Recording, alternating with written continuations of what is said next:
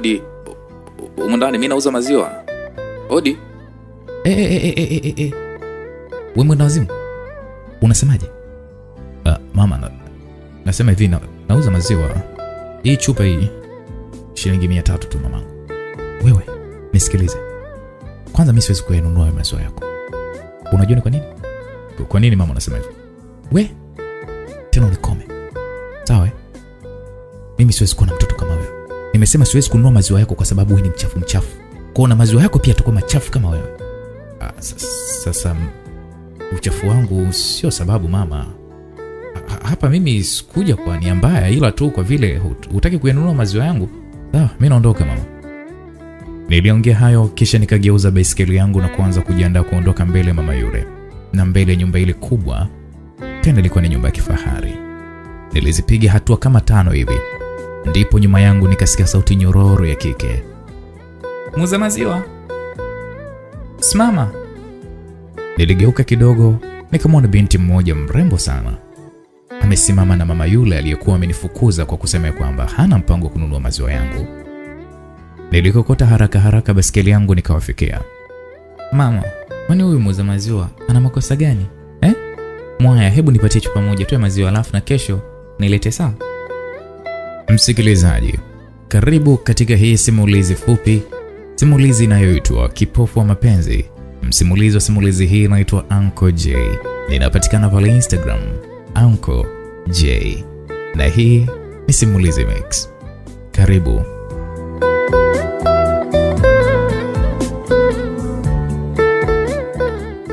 Mimi baada ya kuweza kuhitimu masomo yangu ya darasa la saba, sikufanikiwa kuendelea na masomo ya sekondari.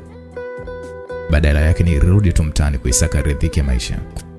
La hasha, nilifaulu kabisa, ila wazazi wangu hawakuwa na uwezo wa kiuchumi kwa ajili ya kuweza kunipeleka huko sekondari. Kiukweli maisha yangu ya kijijini yalikuwa ni magumu sana, na kila nilipokuwa nikijaribu kufanya hiki na kile, niliona kama vile sifanikiwi kabisa. Nilijaribu kilimo, mambo yakaenda kombo. Nikasema niuze dagaa, napo ikashindikana. Nikaona tu bora niende kwingine kwa ajili ya kuweza kuitafuta bahati ya mafanikio. Nilikaa nikawaza sana, mwisho siku nikaona bora tu nikimbilie mjini nikajaribu bahati yangu huko. Niliwaza niende Mwanza, mawazo yangu yakakataa. Nikawaza niende Arusha nikachimbe dhahabu, na hapo pia mawazo yangu yakakataa. Mwisho mawazo yangu yakaniambia kwamba niende katika jiji la Dar es Salaam.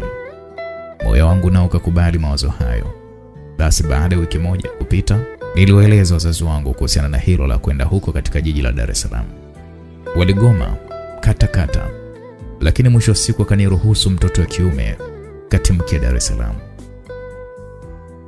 Moja ya mambo muhimu ambayo wazazi wangu waliniambia lilikuwa ni jambo la mimi kuwa makini tu huko, nisithubutu kujiingiza kwenye ulimwengu wa ujana wanaoitwa wavuta bangi na wakabaji ama panyarodi. Mimi na baba yako tunakutegemea wewe, maana tumekuzaa peke yako tu hapa nyumbani. Sasa uendapo huko huko Dar es Salaam, tunakuomba ukawe makini sana, na sisi hapa kijijini hapa tutabaki kukuombea ili usije ukapatwa na mabaya huko, sawa? Usije ukaja ukaharibikiwa huko, siku ukaja ukauawa. Neno hayo ya mama yangu niliyopokea kwa mikono miwili, nikawahakikishia wazazi wangu ya kwamba nitayazingatia yote hayo walioniambia, huku nikiwapa matumaini kede kede. Basi kama ngosha mwenyewe kichwa kichwa, nikatua katika jiji la Dar es Salaam au Dar es Salaam kama walivyokuwa wakisema wazee wangu.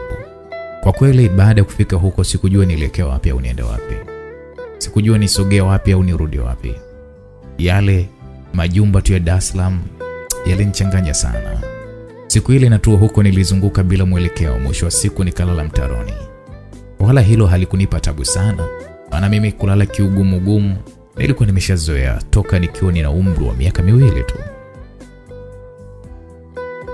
Mpaka siku tano mfululizo zinapita, bado sikuwa nimefanikiwa kupata sehemu ya kujihifadhi.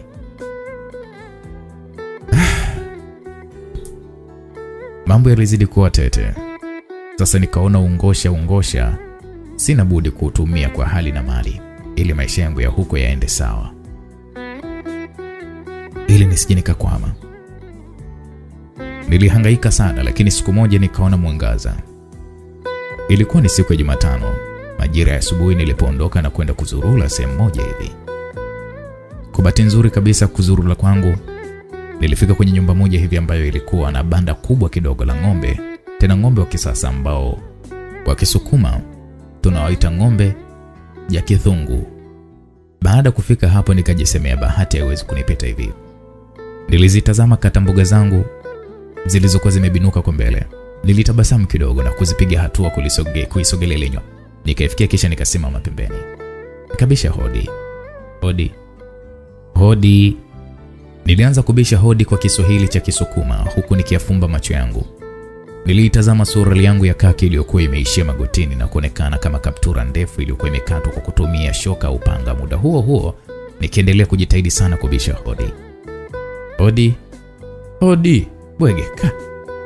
Nilijisahau nikatamka na Kisukuma kabisa kana kwamba nipo Bariadi.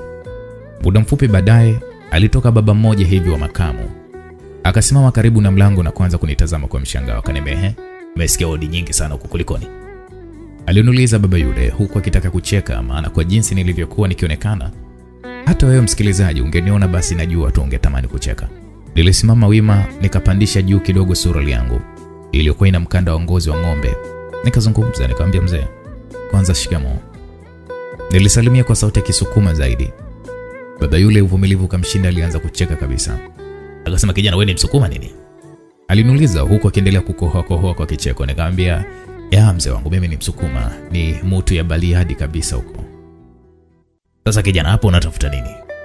Natafuta kazi mzee wangu, ikiwezekana hata ya kuchunga ng'ombe, maana sina pa kukimbilia. Niliongea vile huku nikuchezesha mguu wangu wa kushoto. Akaniambia sawa, ila kuna kazi ya kuuza maziwa. Kuanzia leo wewe utakuwa unanisaidia kuuza maziwa, umenielewa? Nilimjibu, na baada ya hapo akanikabidhi baisikeli moja kuukuu kwa ajili ya kuyatembeza maziwa sehemu tofauti tofauti za mjini. Kazi hiyo nikaridhia, nikaona ni heri kuwa nayo kuliko kubaki nikizurula tu mtaani bila hata kuwa na makazi. Kesho yake ilipowadia, moja kwa moja nikaianza kazi yangu. Katika siku hiyo nilipewa chupa kama 30 hivi, nikaziweka kwenye dude fulani hivi lililokuwa linafanana na diaba, nikalifunga kwa baiskeli na kuanza kuzunguka mtaani nikiwa nauza yale maziwa. Sikujali watu watanichukuliaje kulingana na jinsi nilivyokuwa nikionekana. Nilichokuwa na kijari ni kupiga tu kazi.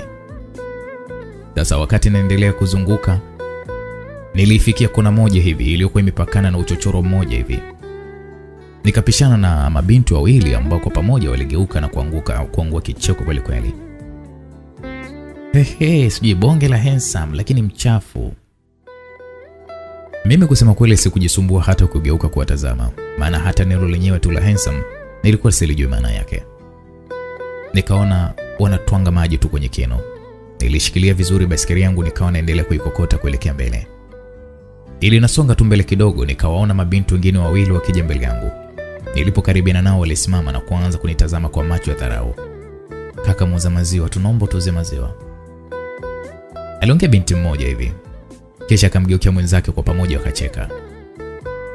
"Hmm, mwenzangu, hata kwa mtoto wa bunduki siwezi kunywa maziwa yanayouzwa na mtu mchafu kama huyu. Binti mwingine alizungumza hivyo na kunifanya niondoke mbele yao huku kichwa changu kikiwa chini. Kaka, ila unasema ukweli, ukijua kuoga asikwambie mtu ni bonge la handsome. Sikuyasikiliza maneno yao, nilizidi kuchapa mwendo. Nilitembea sana, hatimaye nikakutana na mabinti wengine watatu. Hawa walikuwa wamevaa suruali kabisa. Kaka, samahani, humo ndani unauza maandazi au vitumbua? Mmoja wa mabinti aliniuliza hivyo, nikaambia vitumbua hii. Nilisema kwa Kiswahili kilichochanganyikana na Kisukuma. Walicheka sana, wakaniambia kaka, wewe ni masanja mkandamizaji nini ndugu? Binti mwingine aliuliza, lakini sikumjibu. Nikamwambia semeni kama mnataka kununua maziwa, kama mtaki mimi niende zangu. Niliongea hivyo, wote wakalisha tu kunishangaa. Nikamwambia Rafu, mimi ni ngosha wa kisasa, kiniletea ujinga ujinga nitawatwanga kwa kutumia chembagata. Aha, nimekosea, nitawatwanga kwa kutumia hii katambuga, msinisumbue mimi. Niliwaambia hivyo, mbavu hazikuwatosha, walicheka sana mpaka wakadhani ya kwamba mimi ni mwenda wazimu. Kumbe mimi na akili zangu timamu tu.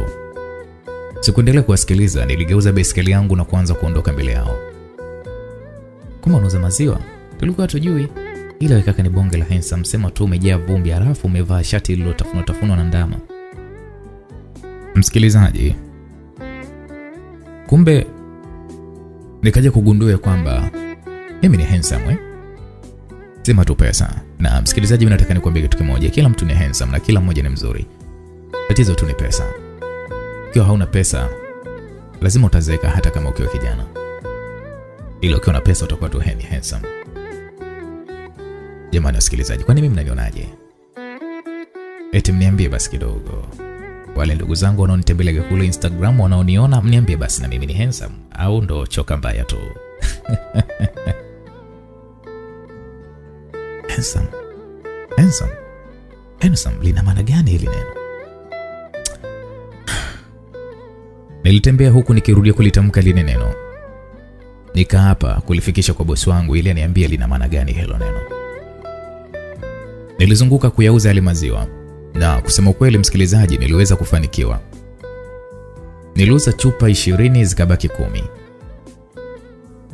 Sasa hizi chupa kumi sijui maziwa yake ni anywe alafu nikamdanganye bosi mzee Madanga, ila hapana, ngoja niendelee tu kuyatembeza, huenda yatanunuliwa. Nilijiongelesha mimi mwenyewe kwa lugha ya Kisukuma, kisha nikaendelea kuzunguka mpaka nikawa nimeyauza yote yale maziwa. Kwa furaha sana, jioni nikarudi nyumbani. Nirudi nyumbani kwa mkuu wangu ambaye ni bosi wangu mzee Madanga, huku nikitabasamu, wakati mwingine kurukaruka. Akaniuliza, vipi Matondo, mbona una furaha sana kiasi hicho? Mzee Madanga aliniuliza baada ya kuniona nikiikokota ile kwa mbwembwe sana, huku nikidele kutabasamu. Nikamwambia bosi, ya leo hii mimi nina nyota ya tembo, yaani anakaa kwenye elfu kumi. Nimeuza maziwa yote mpaka ikaisha, ila bosi, nimetoa mia mbili nimenunua pipi. Alafu bosi, nina swali. Mm, swali gani hilo? Swali gani kijana wangu? Hebu niulize. Alinidakia mzee Madanga na kunifanya nianze kumweleza swali langu nililokuwa nimeliandaa. Nikamwambia mzee wangu, wakati natembeza maziwa mtaani sehemu tofauti tofauti, kuna mabinti kama sita hivi nilikutana nao maeneo tofauti tofauti. Sasa kuna kitu walikuwa wakiniambia, na mimi kwa sababu ni ushamba wangu, kwa kweli sikuweza kulitambua kitu kama hicho, ya kwamba kina maana gani. Wewe Matondo, kijana wangu, hebu acha kuzunguka zunguka, sema moja kwa moja nini? Alizungumza mzee Madanga. Alinitazama tena, nilitazama tena katambuga zangu, kisha nikasema, kitu chenyewe ni handsome. Mzee, hii handsome ni kitu gani hiki? Maana nilisikiaga tu, ila sikuelewa kabisa. Naomba nieleweshe mzee wangu. Nilizungumza kwa umakini sana na kumfanya mzee Madanga aanze kunishangaa kidogo. Alikoa, kisha alianza kuzungumza, akaniambia, unajua ngosha, ngosha Unajua ungosha na wenyewe sometimes ni shida tu. Sasa sikia kijana wangu, handsome haina maana mbaya, ina maana ya mwanaume mzuri mwenye mvuto aina yake, na wanaume, ni wanaume ambao wanapendwa sana na wanawake. Sijui umenielewa kijana wangu? Aliniambia hivyo mzee Madanga. Nikamwambia sasa, mzee wangu, yani kama sijakupata vile, sasa hao wanaume mahandsome wana kipi hasa ambacho kinawafanya wapendwe na wanawake?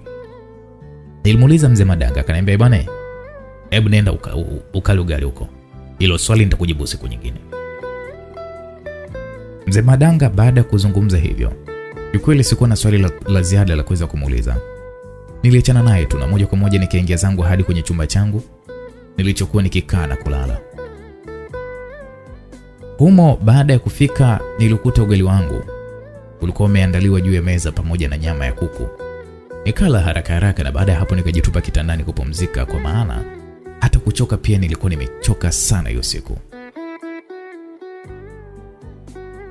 Hapo kitandani nililala mpaka mida jioni. mpaka pale nilipokuja kukurupushwa na sauti ya mzee Madanga iliyokuwa ikiniamsha ili nianze kukamua maziwa. Nilitoka haraka nikaelekea kwenye kibanda kwa ajili ya kuweza kuianza kazi hiyo ya kukamua maziwa. Jioni ile nilifanikiwa kukamua maziwa kiasi chupa kama 40 hivi. Nikamaliza na maziwa yangu nikahifadhi vizuri kabisa. Pamoja na kwamba kwa muda huo nilikuwa bado nina uchovu, alafu ilikuwa bado mchafu, sikuwa na hamu kabisa ya kwenda kuoga, maana mimi na maji tulikuwa kama maadui, na kwa miezi mitatu nilikuwa nikioga hata mara moja tu, tena nilikuwa naoga kwa bahati mbaya mno. Maziwa yale niliyahifadhi, nikaona nirudi tena chumbani kwangu kwa ajili ya kwenda kulala. Usiku ule nililala mpaka kulipopambazuka. Kama kawaida, sikuwa na muda hata wa kupiga mswaki. Nilichukua maziwa yangu kwenye zile chupa 40 nikazitia ndani ya kile chombo kilichokuwa kikifanana na diaba. Safari ya kwanza kuyatembeza maziwa yangu ilianza. Nilizunguka kwa wale wateja wangu waliokuwa wameniahidi kuwapelekea maziwa. Baada ya hapo, nikapeleka na sehemu zingine pia. Ilipofika majira ya saa kumi za jioni, huku nikiwa nimebakiwa na chupa mbili tu, nilienda kupumzika karibu kabisa na kibanda kimoja hivi cha nyasi, nikawa natafakari sana. Wakati nikiwa naendelea kutafakari, kwa mbali niliona jumba moja kubwa la kifahari. Jumba hilo lilikuwa limezungukwa kwa maua mazuri mno. Bila shaka wakazi wa jumba hilo walikuwa ni matajiri. Basi nilijitoa ufahamu, nikasema nianze kulisogelea jengo hilo ili kiwezekana zile chupa za maziwa nikawauzia wao. Nilisimama kisha nikajinyosha kidogo. Nilichukua baskeli yangu nikaanza kuikokota kuiliendea lile jengo. Nilizipiga hatua za mwendo taratibu, nikawa nazidi kulisogelea jumba hilo kubwa. Baada ya dakika mbili nilifika hapo, nikasimama mbele ya lile geti, nikaanza kubisha hodi. Nikawa nasema hodi, hodi, nauza maziwa jamani, hodi, hodi, hodi, nauza maziwa. Niligonga lile geti kwa muda wa dakika kadhaa, baadaye likafunguliwa. Alisimama mmoja hivi mnene kidogo, mweupe na mwenye dimples, akawa ananitazama kwa macho fulani hivi kuanzia miguuni kwangu mpaka kichwani kwangu. Akaniambia nikusaidie nini wewe mlazimu? Nikamwambia kwanza, mama huyo aliniambia hivyo kwa dharau sana, aliniuliza hivyo. Mimi nikachukulia poa, kwa maana sikuwa na visasi na mtu yoyote. Nikamwambia mama, mimi nauza maziwa, chupa moja shilingi 300 tu mamangu. Niliongea hivyo, lakini yule mama alizidi kuniangalia kwa dharau sana. Akaniambia unauza maziwa na uchafu wote unauniuziaje maziwa mimi? Kijana, kama umepotea njia, naomba uondoke, mara utanifanya nianze kujisikia kichefuchefu. Nikamwambia mama, hapa sijaja kwa ajili ya ubaya nimekuja hapa kwa ajili tu ya kuulizia tu kama unahitaji maziwa, ila kwa vile umesema uyataki, sawa. Jioni njema, mimi acha niondoke. Niliongea kwa Kiswahili cha Kisukuma, kisha nikaanza kuigeuza baisikeli yangu ili nianze kuondoka. Lakini kabla sijaondoka, mara msichana mmoja mweupe aliyekuwa amevaa suruali nyeusi alikuja akasimama karibu na mama huyo na kuanza kuniita kwa sauti nyororo sana ya kike ambayo nilihisi kipenya hadi kwenye sio moyo, ilikuwa yani ile sauti ilinifanya nilihisi imepenya mpaka kwenye pua yangu, maana sauti nyororo kama hizo kule kwetu nilikuwa sizisikii kabisa, zaidi tu kusikia sauti za fisi tu na sauti za maneno ya herufi kubwa kubwa kubwa za kisukuma sukuma. Basi akaniambia muuza maziwa njoo. Ah, wewe sikutaka kabisa kubisha. Niligeuza basikeli yangu nikaanza kurudi. Niliwafikia nikasema mama mbele yao. Sasa kazi ikawa kwenye kumsalimia huyo msichana. Niliwaza sijui nimsalimie, mwisho nikaona tu nimsalimie, nikamwambia shikamoo. Nilisalimia hivyo, binti alicheka sana na kuitikia poa, vipi? Sikujua nimrudishiaje, nikaona acha niwe kimya tu. Akaniambia kaka, wewe ni mwenyeji wa wapi? Nika, dada yule aliniuliza hivyo, nikamwambia mimi mwenyeji wa Bariadi, ila sky sana, nikupe chupa ngapi za maziwa? Nilimuuliza yule binti, akacheka tena akasema nipe chupa moja tu, alafu nyingine utaniletea kesho, sawa kaka? Nikamwambia sawa. Basi nilitoa chupa, naye haraka haraka akaleta kifaa chake cha kuwekea maziwa, nikammiminia ile maziwa, nikaanza kuondoka zangu. Akasema samani kaka, kama una simu naomba niachie namba yako. Nikamwambia sina ha, simu hata ile tochi mimi sina. Niliongea huku nikiondoka, akaniambia sawa kaka, basi kesho uje? Aliniuliza hivyo, lakini mimi hata sikumrudishia chochote kile, nikawa nimeondoka zangu. Sasa mama, kipi kilichokufanya usianunue maziwa kaka huyo? Au kwa vile amevaa nguo chafu ndo unamhukumu kiasi hicho? Yule binti alimuuliza yule mama yake. Wewe hujui tu, mimi nauza maziwa chafu chafu huwa yani kabisa siwezi kuchukua maziwa yao, maana nikinywa tu nahisi kutapika na kuhisi uchafu ule upomo kwenye maziwa. Sawa mama, ila mi napenda maziwa na ndio maana nimenunua, na kesho yule kaka lazima aje hapa niyanunue, hata kama hutaki kuyanywa, lakini mi nitayanywa tu. Aliongea msichana huyo mwenye mchanganyiko wa asili ya Kihindi na Kivenezuela. Kisha kwa pamoja wakaingia ndani na kisha kulifunga moja kwa moja lile geti lao. Sasa msikilizaji, unajua kwa upande wangu, baada ya kuweza kuondoka mbele lile jumba, nikarejea moja kwa moja mpaka nyumbani kule nilipokuwa nikiishi kwa mzee wangu, mzee Madanga. Huko nilifika nikakuta chakula nimeshaandaliwa, nikala nikashiba, kisha nikapumzika kwa ajili ya kesho tena kuianza kazi yangu. Nilikuwa naipenda kazi yangu, lazima na uipende kazi yako bwana. Kesho yake ilipofika, niliamua kuanza kwa kumpelekea maziwa yule binti, kisha baada ya hapo niwapelekea wengine. Basi nilifunga safari yangu mpaka huko. Kwa bahati nzuri au mbaya, sikumkuta mama yake pale, maana binti huyo nilimkuta akiwa amekaa pembeni kidogo mwa lile geti. Akaniambia, karibu kaka, nimesubiria kweli maziwa yako kwa hamu sana, maana ni matamu, na jana wakati nayanywa nilikuwa nahisi kama mwili wangu vile ukisisimka vile, kama utujali. Karibu nani? E, e, nikaona sasa ya majaribu. Nikamwambia binti, yani mimi na hizi kata mbuga zangu niingie ndani ya hili jumba. Ah, kuna tiles sijui marumaru kweli? Aisi, hapana dada yangu wewe leta tu jagi ni kumiminie tu maziwa. Niliongea kwa Kiswahili kile kile cha herufi kubwa. Msichana alizidi kuwa hoi kwa kicheko, alicheka sana. Nikamwambia sasa, unacheka nini sasa dada yangu? Akaniambia nimefurahi tu jamani, au wewe unataka ninune? Karibu ndani bwana, usijali kuhusu marumaru sijui tiles nini. Sawa, kuna dada wa kazi anafanya hiyo kazi mundani, kwa atasafisha hata kama utaingia na hizo katambuga zako, hamna shida. Aliongea yule binti huku akawa ananitazama usoni bila hata kuyapepesa macho yake. Nikamwambia sawa, ila mamako asija kanikuta humu ndani, aisi hata nimwagia maziwa yangu yote haya. Niliongea vile, yule msichana alikuwa anacheka tena, alinishika tu mkono na kwanza kuingia naye ndani ya geti. Baiskeli nilipaki nje, kumbuka hivyo msikilizaji. Basi tulipofika hadi kwenye garden moja hivi ya maua, haraka yule binti alileta kiti nikakaa, naye chini kabisa. Nikamwambia dada, yaani na uchafu wangu huu umeniletea kiti kisafi kiasi hiki kweli? Yule dada akaniambia, usijali, ni kawaida yangu bwana kuwathamini wageni kama nyinyi. Sasa ni vyema tukafahamiana kwa majina. Yule bidada akajitambulisha akasema anaitwa Hadija bint Ahmedi. Nikamwambia mimi naitwa Ngosha. Uh, nime nimekosea. Mimi hapa bwana, kidogo jina langu ni gumu sana. Eh, ni gumu sana kulimeza. Uh, uh, nimekosea jina langu. Mi, mi jina langu ni gumu kulitamka.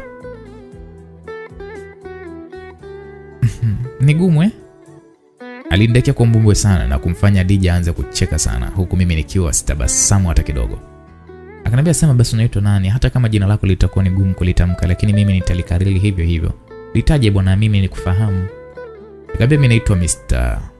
Chembagata na Togiure. Eh? Sijakuelewa. Sikiliza, tumetaka kujua jina langu. Mimi naitwa Chembagata na Togwire au kwa lugha ya haraka naitwa Matondo. Matondo? Ya, mimi naitwa Matondo. Eh, kwani hilo jina la Matondo lina maana gani? Ah, sikia. Matondo ni wanaume mahensam sana wa Kisukuma. Hawa watu wanapatikana Bariadi pekee, japo hata kwenye swala la kufukuza fisi wapo, ila kwa ufupi ni wanaume mahensam wa Kisukuma. Sijui umenielewa? Umenielewa Dija? Kwa kweli binti huyo alifurahi sana uwepo wangu pale, maana ilionekana kama anaifanya siku yake kuwa nzuri mno. Kitu pekee kilitokana na ule ucheshi wangu, ucheshi niliokuwa nao kwa yule binti. Mi nilijaliwa ucheshi, msikilizaji. Akaniambia, Matunda, nikwambie kitu. Aliniuliza hivyo Adija, huku akitabasamu, muda huo akiendelea kunitazama kwa macho ya kisaikolojia zaidi. Nikamwambia, uliza tu, maana mi masikio yangu yana sumaku, yana sumaku kwa ndani, nitanasa tu vizuri utakachoniambia. Akaniambia, una miaka mingapi kakaangu? Ah, kwa hilo tu Matondo, mimi nina miaka ishirini mpaka nilipo, japo kidogo naonekana kama mzee kutokana na kuto kuoga kwangu kwa muda wa miezi kama mitatu, ila mimi bado kinda kabisa. Sasa sijui na wewe nikuulize kitu. Niliongea vile, kisha mimi nikaona nimuulize swali naye. Nikamwambia, Dija, kwani wewe una miaka mingapi? Na miaka kumi na saba kwa sasa, nipo kidato cha nne nasoma. Aliongea vile, alinishangaza kidogo, maana umbo lake kubwa kidogo lililokuwa limechora namba yake nane ya maana tu, pamoja na ipse zake na makalio yake na kifua chake vilinishangaza kidogo. Nikasema, du, kweli watoto matajiri wanakuwa haraka haraka. Yaani Adija, kwa jinsi ulivyo unaona hivi eh? hata kuku anayetaga hakugusi, mtoto unang'ara sana. Nimeshangaa baada ya kuniambia una miaka kumi na saba ila samani kama nimekukela kwa hayo. Ah, hujanikela hata kidogo, ila ila Hadija alishindwa kuongea. Sasa wakati nikiwa bado nimesimama ile najiandaa kukaa, mara sauti ikasikika, we, we, we, we, we, nani kakwambia ukae hapo na huo uvundo wako ulionao? Kugeuka, kumbe alikuwa ni mama yake Hadija aliyekuwa amekuja akiingia ndani ya geti. Hadija akasema, mama, mimi nimemruhusu aingie humu ndani, sasa usishangae sana. E, atoke haraka tena, atokomee haraka tena, atokomee kabisa, nisimwone humu ndani, aliongea mama Adija, na mimi nikamua tu kutii sheria bila shuruti. Sasa Adija, kesho harafu naomba uniletee chombo nikuwekee maziwa yako, mimi niende. Niliongea kwa kuvunga, kisha nikamtazama Adija na kumwona amenyong'onyea sana. Adija kwa unyonge aliingia ndani na baada ya dakika mbili akatoka akiwa ameshikilia chombo cha kuwekea maziwa. Nilimwekea kisha nikaanza kuzipiga hatua zangu kuondoka ndani ya lile jumba. Ila mama, umefanya sio poa kabisa. Haya mwaya, kesho utakuja tena eh? Aliongea Dija. Nikakaa kimya na kufanikiwa kutoka kabisa ndani ya lile geti. Baada ya kutoka mule, nilienda kusimama pembeni kidogo mwa ile baiskeli yangu nikayangaza kidogo macho yangu kisha nikaondoka kurejea moja kwa moja hadi nyumbani. Kiukweli nilifanikiwa kufika nyumbani. Nilifika nyumbani, lakini nilipofika nyumbani nilimkabidhi pesa zote za maziwa mzee Madanga ambaye ni bosi wangu, na baada ya hapo nikaenda kupumzika ndani ya chumba changu. Kwa muda huo tayari ilikuwa ni majira ya saa kumi na mbili kasoro robo, yalikuwa imeshawadia. Nililala mpaka giza likaanza kuingia. Sasa wakati nikiwa naendelea na usingizi wangu, mara mzee Madanga akaja chumbani kwangu akaniamsha, akaniambia we Matondo, nje kuna mgeni wako. Aliongea mzee wangu, nikawa nashangaa, kaa najiuliza mimi, mgeni yupi huyo? Nani anayenifahamu hapa mjini? Amekuja kwa ajili yangu? Kwa ajili ya nani? Sasa kipindi najiuliza hayo maswali nilikosa majibu, nikaona okay, ngoja nitoke nikashuhudia kwa macho yangu mawili, ni mgeni yupi huyo? Basi nilitoka nje. Nilipotoka nje nikajikuta napigwa na butwa baada ya kumwona Adija akiwa amesimama pembeni mwa ukuta, akawa tu anajiumaume vidole vyake. Nikamwambia, Dija, umepajuaje hapo? Nilimuuliza huku nikiendelea kumshangaa. Akasema, nimeulizia tu. Akasema, ila sije ukaa sana, maana kule nyumbani nimetoroka. Nimemtoroka mama. Matondo, hebu twende nyumbani kidogo tukazungumze. Kaambia, nyumbani kwenu? Basi twende twende nyuma ya nyumba. Basi ilibidi niambatane na mrembo huyo huku nikiwa nimezivaa nguo zangu zile zile za kila siku.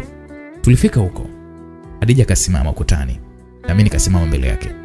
Binti alianza kutabasamu kisha akawa ananitazama kwa macho ya kuitaita, yani kama ngosha the dawn. Nikajua tu hapa nimeshapata zali, tena lile zali la mental. Unaweza ukashangaa ni kwa nini nilitambua hivyo. Mimi nilikuwa nikiwasoma sana wasichana, hasa zile dalili zao za kupenda. Nikamwambia, he, niambie sasa Hadija, umekuja hapa kwa ajili ya kitu gani? Nilimuuliza Hadija huku nikiitazama tazama miguu yangu iliyokuwa imejaa magamba magamba mithiri ya dodoki la gunzi. Akaniambia, Matondo, mimi nimekuletea pesa. Mama nilimdanganya nipe laki mbili kwa ajili ya michango ya shule, akanipa. Nikaona nikuletee wewe ili ukanunue nguo, ununue nguo nzuri uvae upendeze, alafu kesho si Jumamosi, naomba uje kwetu twende wote supermarket nikakuchagulie nguo nzuri alafu minywele yako nikupeleke saluni ukanyolewe. Nataka upendeze Matondo, ili hata ukiwa unaniletea maziwa nyumbani mama asiwe na kufukuza fukuza kwa sababu ya uchafu wako. Aye, hivi kuna wasichana bado wapo design hii jamani kwenye hii dunia? Sijui, lakini bahati hiyo ilinikuta mimi bwana, ilinikuta Ngosha the Don. Aliongea Hadija maneno hayo huku macho yake yakiwa ameinamishia chini. Nilimtazama kidogo, kisha nikameza fundo la mate, nikamwambia nimekuelewa, ila supermarket ndio kitu gani hicho? Naomba niliweshe hapo kidogo. Supermarket ni sehemu wanakouzia bidhaa mbalimbali za majumbani. Ah, mimi nilikuwaga sijuagi mambo ya supermarket, nikazani gulioni. Niliongea kisha Dija akanikabidhi ile pesa, nami nikazipokea kwa mikono miwili. Akaniambia, haya Matondo, ngoja basi mimi niwahi nyumbani, maana asije akanishtukia mama yangu, na kesho usisahau Matondo. Nikamwambia, we kwenye dili kama hilo siwezi kusahau mimi. Niliongea hivyo na hapo ndipo Dija alipoanza kuondoka mbele yangu. Kwa vile alikuwa amevaa suruali nyeusi ya jinsi iliyokuwa imemkaa vyema, hamsini hamsini mia, nilizishuhudia kwenye maumbile yake bwana. Hadija alizipiga hatua kadhaa, kisha akageuka akanitazama, huku akiweka kidole chake mdomoni, akageuka tena mbele na kuendelea na safari yake. Ah, mashikoro mageni yu bangosha hatari. Niliongelesha kwa Kisukuma kisha nikarukaruka na kuondoka pale nyuma ya ule ukuta kasepa zangu. Sasa nilivyoingia ndani nikaanza kumwita mzee Madanga, mzee Madanga. Wa bana, mazungumzo na wewe na mazungumzo na wewe mzee wangu, na mazungumzo kidogo na wewe. Niliongea hayo baada ya kumfikia mzee huyo aliyekuwa amekaa karibu kabisa na mlango. Akaniambia, mazungumzo na mimi? Mazungumzo yapi hayo? Kaambia, mzee, kesho naomba uniruhusu kwa hiki. Kesho nataka kuelekea supermarket. Naelekea supermarket kwa ajili ya kununua nguo. Ngoja tena suruali yangu hii mwanangu. Muona ilivyokatwakatwa. Eh, imekatwakatwa kama na shoka hivi, imeanza kuwa kama sura ya mbugani. Niliongea na bosi wangu, yani kama mshikaji wangu, nilijisahau bwana. Niliongea na kumfanya mzee yule anitazame swali yangu. Aliangua kicheko sana. Anasema bosi wangu alikuwa ni mshikaji sana. Akaniambia, bwana, wala tusiwaze kijana wangu Matondo. Alafu mimi siku za Jumamosi na Jumapili huwa sinaga tabia kuuza maziwa yangu au kukamua kamua ng'ombe wangu. Kwa hiyo kuwa na amani tu kijana wangu, na jambo hilo lipo mikononi mwako, ni wewe tu, hata usijali. Ah, I say, nilifurahi sana baada ya mzee Madanga kuniruhusu. Usiku ule hata usingizi ulikuja. Basi usingizi ulinigomea kabisa, maana niliwaza sana ni nguo zipi ambazo nitaenda kuzinunua huko pindi nitakapopatana na Adija. Masaa usiku yalikawia kawia, hatimaye kukaja kupambazuka. Haraka haraka bila hata kupiga mswaki au kuosha uso wangu, niliondoka pale nyumbani, nikawa naelekea moja kwa moja hadi nyumbani kwa kina Adija. Baada ya kuziacha hatua nyingi tu, nilifanikiwa kufika huko, nikamkuta Adija akiwa ananisubiri nje kidogo mwa geti lao. Matondo, karibu sana eh? Ila kuna umekuja ukiwa peku peku miguuni mwako? Aliniuliza hivyo Hadija. Haraka sana nikajitazama miguuni, na kweli nilikuwa niko kuni Nikasema yui, ndio maana nilikuwa natembea haraka haraka eh? Kwa tembea haraka kama urungu. Kumbe chembagata say, kumbe chembagata zangu nimezisahau. Alafu nilizani nazo da. Niliongea hivyo, lakini Hadija alicheka sana. Chembagata ndo kitu gani hicho? Chembagata ni katambuga bwana, yaani zina sifa zenyewe, huwa zina zinayakata sana matope ya mbugani, yaani kwenye matope hivi hayo. Wengine wanapohangaika kutembea, wewe huyo, yaani ukiona hizo ukiona hizo chembagata, yaani mwendo tu kupapa papa papa papa papa. Nilikuwa nampigisha story hivyo, Adija alikuwa anacheka sana, na mara hii akanishika kabisa bigani mwangu, akasema haya bwana, twende basi kwenye ile gari. Aliongea Adija na kunifanya nianze kuitazama hiyo gari. Ilikuwa imepakiwa hapo hapo karibu na geti. Nikamwambia sasa, mama yako si atanipiga? Niliongea na kumfanya Diga acheke kweli kweli kwa mara nyingine tena. Akaniambia hawezi bwana mama kunipiga, kwani hii gari si ameninunulia baba, kwa hiyo wala hawezi kukupiga mama yangu, hawezi kukusemesha kwa kitu chochote kile. Bwana, twende ukapande tuondoke kwenye gari yangu. Nikamwambia sasa, sikiliza Diga, mimi nitaenda kuyachafua hayo makochi ya kwenye hiyo gari, alafu kama una ndala naomba unipatie nivae, maana chembagata zangu ndo kama hivyo tena nimezisahau kwa mzee maziwa. Usijali bwana Matondo, twende hivyo hivyo tu bwana, mimi nitaenda kukununulia huko huko, tutakapofika tu nitakununulia viatu pamoja na ndala zingine nzuri nzuri. Twende bwana, twende bwana, wewe mzee Chembagata. Aliongea Adija hivyo huku akinishika mkono wangu wa kushoto na kuanza kunivuta vuta. I say open shoes ndo zile eh, zinafanana na ndala au? Nilimuuliza. Adija alicheka sana akasema zifanana na ndala bwana Matondo, we twende, utazipenda tu ukiziona. Basi hatukuendelea tena kuzungumza sana, tuliambatana kwa pamoja mpaka kwenye gari tukapanda na kuanza safari sasa ya kuelekea huko supermarket.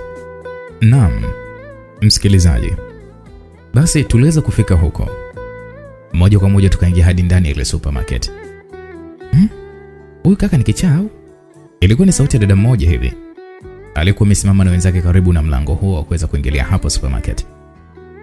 Alidakia Dija na akamwambia kwamba haya hayakuhusu hata kama ni kichaa mi namwona maana tu kwangu.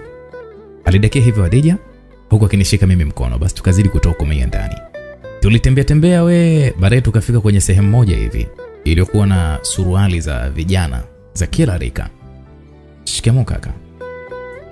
Adija alisalimia baada ya kumwona jamaa mmoja hivi akipangapanga nguo kwenye sehemu hiyo. Sasa mimi nilikuwa nimekalili mambo, nikaona nitoe kama salamu kwa huyo jamaa, nikamwambia mambo Niliongea hivyo, jamaa kanitazama na kujinamia. Bila shaka alianza kucheka, maana niliona kabisa mabega yake yakiinuka juu. Kaka, nimekuja hapa na huyu kakaangu kwa ajili ya kuweza kumnunulia nguo, unaweza kunipa suruali za saizi yake? aliuliza Hadija huku akimtazama jamaa huyo kwa makini. Jamaa akasema ina shida, aliongea jamaa huyo, kisha akaanza kuzichomoa suruali kadha wa kadha zilizokuwa zimening'inizwa juu, akawa sasa namkabidhi Hadija. Hadija akaniambia, Matondo, shika hizi suruali. Alinikabidhi suruali zile, nikazichukua. Adija akamwambia yule jamaa wa dukani, nipe na suti tafadhali. Aliongea hivyo Adija huku akiwa na tabasamu. Jamani, ili zari zari la mentali jamani. Jamaa akauliza unataka suti hii inayong'aa? Aliuliza yule jamaa wa dukani huku akimtazama Adija. Adija akamwambia ndio, hiyo hiyo inahitaji. Adija alijibu hivyo, na wakati huo alikuwa akiunyosha mkono wake wa kulia kuipokea ile nguo. Sasa mimi nikasema eh, eh, eh. Sasa ungosha utaanza kunitoka kidogo kidogo. Na kale kizibao nikamwambia ninunulie eti Adija. Nikamwambia kazuri mno, naomba ninunulie na kale kizibao. Niliongea hivyo na kuwafanya watu wote mule ndani wacheke. Yule muuza nguo alimtazama tena Adija na kumuuliza, dada, vipi huyu jamaa ni kaka yako au? Aliuliza hivyo na akamfanya Adija baki anatabasamu tu bila hata kutoa jibu lolote lile. Jamaa akasema, yaani huyu jamaa wako ana vituko sana. Jamaa yule dukani aliongea hivyo na baada ya hapo maongezi hayakuendelea tena. Tulichukua nguo za kutosha pale. Adija kalipia gharama zote na baada ya hapo tukaelekea sehemu nyingine kwa ajili ya kuweza kwenda kununua viatu. Basi tulifika huko tukanunua viatu vya maana sana, kama pea mbili hivi. Mambo yote yalikaa sawa sawia kabisa. Basi tukaelekea saluni kwa ajili ya kuweza kutengenezwa nywele zangu. Si kwamba nilienda kunyolewa nywele zangu, hapana. Huko nilienda kwa ajili ya nywele zangu kutengenezwa ikae vizuri, unapigwa pigwa mambo makeup nini ning'ae, ukizingatia na mimi nilikuwa ni handsome japo mchafu mchafu, yani handsome asiyekuwa na matunzo kwa lugha nyepesi. Basi huko kwenye saluni tulifika na moja kwa moja nywele zangu zikaanza kutengenezwa mpaka zikang'aa sana. du bangosha linani lile linaloishi Marekani, lisani lile eh, lile li Chris Lee Brown. Ah, nimekuwa kama li Chris Lee Brown. Sasa mimi sio handsome mchafu tena, bali ni handsome msafi au rais wa mahandsome duniani kote. Nilijiongelea hivyo msikilizaji, lakini nilijiongelea kichwani mwangu tena kwa herufi kubwa kubwa nikawafanya watu wote waliokuwepo ndani ya ile saluni waangue kicheko kwa pamoja. Hadija akasema, Matondo, naona una vituko sana bwana, badala kunipongeza mimi unaanza kujisifia mwenyewe. Ala, aliongea Hadija huku muda huo macho yake yakiwa hayabanduki kabisa usoni mwangu. Nikamwambia najua ni nikamwambia unajua nini Adija Wabeja. Asante sana. Mungu na Mungu naomba wote kwa pamoja wakubariki mno. Mungu wakubwa, Mungu wadogo, wote Mwenyezi Mungu akubariki. Yaani nichembaga hata zangu naona kumwachia yule mzee wa maziwa hi Matondo mimi, yaani mimi Matondo, yaani hi hi hi hi. Aise, msikilizaji, siku hiyo niliongea, Adija akanishika mkono na kuninyanyua pale nilipokuwa nimekaa, akaniambia twende sasa, Matondo, inatosha. Basi nilisimama huku akiwa amenishika mkono wangu wa kulia, tukawa nazipiga sasa hatua kwa mwendo taratibu sana kuelekea kwenye gari. Hadija akaniambia Yaani Matondo, umependeza kweli kweli, hata wale wanaokubeza sasa watakukubali vipi? Lakini Matondo, wifi ya jambo, aliuliza Hadija huku akinitazama, na wakati huo huo mkono wake wa kushoto alikuwa ameweza alikuwa kiuf, alikuwa anafungua mlango wa mbele wa gari ili kuweza kuingia ndani ya gari. Ah, nikamwambia Adija, wifi bana, bado wifi bado hajapatikana, wifi bado hajapatikana. Nikamwambia Adija, siku wifi akipatikana utamwona tu. Niliongea kwa kuzugazuga, na hapo ndipo mrembo huyo alipoanza kutabasamu wazi kabisa mbele yangu. Meno yake meupe mithiri maziwa yakawa yanaonekana na kunifanya nianze kummezea mate kimya kimya. Basi tulipanda ndani ya gari na safari ya kurudi nyumbani ilianza. Mchana huo Hadija alinifikisha huko nilikokuwa nikiishi na mzee wangu Madanga ambapo baada ya kunifikisha naye akarejea kwao huku akinisihi sana siku ya Jumatatu nisisahau kumpelekea maziwa. Matondo, ni wewe au au naota? Swali hilo aliniuliza mzee Madanga, yule bosi wangu, huku akiwa ananisogelea zaidi apate kuhakikisha kama ndo mimi au la. Nikamwambia, mzee wangu, mara hii tu umeshanisahau eh? Sasa je, nikiwa sasa nikivaa ni, ni, ni sasa na, na, na nguo zangu zilizomo ndani ya hili begi tutanikataa mzee wangu? Nilimuuliza mzee huyo huku nikiwa na tabasamu. Kwa bahati nzuri tabasamu langu halikuwa baya, maana meno yangu yalikuwa meupe tofauti na wenzangu. Kule Bariadi kule, ah, bala ambao wengi meno yao ni mekundu mithiri ya ukwaju, huwa wanazaliwa hivyo. Akaniambia, kijana wangu, kichwani kwako umekuwa kama msanii wa Marekani huko. Nilicheka sana. Nikamwambia we mzee we mzee ni wa mwendo kasi ese. Yani unaona unafahamu mpaka wasanii wasanii wa nje wa marekani. Nilimuuliza kwa mshangao sana. Mzee akaniambia "Ah, ndio mimi kama ng'ombe ambaye azeki maini bwana mimi nimebadilika hivi juzi juzi tu eh? lakini na mimi nilikuwa naekaeka hayo mambo nanyonyoa kama nyie. Kwao bado sijapotea sana. Nafahamu nyimbo za wasanii wengi tu wa marekani. Aliongea hivyo mzee madanga. Nikamwambia sawa unazisikiliza nyimbo za marekani ila huwa unazielewa au na unafurahia tu mdundo tu bila kuelewa hata neno moja? Ah, mimi tena? Mimi ni mtaalamu hmm? kiingereza kimekaa kichwani mwangu nadhani wewe mwenyewe ukasome kiingereza nicho nacho mimi. Wewe kiingereza chako cha darasa nne. Lakini mimi kiingereza changu cha darasa la saba enzi hizo. Nikamwambia "Ah, poa basi umetisha mzee. Hebu ongea. Maneno kazi ya kiingereza nikusikilize kama unajua kiingereza.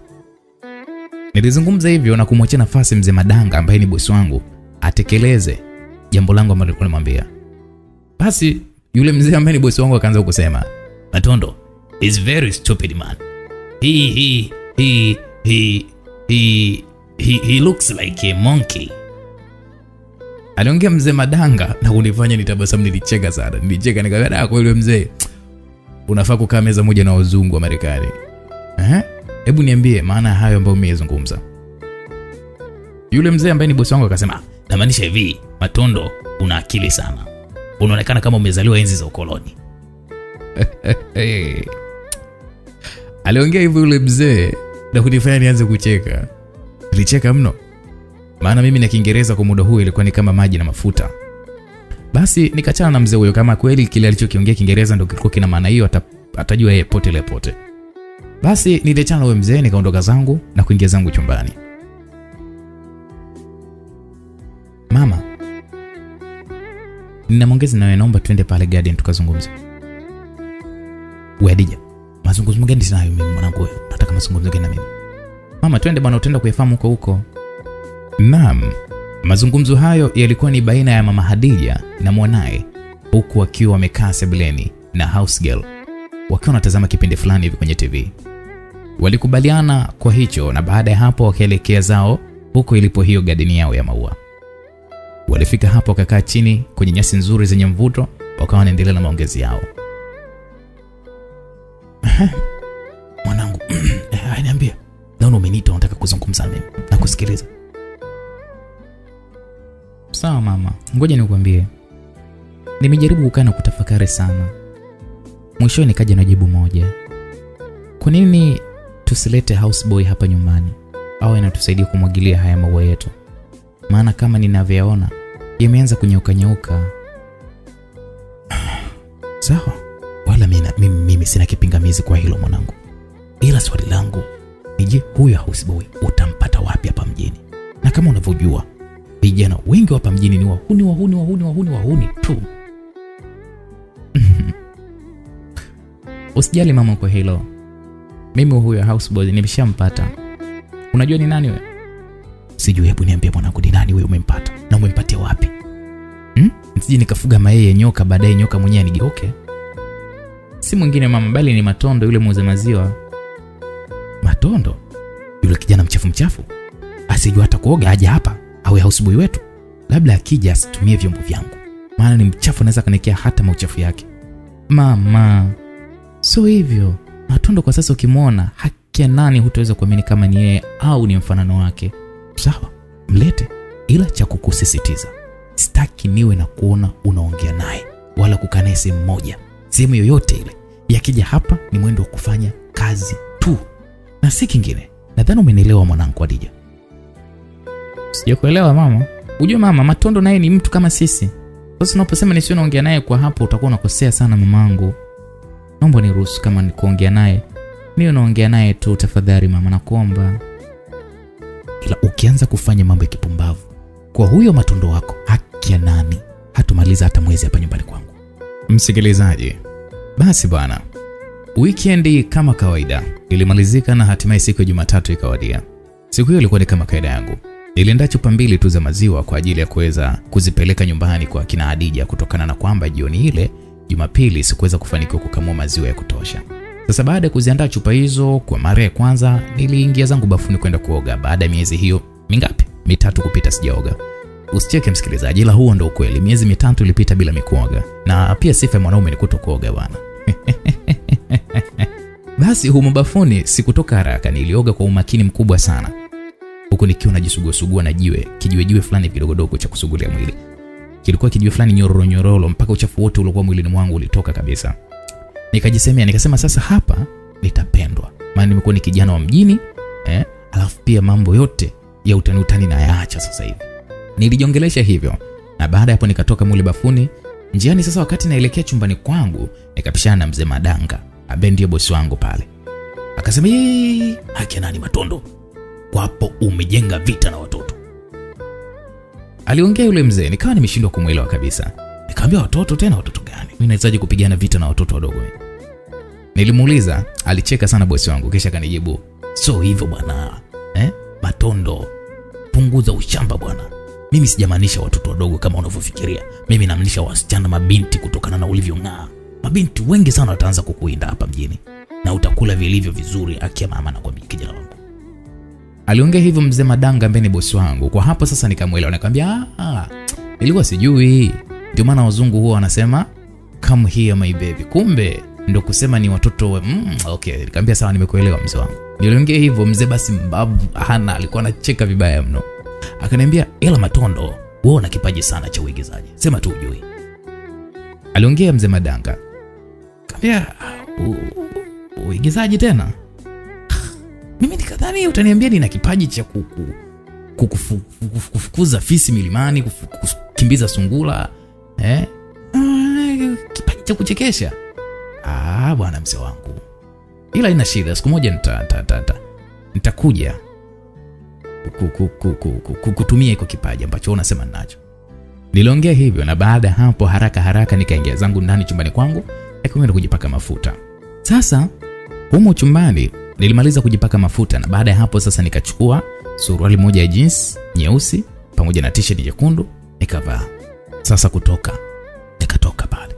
Kutokana na mwili wangu kuwa mkubwa kidogo na kuonekana kama mwili wa mazoezi, suruali ile nilipoivaa, we nilipendeza, nilipendeza sana. Nikajisemea ya bangosha. Yele kaga. Mimi ndo mwenyewe sasa. Nilijiongelesha kwa lugha ya kisukuma msikilizaji. Muda huo huo nikaanza kuivuta tisheti yangu. Nilipomaliza kuivaa tu kifua kilikuwa kina six pack hivi afu nimejazia ah we kuna mtoto gani wa kike angechomoa? Nilitunisha tunisha hivi kidogo tisheti yangu. Yani nilitunatuna mpaka nikawa naonekana kama vile mchezaji labda kama Cristiano Ronaldo kule Ureno. Kanaonekana ni mwanaume fulani gentleman kama nkojei basi haraka haraka miguuni mwangu nikavaa raba zangu kali sana. Kisha nikatoka humo na kwenda moja kwa moja kuyachukua maziwa yangu peleka nyumbani kwa kina Adija. msikilizaji kabla sijafika mbali hapo nimekuambia nime, nime kwamba nilipendeza na kuwa na muonekano mzuri kama nkojei kwa sababu huenda kuna watu nimewaacha lakini light kama mngepata kumjua nkojei basi ndo mngeamini kwamba siku nilipendeza. Nilivutia sana kama nkojei. Kwa sababu nkojei naye ana mikato yake fulani hivi amejaziajazia na mwili fulani hivi yani mtu fulani hivi classic hatari. Basi kwa wale ambao hawamjui nitakuja kuambia siku nyingine kujeni ni nani. Tuendelee tu na story. Basi nikatoka zangu pale nikawa naelekea kwa kina Adija. Sasa kipindi kwa njiani naelekea kwa upande wa kina Adija nikamsikia Adija anasema mama kwa muda hii mi naenda shule ila matondo akija tafadhali na kusiu yapokee maziwa hayo mama yake akamwambia sawa nimekuelewa. Ngoja nikakae kabisa pale getini. Mama Dija akaendelea kusema maana huyo matondo naye ni shida mtupu. Asija akaingia ndani ya geti langu akanichafulia nyumba yangu. Maana ni mchafu mchafu mno.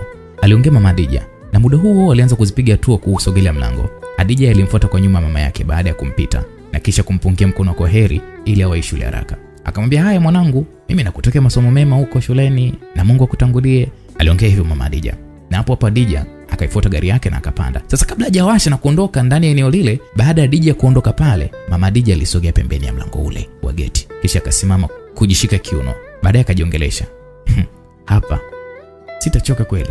Hapana bwana, siwezi kusimama muda wote huu. Eliza, Eliza, Eliza, Eliza ambaye ni mfanyakazi wao mule ndani akatikia, be mama anakuja. Akasema usije mikono mitupu, haraka sana, njoo na kiti hapa getini. Yule Liza akasema sawa mama, nimekuelewa.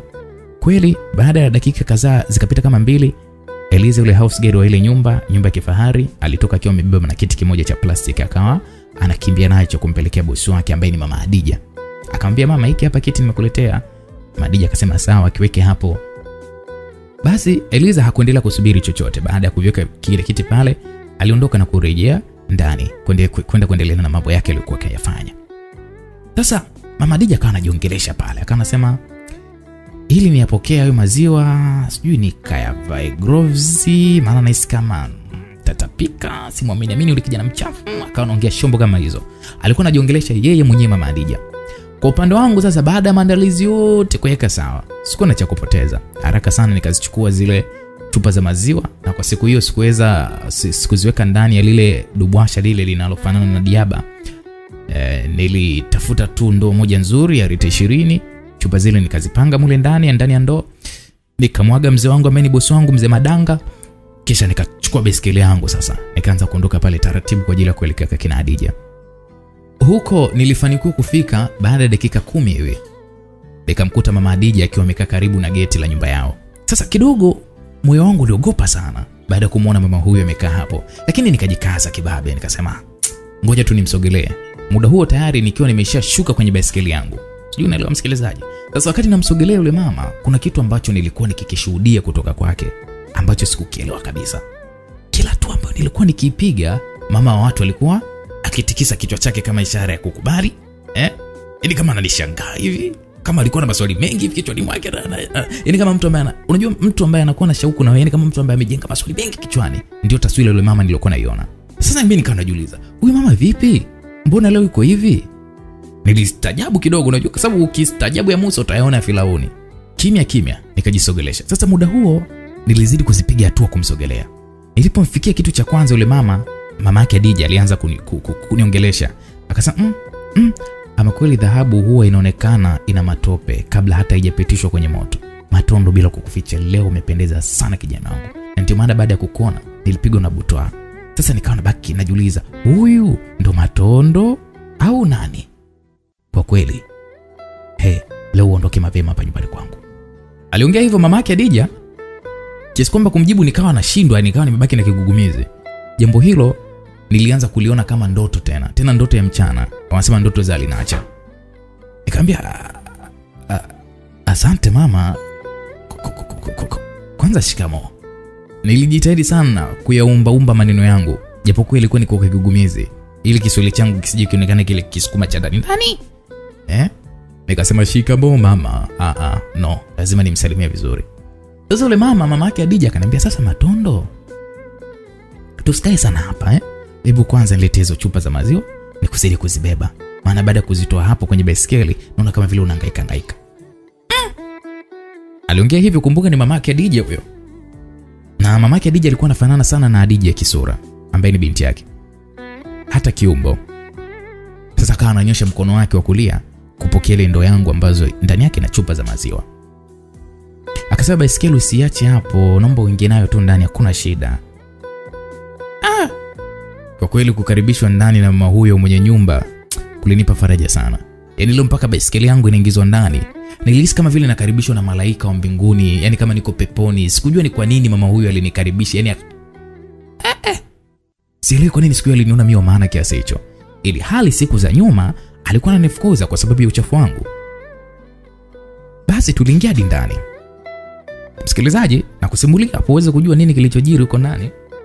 Tuliingia hadi ndani ya ile nyumba sasa tulipoingia mule ndani ile jumba gosha the dawn kwa mara ya kwanza nikawa nimeikanyaga sebule. Sebule ambayo ina screen fat kubwa. Binafsi kwanza nikajihisi kama vile nimeingia peponi kabisa. Akaniambia matondo kaa hapo. Eh, jisikia uko nyumbani. Aliongea mama Adija na mimi bila kuipepesa macho yangu nikakaa kwenye sofa kwanza moja. Tena sofa la maana. Sijui unaelewa? Sio sofa la elfu ishirini elfu thelathini. Sofa la maana. Ye yeah. bebe mkigwa. Mashikolo mageni agene naya. Eh, eh. Nilijongelesha kimya kimya kwa lugha ya kisukuma baada ya kukaa juu ya lile sofa na kusababisha hadi makalio yangu yazame kidogo kana kwamba vile kama nimekalia m- yani kama unajua ukikalia sponge kama, kama unaingia nani jui vipi Matondo, Wewe unatumia kinywaji gani? Aliniuliza mamake Adija na kunifanya nianze kujihoji kimya kimya, nimjibu nisimjibu. Sijui nimwagizie kitu gani, kahawa? Sijui aniletee mapuya? Wacha nimwambie niletee juisi ya embe. Nasikiaga hii ni tamu sana, ngoja nionje. Nikajiongelesha pale, kisha nikapayuka, nikamwambia mama, ah, naomba niletee juisi ya embe, maana mimi huwa napenda sana. Niliongea huku nikitabasamu mpaka mwenye wangu uh, mwenye wangu we- we- wenye meno meupe ukaonekana, yani wazi wazi. Akaniambia haya, ngoja nikakuletea kijana wangu. Hmm? Unakosea sana unaponiita mama. Wewe niite tu mama Adija, inatosha. Aliongea mama huyo huku akiwa ananisogelea, anasogelea ile friji kubwa mno iliyokuwa imewekwa pale pembeni kidogo mwa mlango mkubwa wa kuweza kutokea nje. Sasa muda huo huo macho yangu yalikuwa juu kulishangaa jumba hilo lililokuwa limepambwa kwa lulu na dhahabu. Sasa wakati naendelea kulishangaa, mahala Iriza yule house girl wa ile nyumba alipita hapo. Bahati nzuri alipita akanikuta tayari nimeshateremsha macho yangu chini, sababu ingekuwa ni aibu. Alinisalimia mambo, lakini sikumwitikia. Akaendelea na safari zake, japo aligeuka kwa kunitazama pale nilipokuwa nimekaa mimi. Sasa kipindi nipo nipo pale nikasikia tu, haya Matondo, juisi yenye hii hapa. Alinipa ile juisi yule mama. Muda huo akiona anasogeza meza fulani hivi ambayo kwa upande wangu niliona imetengenezwa kwa kioo. Baadaye mama Hadija naye akakaa kwenye sofa jingine lililokuwa mbele ya lile sofa ambalo mimi nilikuwa nimelikalia. Nilipeleka mdomo kwenye ile glass ili kuweza kuinywa ile juice, nikiwa namuona mama Hadija ananitazama sana, huku anaishia tu kutabasamu. Kila nikiichusha glasi yangu juu ya ile meza, mama Hadija alikuwa anayakwepesha macho yake na kujifanya kama vile yuko bize bize hivi anaucheza chezea mto wa, mto wa lile sofa. Kwa muda huo, msikilizaji, sikuongea chochote mpaka mama Hadija mwenyewe akaamua sasa kuvunja ukimya. Akaniambia, eti Matondo, una umri wa miaka mingapi wewe? Aliniuliza. Kwanza nikatabasamu kidogo. Ah, nikamwambia mimi kama ngoshe nina miaka kama ishirini. Nilimjibu hivyo. Alicheka. Hapo nikawa nimemuona kwa mara ya kwanza akicheka mbele yangu. Kicheko chake kilikuwa kikifanana sana na kile cha mwanaye Hadija, naye alikuwa na mwanya Hadija kama wa kwangu. Akaniambia, ise, umekuwa mi na miaka thelathini na miwili sema tu huyu Hadija nimewahi kumzaa, ila mimi si bado binti jamani, eti alikuwa anajichekesha chekesha mama Dija huku kasimama na kuanza kujigeuza geuza mbele yangu. Nikasema mmm, mama huyu leo kala nini huyu? Au amerogwa nini? Mbona umekuwa hivi? Huu ni mwanzo, sasa itakuwaje huko mbeleni? Mama, mbona naletea mazingzong sielewi. Nilijiongelesha hivyo huku nikiwa nanyenyua sasa ile glasi yangu ya juisi. Akasema, Matondo, nitazame basi unipe maxi, mimi ni kama binti tu. Aliongea mama Adija, na hapo nilikuwa namtazama. Kwa kweli sikuacha kumpa maksi zake, maana mama wa watu bwana, kusema kweli alikuwa kaumbika. Ya, alikuwa ameumbika, alikuwa ni mzuri. Nikamwambia, yani mama Adija, kwa hapo umependeza sana. Mtu yote unaweza kuamini kama wewe una mtoto mkubwa mama Adija. Kwanza una rangi nzuri ya kuvutia. Alafu alafu alafu alafu alafu. Sasa kabla sijamaliza mama aka- akanikatisha akacheka sana. Yaani wewe Matondo na vituko kweli yani. Umeanza kunikosha wewe Matondo. Eh? Akikusikia mume wangu unavyoongea hayo, hmm, atakuongezea wewe mwenye wako. Nikamwambia sikia wewe mama Dija. Na mimi namuita babu yangu. Babu yangu wa maziwa aje afanye yake baada ya kuniongezea mwanya au mimi mwenyewe nazifuata chembagata zangu nitamtandika huyo mumeo vibaya mno we matondo chembagata ndo kitu gani? Aliniuliza madija nikamwambia sikia mama dija chembagata hizo ni buti tena buti za kisukuma au zinaitwa katambuga. Nimeshawahi kumuulia fisi kwa kuzitumia hizo tu chembagata ha kumbe we matondo kuna jambo nimekubaliana na mwanangu wa dija alipozungumza mama Adija nikakaa kwanza kimya, na yeye akakaa kimya, akainamisha macho yake chini. Mimi nikamuuliza jambo gani hilo mama ambalo mmekubaliana?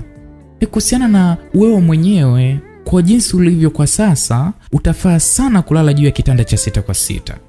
Kaambia mama, mimi sijakuelewa unamaanisha nini mamangu? Matondo eh? Mimi namaanisha hivi, tunakuhitaji hapo nyumbani uwe unatusaidia kidogo kuyamwagilia maua yetu ya hapo nje ila nitakuwa na kusaidia, sijui utakuwa tayari katika hilo, na kama ni pesa nitakuwa na kulipa ya maana sana, hilo wala lisikupe shida. Nikamwambia sikiliza Madija, kwa hilo sawa, alina shida, ila ni lazima kwanza nikamtaarifu baba wa maziwa mzee Madanga. ili niweze kuja hapa. Ah, Matondo haina shida, uifanya hivyo, mimi nitafurahi sana wewe ukihamia hapa kwangu, aliongea mama Adija. Baadaye akamwita Eliza na kumwambia anichinjie kuku kwa ajili yangu. Maisha matamu, msikilizaji, asikwambie mtu. Nilienjoy sana sikio kwa mama Adija, nilienjoy sana. Wow, umependezaje Matondo? Yaani umekuwa kama Chris Brown. Chris Brown mwenyewe cha mtoto pia. Hayo yalikuwa ni maneno ya Hadija baada ya kuingia ndani akiwa anatokea nje. Mm, kumbe muda umeenda sana haraka hivi. Saa nane imeshafika, aliongea mama yake Hadija huku akitazama tazama saa pamoja na akimtazama binti yake. Binti yake akamwambia ndio mama, saa nane saa nane ni kama saa sita tu, alafu sijui masaa siku hizi anakimbia, aliongea Hadija. Nikainua macho yangu ya kumwona mama yake akinitazama tena, nitazama mimi kwa kuibebea. Mama, umeamini sasa kwa ile nilokuambia? aliuliza Hadija huku akimtazama mama yake. Akasema ndio aise, kumbe matondo, matondo ni bonge moja la handsome kiasi yani. Yaani natamani hata muda huu akae tu hapa nyumbani. Maana mama mimi huwa sisemaji uongo. Vipi lakini Matondo umekula? Aliniuliza Hadija. Ah, nikamwambia ndio, nasubiria kula. Sasa Hadija, wewe nitakunyosha mapuya, sawa? Niliongea. Mama na mwana kwa pamoja wakacheka. Uvumilivu kamshinda Dija, akaamua kukaa kabisa kwenye lile sofa nililokuwa nimelikalia mimi. Akasema, matundu kwa uzuri huo utakuja kupata mke kabisa, na nikupe Dija wangu awe mkeo. Aliuliza kwa uzushi, mimi nikawa nacheka. Adija akasema, mama, acha zako bwana, mama nawe sometime huwa unapenda sana utani. Aliongea Hadija huku mkono wake akivunga kuuweka kwenye bega langu. Ndio tuseme Adija, uweke mkono wako kabisa juu ya bega la Matondo. Hebu nenda huko kamwamshe Eliza apike haraka haraka. Nimwambia apike haraka haraka kuku nilomwambia mchinje kwa ajili ya Matondo. Tena kamwambia afanye haraka sana, maana hisi Matondo ana njaa sana hapa. Nataka ashibe Matondo ili ikiwezekana anenepe kabisa hapa hapa. Aliongea mama Hadija huku akisimama na kumsogelea Hadija aliyekuwa amekaa karibu yangu. Hadija aliuondoa kidogo ule mkono wake aliyokuwa ameweka begani mwangu, kisha akaanza kumtazama mama yake kwa macho kidogo kidogo, ile macho kuibiaibia. Akasema, mama, yani mama, nawe hata sijabadilisha nguo zangu za shule tayari ushaniambia nikamharakishe Eliza eti apike haraka haraka ili kuku ulomwambia sijui nini namchinje Matondo ampike haraka. Mama, si uende kwanza wewe, mi bado sijamaliza kusijamalizana Matondo kujua kama ni mzima au la. Sitaki mama, siwezi kuondoka mimi, aliongea dija muda huo huku akiwa anaunyoosha mkono wake wa kushoto kwa kuniondolea kijichafu chafu fulani hivi kilichokuwa juu ya kichwa changu. Mamake akasema basi msalimie sasa, kisha uende ukamwambia uka, uka, uka, uka, uka, Eliza kula apike haraka. Adija akakata kwa sababu na mami staki. Alikata kata kata mrembo huyo mwenyewe alikataa. Sasa wakawa wanabishana wenyewe kwa wenyewe, huku Ngosha the Don ikiwa kimya kabisa nawasikiliza. Kwa jinsi nilivyokuwa nawaona na kwa uelewa wangu, nilijua kabisa tayari hao wameshanizimikia, japo hapakuwa hata na mmoja kati yao kwa muda huo aliyekuwa amefungua kinywa chake na kunitamkia kwamba ametokea kunipenda. Sasa wakati wanaendelea kubishana, mara Eliza alikuja pale sebuleni, kisha akasimama mbele yetu na kuanza kubinyabinya mi, mi, mikono yake kwa aibu fulani hivi, aibu iliyokuwa imejificha ndani yake, naweza nikasema hivyo. Binti huyu ambaye alikuwa amejaliwa oo la ukweli na umbo la maana alizungumza huku akiwa ananitazama mimi kwa macho aibu, akasema, mama, tayari nimeshamaliza kupika, aliongea yule mfanyakazi Eliza, na hapo nikayaona macho yake yakiwa moja kwa moja usoni mwangu bila hata kupepesa macho. Mama Dija akasema, wewe nawe sasa unaniambia hivyo ili weje? Siuanze sasa kutenga eh? Uwanawishe watu ili tuweze kula chakula, aliongea mama Dija, na hapo Eliza akaondoka mbele yetu na kuzama kwenye kikorido kikorido kimoja hivi. Dakika mbili baadaye, kweli liza alitoka akiwa ameshikilia chupa fulani hivi ambayo ilikuwa imefanana sana na chupa zile za Semos. Sasa mimi nikajisemea, ah, na mchana wote huu tunanawa maji ya moto ye juu bangosha.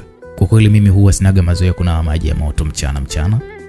Nilijiongelesha hivyo, wote walicheka kweli kweli, mpaka binti huyo wa kazi naye akacheka vibaya mno. Matondo bwana eh? Hiyo sio semosi, hilo ni jagi la kisasa. Sema tu linafanana na semosi, alisema madija. Mimi nikamwambia kwa hiyo halina maji ya moto ndani yake? Ah, wala hata usijali, halina maji ya moto ndani yake. Basi baada ya hapo, Eliza aliweka hilo jagi juu ya meza ya vioo iliyokuwa mbele yangu pale, aliliweka muda huo huo akaondoka tena pale na akaenda sasa kuleta chakula. Sijui tunaelewana msikilizaji. Eliza akaenda kuleta chakula. Baada ya dakika kadhaa kupita alikuja akiwa ameshikilia sahani moja hivi kubwa ambalo lilikuwa na hotpot kubwa mbili zilizokuwepo na makorokocho makorokocho ndani yake yani mavyakula mavyakula unajua mambo ya mboga saba yani ile hotpot chakula ukifunua hotpot ili misosi ukifunua hotpot ili misosi. Yani maisha yalikuwa safi kwa kiufupi. Mama Dija akasema haya anza kupakua. Hayo mapaja mawili pamoja na kidali. Nataka umwekee matondo. Mama Adija alisisitiza. Mie kwa furaha nikatabasamu. Huku nikajiongelesha kimya kimya. Nigwa agwagiki he abana basukuma. Abasumba. Bina bahati. Umujini. Mm -mm -mm. msikilizaji kama nimekuacha hapo nilikuwa na maanisha ya kwamba watoto wa kiume wasukuma wale wazuri akija mmoja mjini huwa na bahati sana bahati hiyo ikawa imenipata mimi. Mpaka nikajihisi kama niko peponi kabisa yani haraka haraka eliza alinipa kule pale chakula cha kutosha akasali pale na akanikaribisha. Baada baadaye kunikaribisha hakutaka kuondoka bali alikaa hapo hapo na kuendelea kubinyabinya mikono yake na vidole vyake. Kwa kumwangalia tu binti huyo hakuwa mwongeaji sana kama adija bali alikuwa ni mkimya sana. Nikajua tu ashanizimikia ashanipenda. Kwa nyumba nzima inanipenda hawajanitamkia bado ila nilihisi hivyo sasa mi nikamwambia nyie mbona mnanitazama tu nyie mmeshiba au niliamua kuuliza swali hilo maana nilishangaa baada ya kubaini macho sita yani macho ya Adija, macho ya mama Adija, macho ya Eliza ule mfanyakazi, yote ananitazama mimi, huku akiwa da, hawana dalili zozote zile za kula. Matondo, hiki chakula ni special kwa ajili yako. Nikamwambia nyie, special ndo kitu gani? Nilidakia kwa kumuuliza mama Dija, akasema special maana yake ni maalum, yani chakula hiki ni maalum kwa ajili yako, yani kimepikwa kwa ajili yako, hivyo uji nafasi kadri unavyopenda. Ah, nikamwambia kwa nyie mmeshiba, si ndio? Niliuliza hivyo muda huo nikichukua nikichukua paja pamoja na, na, na, na, na kidali vilikuwa vilikuwa vimenona kweli kweli. Mama Dija akasema ah, sisi usituangalie sana kwa upande wetu, sisi tumekula au hatujala, hilo wewe likuhusu, ila huwa tunakulaga muda wote Nikasema ah, poa, ngoja mimi niendelee kubofyola eh? Nyinyi simekuwa wapenzi watazamaji, endeleeni kunitazama tu, endeleeni kunitumbulia ni tu macho yenu, mimi nakula na sisi wasukuma tunavyopenda kula. Ala, niliongea hivyo wakaisha tu kutabasamu kwa yale macho ya kiurembo yaliyokuwa yakinitazama kutoka kwa wanawake hao watatu waliokuwa mbele yangu pale. Angekuwa mtu mwingine mwoga mwoga, angegaili, angegaili kabisa hata kula.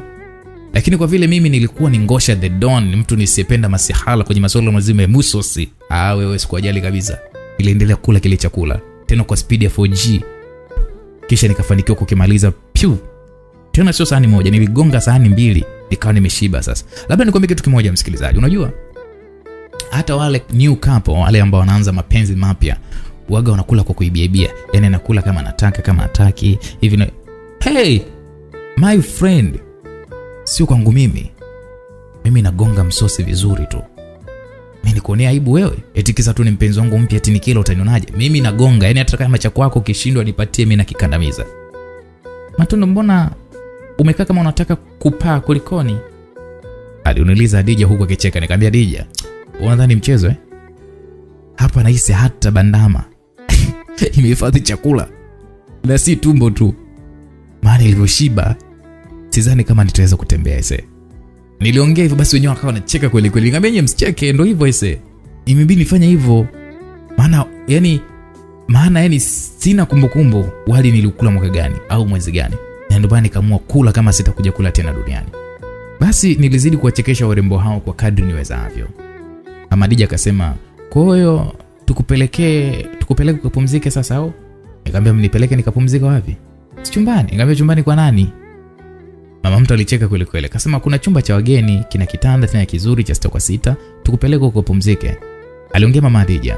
Nami kusikia hivyo ikabidi nikubali maana si mchezo. Nikamwambia nipelekeni nikapumzike aise, ila msisahau kuniamsha maana nitaenda kupambana na baba muuza maziwa. Niliongea hivyo. Adija ndo akawa mstari wa mbele kunichukua na kunipeleka hadi kunako chumba kimoja hivi kizuri mno. Tukafika hapo kisha adija akanifungulia mlango wa chumba hicho. Ngosha nikazama humo ndani moja kwa moja adija akaufunga mlango huo kutokana na kwamba nilikuwa nimeshiba sana wala hata sikutaka kulala na suruali. Nilivua suruali yangu haraka sana nikabakiwa na bukta tu pamoja na vesti nyeupe. Baada ya hapo nikajirusha kitandani mzee. Hapo nilianza kujigeuza geuza mpaka usingizi ukanipitia pyu usingizi ukanichukua. Hadija mhm, kuna jambo mimi nataka nikuulize. Naona mama ametoka maana nilikuwa na maswali mengi sana kichwani kwangu. Hmm.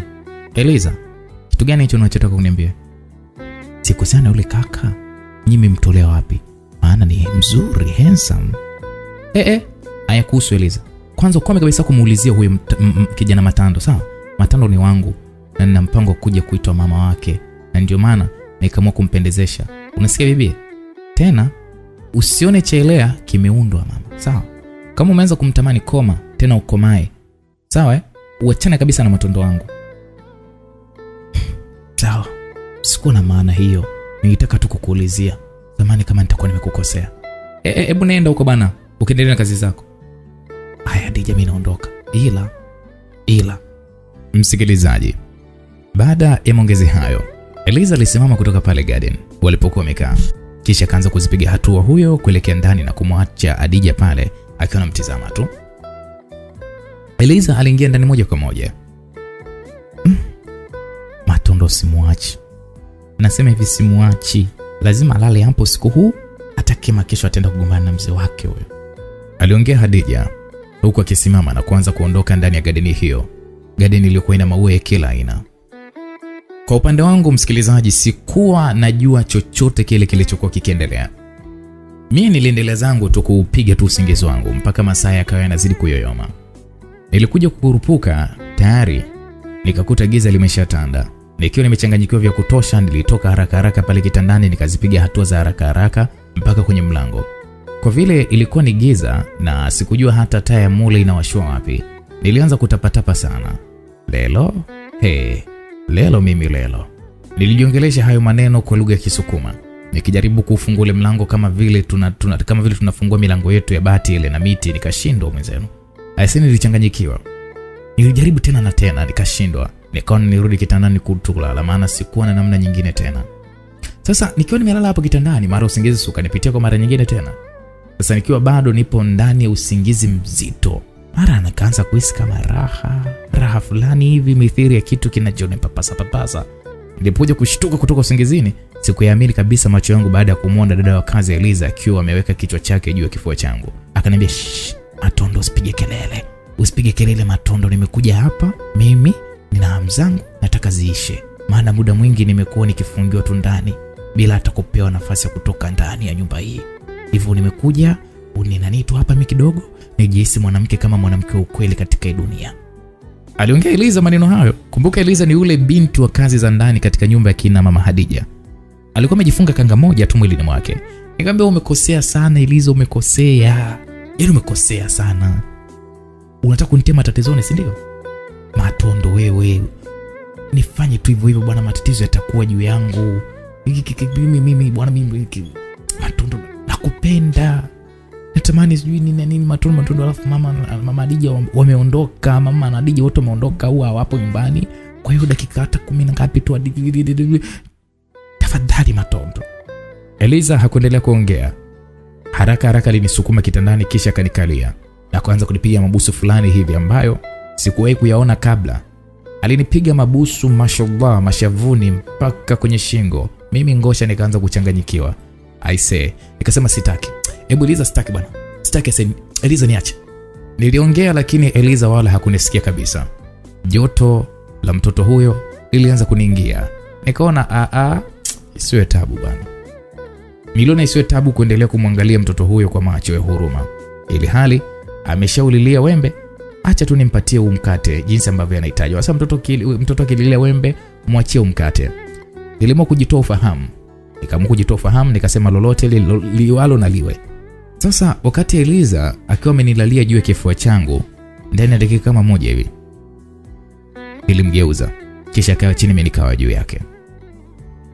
Nikasema ngoja na ngwi haya mapigo ya kisukuma lulu. Nilijiongelesha kwa lugha ya kisukuma kimya kimya nikimaanisha kwamba muda huu sasa nimpe mapigo ya kisukuma ili siku nyingine asirudie tena kudadiki zake. Si amejiletaleta kajilengesha mwenyewe kwenye kumi na nane kajileta kwa ngoshe the don ngoja. Basi nilimgeuza chini. Kama mara mbili ilivyofululizo kisha nikazivuta pumzi za haja kwanza. Kama nimeshika hivi jembe afu najiandaa kwa ajili ya kuweza kulima labda kama ekali kumi hivi. Niliachama kimtindo mtindo nikajiweka sawa. Eliza naye bila hiana akawa ananipa ushirikiano mzuri tu. Basi tulianza hapo mdogo mdogo mdogo mdogo tukabimbilika bimbilika bingili bayoyo po po po po po po po po. Naam. Ukizingatia kwa muda huo msikilizaji nilikuwa sijashiriki ile tendo kwa miezi kama mitano hivi. Kwao nilijisi kuwa na furaha sana. Hmm? Ukizingatia sijafanya kwa kitendo kwa miezi kama mitano. Hivyo mizuka yote mikubwa na mizuka yote midogo nilikuwa nayo. Akasema matondo matondo nataka unifanye leo mpaka niombe poo eliza alipoyaongea tu hayo maneno aisee jogo langu la shamba likaanza kuika mjini. Jogoo kwa hasira mno likachachamaa nikambeba huyo binti nikashuka naye mpaka sakafuni. Sakafu ilikuwa imepambwa kwa tiles. Juu ya hiyo sakafu nikamlaza kifudifudi kwanza. Kisha nikaanza kumshughulikia taratibu nilimlalia juu ya mgongo wake kisha nikawa na utalii huo mgongo wake kwa mbwembwe sana. Mwanzo mrembo huyo alikuwa anajikaza ili asitoe sauti zile za miguno ya kugugumia. Lakini kadiri mtaalam wa kisukuma mimi nilivyozidi kuongeza mautundu yangu ndivyo naye uvumilivu wa kujikaza ulipoanza kumshinda. Yaani ilikuwa ni shida. Kila nikimlamba mgongoni eliza alikuwa anayebinua binua makalio yake hivi makubwa makubwa kwenye kwenda juu kwenda chini. Nikamlamba shingoni. Alikuwa akitamani hadi kupaa niliendelea kumchezechezea kwa staili hiyo hiyo ya kumlambalamba. Nikaona sasa inatosha. Mkono wangu wa dhahabu yani mkono wangu wa kushoto nikauandaa. Nilikinyosha kidole changu cha mbele cha mkono kisha nikawa kama nachora hivi mchoro fulani hivi juu ya mgongo wake. Kitendo ambacho kilizidi kumpagawisha mno. Unajua ah, zile sauti automatic zile za mfumo wa kulamba ukwaju au ndimu zilimtoka eliza bila hata matarajio nikajisemea mwenyewe nikasema lekaga ululimi luutemi hayo niliongea kwa lugha ya juu kidogo kisukuma nikimaanisha kwamba acha ulimi sasa ufanye yake hapo hapo niliotoa tena ulimi wangu nikaanza kuchula mstari mnyoofu kwenye kile kijimshipa cha uti wa mgongo nikaanza kuku ku, nikaanza nikaanza shingo yake taratibu na mlamba nikafika mpaka kwenye usawa wa makalio yake pale bu bu, bu, bu. eliza aliachia makombola ah, we nikajikaza nisicheke. Kazi yangu ikawa inaendelea bwana. Nikaambia leo kama kujamba utajamba sana tu. E, utajamba hadi dakika ya mwisho ese. Sasa umekutana na mtaalamu wa kisukuma hapa sikuachii nilijisema hivyo kikimya kimya baada ya eliza kuweza kujamba baada ya mimi kuweza kumshika sehemu za makalio yake na kumpitisha ulimi wangu taratibu kabisa. Si mchezo. Nikajiongelesha. Na hapo hapo nikamgeuza chali mtoto huyo na kuendelea kumshughulikia vizuri kabisa. Baada ya kumgeuza huyu hivyo nilibaini kwamba tayari alikuwa ameshaanza kulainika niliona nisimalize utamu wangu wote chini ya sakafu. Nilimbeba juu juu nikamtupia kitandani. Hmm. matondo fanya yako. Weka hicho matondo weka. Nilitazama tundu la liza nikaliona ni tundu ambalo limenona sana. Huku likiwa limezungukwa na majani majani mazuri ya kupendeza. Sikuwa na pupa ngosha the don na sikuwa na haraka kabisa kwani lengo langu lilikuwa ni kumridhisha mtoto huyo. Ili asinisahau kabisa nilianza kumshikashika mwili wake wote. Huku akijitahidi sana kunipa ushirikiano. Nikaona malengo yangu yanatimia sasa. Kazi ya kwanza niliamua kuanza na kifua chake hadi chuchu zake. Maembe dodo yake yaliyokuwa yamenona kweli kweli. nilikamata embe dodo na kulila. Nikalibugia mdomoni na kuanza kulimung'unya. Huku mkono wangu wa kulia ukiwa unatalii vizuri kabisa kwenye tumbo lake. Ulikuwa unatalii vizuri kabisa kwenye tumbo lake. Nilimung'unya embe dodo hilo kwa dakika kama mbili hivi kisha nikahamia kwenye embe dodo la kushoto. Embe hilo nalo nililifanyia utundu huo huo mpaka mtoto akanikojolea tumboni kwangu bwana. Kwa ureni fulani hivi za kipekee nilimfanya Elizi, nilimfanyia eliza mautundu yote mpaka akawa tayari kuliwa. Bila kumwambia alipanua tu miguu yake nami nikachoma bukta yangu jogoo la shamba likaonekana wazi wazi kabisa. Kwa vile jogoo hilo lilikuwa limevimba vya kutosha aa, nilianza kuanza kuanza kuchomeka ndani ya tundu la binti huyo. Nilichomeka juu juu nikawa ninatoa naliweka natoa naliweka. Nalitoa naliweka nalitoa naliweka. Mtoto akawa analia kabisa mithile yule mtoto anayelilia pipi. Eliza kila nikichomeka dudu langu na kuchomoa alikuwa kibana na kuachia miguu yake. Na wakati mwingine kuipandisha kabisa juu ya mabega yangu. Baby baby nipe give me give me. Oh nikasema ngoja. Nikaizamisha sasa rasmi nilikandamiza lote na unene wake. Likawa limeteleza pyu na kukazama moja kwa moja hadi umo mtungini dude hilo au jogo hilo bwana. Alikuweza kupata tabu sana kuzama humo kutokana na kwamba kitumbwa chake eliza au tundu lake hilo lilikuwa limeshaja uteute wa kutosha sana. Basi nilijipigia pale kimtindo ngosha the don nikaanza kumpampu eliza kwa mwendo taratibu kabisa. Akaniambia kaza matondo kaza kaza alisema eliza hapo nikaongeza spidi ba ba ba banjuka du binti alianza kuhema haraka haraka mithiri ya punda aliyowekewa mzigo mkubwa mno huku akiyafumba na kuyafumbua macho yake na ilimsugua kwa spidi ya 4G. Mtoto sauti ya mchanga ilimtoka, mara sauti ya bezi kama dume ikawa inamtoka. Mi nilikuwa nikisikilizia tu utamu niliokuwa nikiupata pale. Yaani asikwambie mtu, mtoto huyo alikuwa ni mtamu sana kiasi kwamba hata angetokea mtu nyuma ya mgongo wangu kunichoma hata kisu nisingekuhisi kabisa, yani nisingeweza kabisa kuhisi maumivu. Niliendelea kumpampu Eliza, nilimpampu, nilimpampu, nilimpampu. Utamu wa kitumbua cha binti huyu kwa kweli haukuwa nchi hii. Na sikujua kitumbua chake kilikuwa kina sukari ya kutoka China au USA au peponi, na maana do ilikuwa ni shida. Utamu ulipoanza kunikolea na mimi nikaunga, nikaungana na Eliza kuzimba zile nyimbo alizokuwa anazimba, nikampa chorus. Eliza akipiga solo sound, mimi nilikuwa napiga bass. Sound ilikuwa mm, mm, mm, mm, mm, mm. Ah, ah, mm, oh, oh. Eliza alikuwa anasema mm, mm. Mimi nilikuwa nasema mbulu mbulu, akisema mimi nasema mm, mm.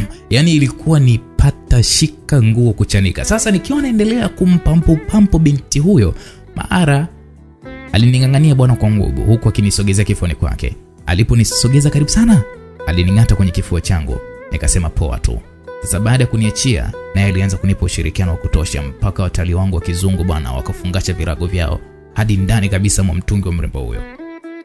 Nilimwachia Eliza kisha nikashosha pumzi za haja, nikajitupa pembeni mwa kitanda. Nilimtazama Eliza aliyekuwa bado amejilaza pale pembeni yangu, nikamwona kitabasamu tu, huku kijasho kikimtoka kweli kweli. Akaniambia, asante my husband, nasema hivi kwa raha ulionipa, sikuache hata kwa ncha ya upanga. Nipo tayari na nitakuwa tayari kufa kwa ajili yako, na kama ni vita ya kimapenzi nitapigana kwa ajili yako na sitokubali kushindwa. Siku nyingine tena nitakuja unipe utamu kama huu. Alisema maneno yangu. Aliongea Eliza maneno hayo, kisha haraka haraka akavaa nguo zake na kunisogelea kabla hata janibuso. Sema tu, naogopa tuje tukakutwa na hawa. Laiti kama tungekuwa guest, basi hata mimi ningekupa staili zote za kitanga kama mtoto wa kitanga. Aliongea Eliza maneno hayo, kisha akafungua mlango wa chumba akaondoka zake bwana. Sasa muda huo, msikilizaji, mimi nilikuwa kimya tu nikijaribu kuusikilizia ule utamu niliokuwa nikiupata. Nashukuru hadi mwisho wa tendo letu hilo, Hadija na mama yake walikuwa bado hawajaja.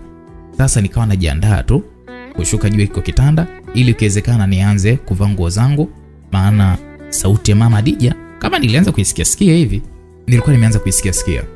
Weliza, Weliza, we Eliza, we Eliza, aliita hivyo. Nikaamua kuusogelea karibu mlango huo ili nisikilize ni kipi kinachozungumzwa mko. Nikamsikiliza nitikia be mama, kumbe upo. Nikajua umeondoka. Kwa hiyo baada ya hapo mama Adija hakuzungumza hayo mengine, nilishusha tu pumzi nikajisemea kazi kuishi naye. Hapa kuna aliyetushtukia. Vipi Matondo yupo na umeshaanza ku, ku, kuandaa chakula cha usiku?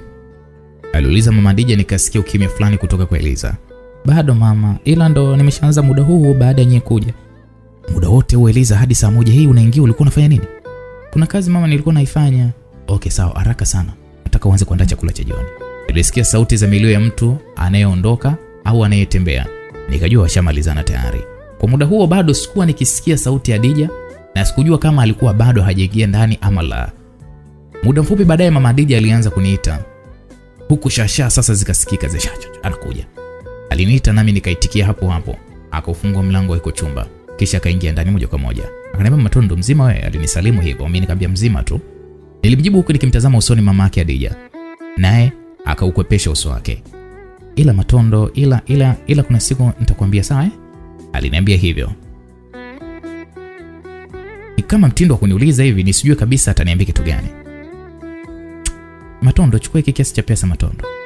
Aliongea huku akitabasamu, akawa amenikabidhi kiasi fulani cha pesa kilichokuwa ndani ya bahasha. Sasa Matondo, kesho tutaongea vizuri sawa? Ila kwa yule mzee maziwa anataka uondoke uje uishi hapa. Alisema hivyo, akatoka ndani ya kile chumba changu. Msikilizaji, Masaa yalisogea, hatimaye sasa saa mbili kawadia. Baada ya muda huo, Adija naye akaja pale nyumbani, tukaongea mawili matatu, muda wa kupata chakula ukafika. Eliza, kama kawaida, mapaji ya kuku na hizo steki za nyama ziweke zote kwa matondo.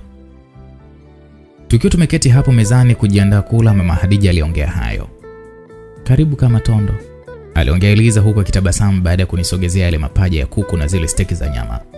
Hakuishia hapo, aliniletea na glasi moja kubwa ya juisi akaweka mbele yangu, kisha muda huo huo akachukua maji na kuanza kuninawisha. Karibu sana Matondo. Binti akaamua kukaa kwenye kiti kilichokuwa karibu yangu, tukaanza kula. Sasa wakati tunakula, macho ya wanawake wote yalikuwa kinitazama mimi tu, kila nakibugia kijiko kimoja cha cha chakula, macho yote kimitego mitego yalikuwa ki, kila mmoja kwa muda wake alikuwa ananitazama mimi usoni. Matundo, vipi, unafahamu hesabu? Hadija aliniuliza hilo swali kana kwamba kama amechanganyikiwa mpaka nikashindwa kabisa kujizuia nisicheke. Nikamwambia hesabu, mimi na hesabu wapi na wapi? Mi shuleni ilikuwa nikifurahia tu kipindi cha mapumziko, na ndio maana nilisha darasa la, da, da, da, darasa la saba, japo Kiingereza changu chenye cha kunywa maji nilijifunza funza hivyo hivyo. Niliongea hivyo basi, tuliendelea kula mpaka tukamaliza wote kwa pamoja, tukawa sasa tumeshiba. Adija kaniambia usiku mwema Matondo eh? Aliniaga hivyo Adija. Mama Adija naye akasema Matondo usiku mwema. Aliniaga pia mama Adija. Usiku mwema Matondo, Mungu akulinde na kukutunza wote, njozi njema, malaika wa Bwana wakutunze, sawa eh? Aliongea Eliza. Wote kwa utatu wao wakawa wamenitakia usiku mwema bila wao kutakiana usiku mwema. Mimi nikasimama nikaanza kuzipiga hatua zangu kuelekea kwenye chumba changu kulala. Baada ya kuingia humo, niliufunga mlango kwa kuegesha moja kwa moja, nikajitupa zangu kitandani na usingizi mzito ukanipitia hapo kitandani. Sasa katikati ya usiku wa manane kama saa saba na nusu hivi nilianza kusikia mlango wangu kigongo kwa upolepole mno. Kongo, kongo. Matondo, Matondo, naomba nifungulie. Nikasema we nani bwana? Mimi Adija, nifungulie haraka Matondo. Eh. Kumekucha, kumekucha. Nilitoka pale kitandani huku bukta yangu kwa upande wa mbele ikiwa imetuna kweli kweli. Nilinyata hatua mbili tatu, nikawa nimeufikia ule mlango. Kwa vile Eliza alinifundisha namna ya kufungua mlango huo, hivyo wala sikuweza kupata tabu sana. Niliunyonga mara moja tu, kisha nikaufungua. Ili naufungua tu, nilimwona Hadija akiwa amejifunga kanga moja, na alionekana dhahiri pale alikuja kwa ajili ya kutafuta matibabu ya kihisia kutoka kwangu mimi, nami hilo wala sikujiuliza sana. Hapo Adija aliingia ndani iko chumba changu, kisha moja kwa moja akaketi juu ya kitanda, na mimi nikaufunga mlango nikaketi hapo sasa. Matondo, unajua utashtuka sana eh, mimi kukufuata usiku wa manane kama huu, lakini acha tu nikwambie ukweli Matondo, mimi ni kiumbe dhaifu eh, kuendelea kujifichaficha hisia zangu nitajiumiza bure. Matondo, katika wanaume ukweli waliotokea kuchaguliwa na moyo wangu, wewe ni namba moja. Nakupenda sana Matondo, natamani sijui uwe tabibu wa moyo wangu, uwe mfariji wangu katika roho na kweli, niwe wako, uwe wangu. I love you Matondo. Adija bwabwaja, Adija aliongea, Adija kwa sauti ya upole mno kwelikweli. Nilimsikiliza muda huo huo akiwa amekinamisha kichwa chake kwangu. Nilimtazama kwenye kifua, nikaona mtoto amebeba ziwa fulani dodo za maana kweli kweli. Ah, mimi zuka kumshughulikia ikaanza kunipanda bwana. Sikumwambia chochote zaidi ya kutaka kumshika na kupanda. Sikumwambia chochote kile, nikamshika tukapanda zetu juu ya kitanda. Mtoto akakubali hapo hapo, ile kanga yake bwana akaichojoa, nikabaki mdomo wazi ha. Nilijing'ata kidole changu kisha nikamsogelea zaidi, kabla sijaanza kumfanyia jambo lolote lile, kabla sijaanza kumfanyia maunyevunyevu yale ya kisukuma sukuma, maana nami kati ya vidume ah, sikuwa na masihala kabisa katika jambo hilo. Nilianza basi kumshikashika Adija tumboni, nikamshikamshika mgongoni, nikawa nampapasa papasa kwenye kifua chake kile, na yeye anipapasa papasa kwenye kifua changu. Ule mchezo bwana, kiutuzima ndani kwenye hicho kaanza bwana. Kitu kimoja ambacho nilikibaini kwa Hadija, alikuwa ni binti wa hisia sana. Yaani ninaanza tu kumpapasa papasa, tayari mtoto alishaanza kuachia miguno ya mahaja kweli kweli, ambayo ili nisisumua mno. Miguno ya huyo binti ilikuwa ni ya kipekee sana, maana ile sauti yake tu, hata kama ungekuwa umechoka kiasi gani, mizuka ingekupanda tu. Tuliendelea pale kugeuzana geuzana pale chini, baadaye wote kwa pamoja tukadondokea kitandani mbwa hapo kitandani kama kawaida, nikaushika usukani nikamlaza chali Adija, kisha nikawa namfanyia utalii wa nje kabla sijaanza kumfanyia utalii wa ndani. Kwa kutumia mikono yangu tu nilianza kumshikashika kila sehemu ya mwili wake Adija. Eh? Mtoto huyo mpaka akaanza kulainika. Adija na macho yake mithiri ya mtu aliyekunywa pombe alianza kunitazama huku miguu yake akiitanua na kuibana. Matondo, leo unataka unipe unipe utamu ambao sijawahi kuupata tangia niingie kwenye sayari hii ya mapenzi. Aliongea Adija maneno na mimi nikawa tu naitikia kwa kuguna mm, mm, mm, mm, mm. Nilishika miguu yake hiyo milaini isiyokuwa na kovu hata kidogo, nikapanda juu ya kifua chake eh, moja kwa zote nikaanza kumla denda mdomoni. Niliupenda sana ushirikiano wake, maana hakutulia tu kama gogo, zaidi ya kujishughulisha naye katika safari hiyo ya kuupanda mlima Kilimanjaro. Upande mwingine alionekana Eliza akiwa amejilaza chali juu ya kitanda chake chumbani mwake akiwa anawaza na kuwazua sana. Wakati huo Eliza miguu yake yote alikuwa ameinua juu huku akijing'atang'ata. Mm, Matondo, sikubali, sikubali kukuacha eh, utoweke mbele macho yangu eh, tangu nianze kufanya sijui mapenzi sijawahi kukutana na mwanaume fundi kitandani kama wewe Matondo. Hivyo nipo tayari kufanya kwa ajili yako ili nisikupoteze. Sijui nimeanza kuingia kwenye hisia kali za kukupenda eh, nitafanya chochote kile, hata kama mama huyu atanifukuza hapa kwake, mimi niko tayari. Alikuwa anajiongelea Eliza maneno hayo, na wakati huo yuko chumbani kwake. Akachukua kanga yake moja bwana, nyepesi nyeupe fulani hivi, akajifunga haraka sana, na akaanza kushuka pale kitandani. Alinyata pole pole, akafanikiwa kuufikia mlango wa chumba chake, akaufungua, akatoka nje. Kwa mwendo huo kunyata, alianza kusogelea kile chumba ambacho mimi Matondo niko na Adija tulikuwa tunafanya yetu, ila nafikia tu hakutaka kabisa kuiamini masikio yake. Sauti za mahaba zilikuwa zinasikika, zilimfanya binti huyo achanganyikiwe. Kwa upande wangu mimi kama Ngosha the Don nilifanya maandalizi yote, Adija mpaka kalainika na kuniomba nimpe kitu. Niliamua sasa nianze na steli ya chuma mboga. Niliamua nianze kwa staili ya chuma mboga, maana niliamini muda ni mwingi, hivyo nitambinjua mtoto huyo kwa namna ile ambayo anaipenda. Nikamwita Adija, akaniambia shh, tabia mume wangu. Aliitikia hivyo Nikamwambia nataka leo nikusugue mpaka uhisi ya kwamba utamu ukipenya hadi kwenye kifundo cha mguu wako. Vipi, upo tayari? Nipo tayari mume wangu, my husband. Yaani mtoto wa Dija siku hiyo ananiita my husband, ananiita na mume, si mchezo. Nikamwambia basi tulia, nisogelee, nisogelee mama. Mtoto bila kupinga na hizo hips zake zilizotuna vizuri akanisogelea. Ah, nikambeba bwana, kamshusha chini, kisha nikamwambia haya, hebu inama hmm? Inama, miguu yako ipanue vizuri, alafu shika kwenye kikiti. Ah! Adija kainama bwana, akawa amebinuka kwa mtindo fulani hivi, kama nami nikiwa kama nilivyozaliwa, huku jogo langu likiwa limechachamaa kweli kweli na kunyoka vizuri. Nilikaa nyuma ya makalio yake makubwa ya mrembo huyo, nikamshika kiuno. Hapo hapo nikabaini kwamba kitumbwa chake kilikuwa kimeshaloana vya kutosha kabisa, maana kilikuwa kikidondosha tu mwingi sana. Nilimshika vizuri jogo wangu, kisha nikamzamisha chumvini na kumfanya jidi ashtuke. Hui! Alitoa sauti kwa nguvu mno Adija, nikajua hapo sasa tutafumaniwa na mama Adija.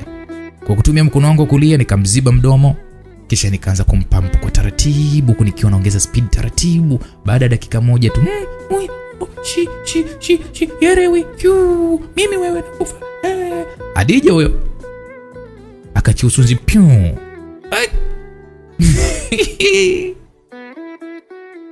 ulitoa harufu harufu lakini sio kali, ilikuwa kama ya chocolate. Sasa sijui ndo utamu wa mapenzi, I don't know, lakini ulikuwa ni ushuzi harufu ya chocolate. Alijamba dija niko na shanza ku kumchoma kunako. Alafu msikilizaji, kabla sijaendelea, huwaga nasikia gomba wakati wa mapenzi, mkiseksi mwanamke kijamba, manake utamu umemkolea sana. Sasa sijajua, hebu mafundi mniambie, je, hilo lina ukweli au halina? Comment hapo chini, nitakuwa napitia. Basi mimi nikaongeza spidi kwa nguvu sana mpaka nikajisahau na kuutoa mkono wangu mdomoni mwake, na hapo ndipo miguno ya binti huyo ilipoanza kusikika kwa kasi. Eh, oh, oh, nilimsugua jamani Adija mpaka miguu yake ikaanza kuning'inia. matundo matundo you kill me. Matondo, nimekoma nimekoma. Alilopoka maneno yote. Alipotaka tu kuanguka kwa kuishiwa nguvu miguuni mwake, nilimgeuza kisha nikambeba juu. Muda huo huo nikamweka kitandani. Nilimlaza staili ya ubavu mmoja mguu wake wa kulia nikaushikilia, kisha nikaendelea kumsugua. Nilimsugua, nikamsugua, nikamsugua, nikamsugua ili namchoma tu jogo wangu. Mtoto huyo bwana alikujua kitandani kwa mikojo yake ya raha kwelikweli. Mpaka muda huo Hadija alikuwa amenizidi mabao zaidi hata ya matatu. huku mimi naongosha wangu nikiwa sijaambulia hata bao hili. Ila nami ili niweze kufanikiwa kulipata hilo bao, nilijitahidi sana kulisakama lango la Adija mpaka nami bao hilo likaja bwana, nikafanikiwa kulipata, nikamwaga humo humo ndani ujongo wa motomoto, nikawa nimeutua lango la Adija. Sasa baada ya kukwea mlima Kilimanjaro kwa pamoja, tulipumzika ili kwa raundi nyingine tena iendelee baadaye.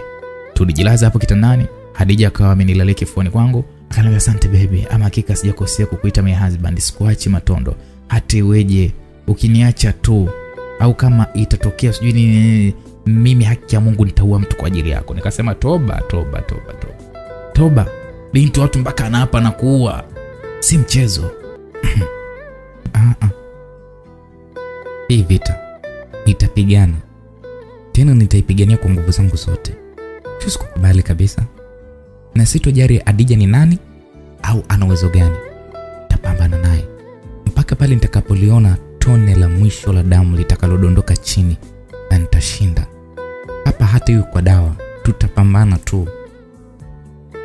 Alijiongelesha Adija kisha akatoka pale huku akiwa amechukia vya kutosha kweli kweli. Hasira yake yote, chuki zikahamia kwa Adija na uadui baina yake na Adija ulianzia hapo. Eliza alirudi mpaka chumbani kwake kuendelea kuumaliza usiku ule, japo usingizi ulikuwa mang'amng'am, yani ulimgomea kabisa. Sasa huku kwa upande wa Adija akawa anasema, Matondo, asante sana kwa kunipa mapenzi motomoto. Hapa sasa nitalala usingizi morolo, maana umenifikisha kilele raundi zote hizi. Ila Matondo, sitaki uniumize mara, yani sitaki hata kuniumiza, yani nitakufa Matondo kwa ajili yako. Nakupenda na natamani uje kuwa mume wangu hapo baadaye. Baada ya Hadija kuyaongea maneno hayo, alisimama kisha akajifunga kanga yake kisha akanibusu. Alitoka chumbani kwangu akawa anaelekea sasa chumbani kwake. Usiku ule nililala hoe hai. nilichoka kweli kweli, nilichoka sana, ukizingatia kwa siku hiyo nilipiga ndege wawili kwa jiwe moja na majira tofauti tofauti. Nililala fofofo mpaka asubuhi. Sasa ilinamka tu, mtu wa kwanza kuja kunigongea kwenye mlango alikuwa ni Eliza, yule house girl. Akaniambia, Matondo, mambo vipi? nikumemkaje? Nikamwambia nimeamka vizuri tu. Vipi wewe? Akasema hata mimi nimeamka vizuri, ila tayari nimekuchemshia maji ya kuoga, alafu nina jambo moja nataka nikushirikishe. Vipi, uko tayari kulipokea? Nikamwambia uliza tu, wala tosiofu. Ah, hivi mimi ni mzuri eh? Nikamwambia ndio, tena umeumbika. Sawa, sasa kati yangu mimi na Adija nani unampenda? Eh. Hii balaa. Nikamwambia hilo ni swali gumu sana, lakini kwa wila wangu haraka haraka, mzuri na mrembo ni Adija. Niulize kwa nini? Niliamua kumjibu hivyo bila kumficha, japo naye Eliza alikuwa ni mrembo ameumbika. Sasa baada ya kumwambia hayo, nilianza kumwona binti akikunja uso wake kuashiria kwamba simanzi ndani ya moyo wake. Alijikaza kisha akaniuliza, kwani umesema hayo jamani Matondo eh? na uzuri wangu huu wote eh? pamoja na kukukatikia kitandani siku ile, kumbe ni sawa na bure tu, si ndio?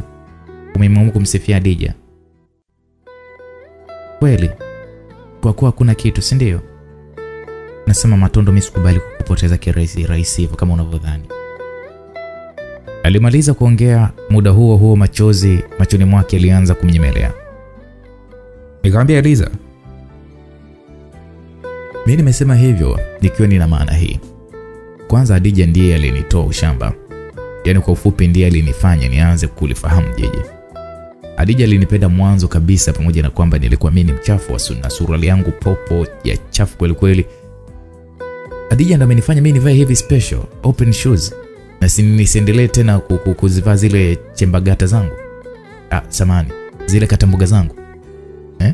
zile katambuga zangu za kufukuzia fisi wakati nikiwa mchafu na waleteni maziwa hapa. Wewe nilikuwa nikikuona tu ukipita na kunitazama kama chokoraa, si ndio? Au nduru mbese. Sasa Adija akanifanya mimi nipendeze na kwa bonge la handsome boy. Leo hii umeanza kujipendekeza kwa kusema kwamba unanipenda. Hii be Monike lekaga.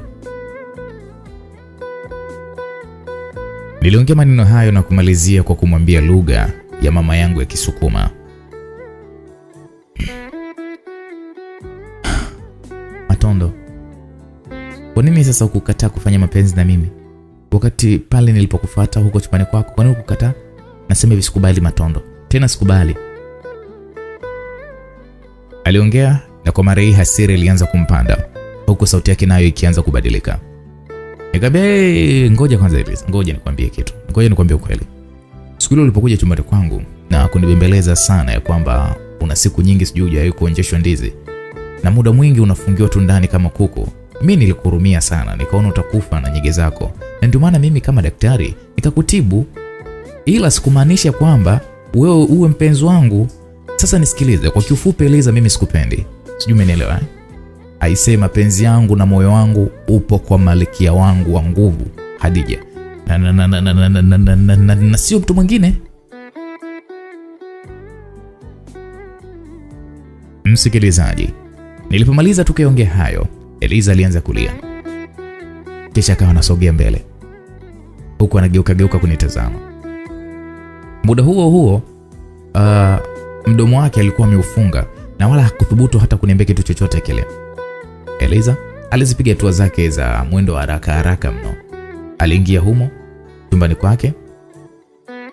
Sijui kama alikuwa ameingia humo kwa ajili ya kulala au alikuwa ameenda kwa ajili ya kulia. Kwa kweli hilo mimi sikuwa najibu. Sasa nilibaki pale, nilibaki pale nikiwa sasa nimesimama pale baada ya yule house girl kuweza kuondoka. Nikasimama kama kwa muda kama dakika moja hivi na mimi nikajisogeza mpaka chumbani kwangu, nikajitupia kitandani. Nikiwa hapo kitandani, niliinua juu macho yangu, kisha nikaanza kujiongelesha. Nikasema, da, hili jumba hili naona limeanza kugeuka kuwa la laana sasa. Wanawake hao wameanza kuni kuninyima mimi usingizi. Sasa sijui nisikubali tu kuishi hapa nikaendelea na kazi yangu ya kuuza maziwa au nifanyaje? Sasa kabla sijaendelea na mazungumzo yangu ya kimya kimya, mara mlango wangu bwana suka gongwa, nami kwa haraka haraka nikaenda nikaufungua. Matondo, umeamkaje? Sauti hiyo ni sauti nyororo na ya kupendeza ilisikika baada ya mimi kuweza kufungule mlango. Nilipepesa macho yangu, nilimwona alikuwa ni Adija akiwa amevalia nguo za shule, kumaanisha ya kwamba muda umekwenda sana na ulikuwa ni muda wa kuenda shule, ulikuwa umeshawadia. Nikatabasamu pale kidogo, kisha nikayashikashika mashavu yake yenye dimples. Nikamwambia salama tu my sweet, unajua nini Adija, mimi nakupenda sana. Niliongea hivyo, kisha naye akajibu akasema, mimi pia hunishindi Matondo, yaani kwa namna ile ninavyokupenda, nipo tayari hata kufa kwa ajili yako. Nahisi kabisa kama nikikuona ukiwa unaumwa, hata mimi siku hiyo nahisi nitaumwa pia, na hata nikifanikiwa kusoma hadi chuo kikuu sitokuja kukusaliti hata siku moja. Adija alizungumza hivyo, muda huo huo akayafumba macho yake na kuanza kunisogelea ili aweze kunipiga busu kabla hajaondoka. Adija kweli alinisogelea, akanikumbatia, akanipa busu la mdomoni, kisha akaniaga. Akaniambia, basi Matondo, kuna kitu kizuri sana nitaongea kwako nikitoka shuleni, yani nikirudi majira nane za mchana, na najua utakipenda. Adija alimaliza kuzungumza hivyo, kisha haraka haraka alianza kuzipiga hatua zake na kutoka nje ili aweze kuondoka kwenda shuleni. Mimi nilimsindikiza, lakini nilimsindikiza kwa macho hadi pale alipotoweka mbele ya mboni zangu za macho. Sasa Adija alipoondoka kama kawaida yake, mimi nikarejea chumbani kwangu kuendelea na mazungumzo yangu ya kimya kimya, yani nilikuwa nawaza. Masaa ilisogea na hatimaye saa nne majira ya asubuhi ikawa imewadia. Kila nikijaribu kupata wazo la kwenda nyumbani kwa mzee Madanga, wazo hilo likaa, yani wazo nilijikuta kama likinipinga hivyo kwa kusema ah, nitaenda tu nitaenda tu nitaenda nitaenda bila kujua kwamba masaa yanazidi kusogea. Sasa kwenye majira ya saa tano hivi ilipowadia, niliamua kuzivaa rasmi nguo zangu, kisha nikatoka nje, yani sebuleni nikamkuta mama Adija akiwa amekaa hapo huku akiwa ametabasamu. Sikujua ni kipi kilikuwa kikimfanya tabasamu, ila mimi nikajali tu kumwambia kum, kumwambia kile nilichokuwa nimepanga kumwambia. Nikamwambia habari za asubuhi mama Adija. Nilimsalimia hivyo, akasema tu nzuri hani, mambo eh. Kashtuka kidogo, hiyo hani ina maana gani mama? Nilimuuliza hivyo, akabaki anatabasamu tu, akasema usijali, muda ukifika utafahamu tu, wala usiwe na pupa, maana mambo mazuri huwa hayana haraka. Kaambia sasa mama Adija, eh, Matondo usihangaike kuniita mimi mama Adija, uwe niite tu Swaiba au Switi. Mwanamke huyo akawa anazidi kunichanganya sana. maana mara ya kwanza alikataa nisimwite mama, nimwite mama Adija. Sasa hii namwita mama Adija, hataki, anasema nimwite Swaiba au nimwite Switi. Sawa. Kwa mna huu nikamwambia mimi nataka sasa niende kwa yule babu kule maziwa, nikamwage kwamba nimepata kazi kwingine ili asije akanielewa vibaya. Maana hata kwa muda huu pia najua atakuwa ana maswali mengi sana juu yangu kwamba niko wapi muda huu na ninafanya kitu gani. Nilimwambia hivyo Maadija. Maadija akasema sawa, wewe naenda tu Matondo, wala usijali, ila usikawe kurudi. Umenielewa hani? Nikamwambia haya, nimekuelewa. Basi kweli, baada ya hapo nilitoka nje ya geti, ikawa nazipiga zangu hatua kuelekea upande wa lile geti la nje. Nililifikia lile geti kisha haraka sana mguu na nje nikachapa mwendo hadi kwa mzee Madanga ambaye ni bosi wangu yule, bosi wangu ambaye yeye alikuwa amenipa kazi ya kuuza maziwa, ambapo nilifika baada tu ya dakika kama kumi hivi nikaweza kufika. Ehe, ehe, eh bwana. Wewe kijana. Nilikuwa nakusubiri kwa hamu sana. Naona mzee baba ushaanza kuwika mjini. Hmm? Na jiji umeshaanza kulizoea sasa hivi. Jogoo la shamba linaanza kuwika mjini, si ndio? Maneno hayo aliyezungumza mzee Madanga baada ya kuniona nimefika hapo kwake. Ili nayangaza tu macho yangu, niliona begi langu likiwa limepakiwa nje pamoja na nguo zangu kadha wa kadha zikiwa zimezagaa chini. Nikamwambia sasa, mzee, kwani nguo zangu umezitupa chini hivi? Nikikuitia polisi kwa huu uharifu uliofanya nitakuwa nimekukosea? Nilimuuliza huku nikiwa sicheki wala hata sitabasamu. Yule mzee akasema, tena wallahi umewahi kuja hapa, nilibakiza kidogo tu nizichome moto. Sasa anasema hivi, sitaki niendelee kukuona ukiwa umesimama mbele yangu. Ondoka kabisa, nachukua nguo zako na tambala zako, kwenda. Acha utani mzee, kwani hapo ulipo tayari umeshanirahisishia kazi ujue. Niliongea hivyo kisha nikalifuata begi langu nikaanza kuziweka zile nguo ndani ya begi hilo, nikamaliza na kuondoka mbele ya mzee huyo bila hata kumwongelesha chochote kile. Niliondoka kimya kimya hadi nyumbani kwa kina Dija. Nilienda huko kuanza maisha yangu mapya. Nilifikia huko na moja kwa moja nikaingia ndani nikamkuta mama Dija akiwa bado hajatoka pale sebleni. Mama huyo aliponiona tu alisimama huko akitabasamu. Baadaye alichukua ile begi langu akawa anaelekea nalo chumbani kwangu.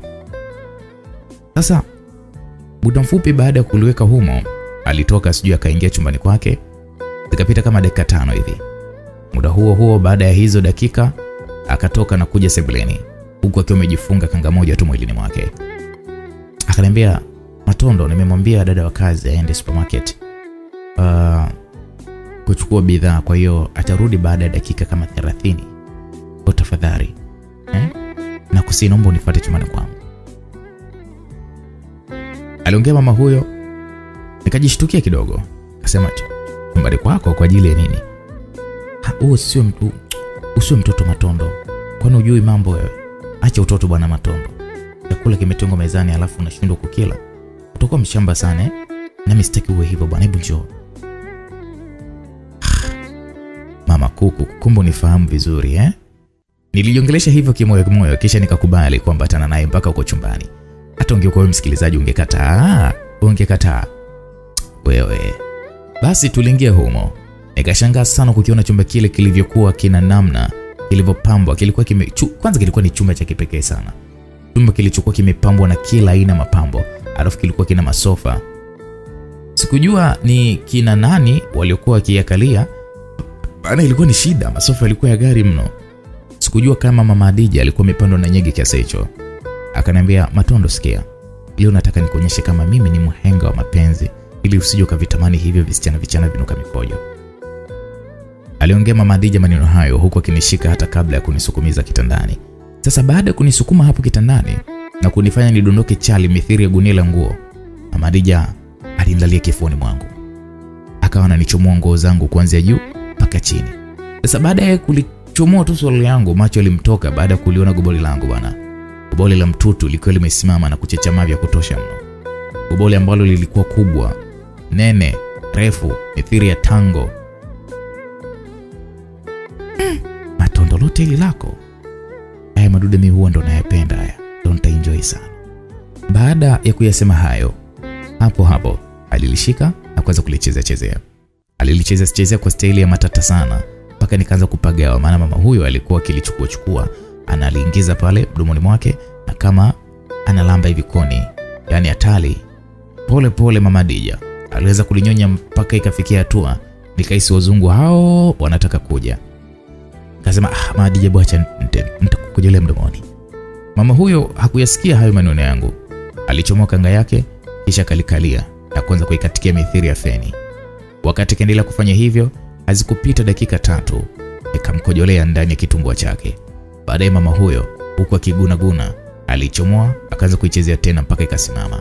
Sasa iliposimama usukani, nikaukamata na kuanza kumshughulikia mama huyo, ili nimehamia tu kwenye zile dodo zake za kifuani, mara mlango si ukaanza kugongwa bwana.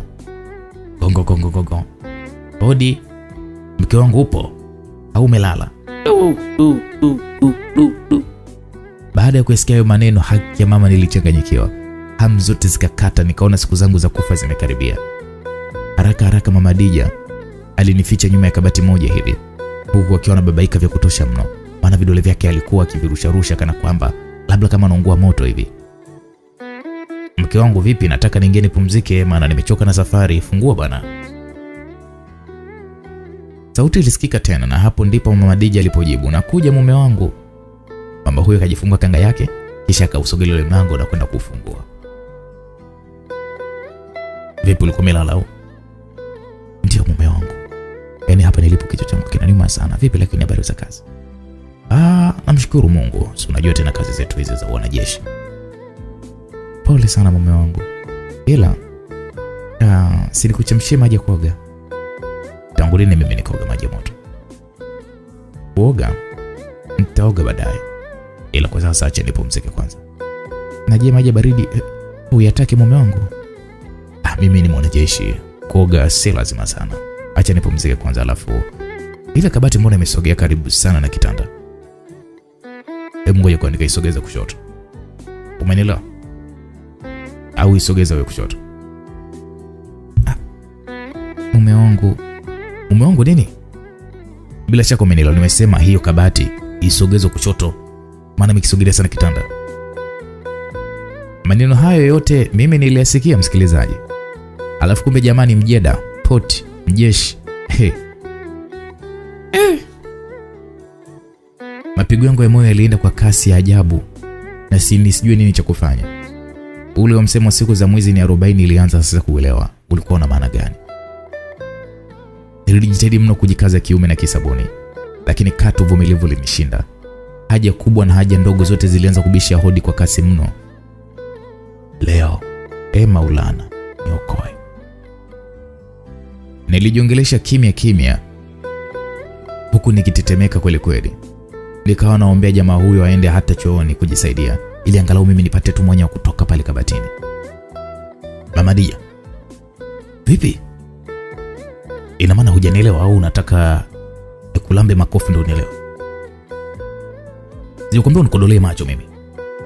Baada ya baba Dija kuyazungumza hayo, mama Dija alianza kulisogelea lile kabati kwa mwendo wa kusita sita, akawa amelifikia.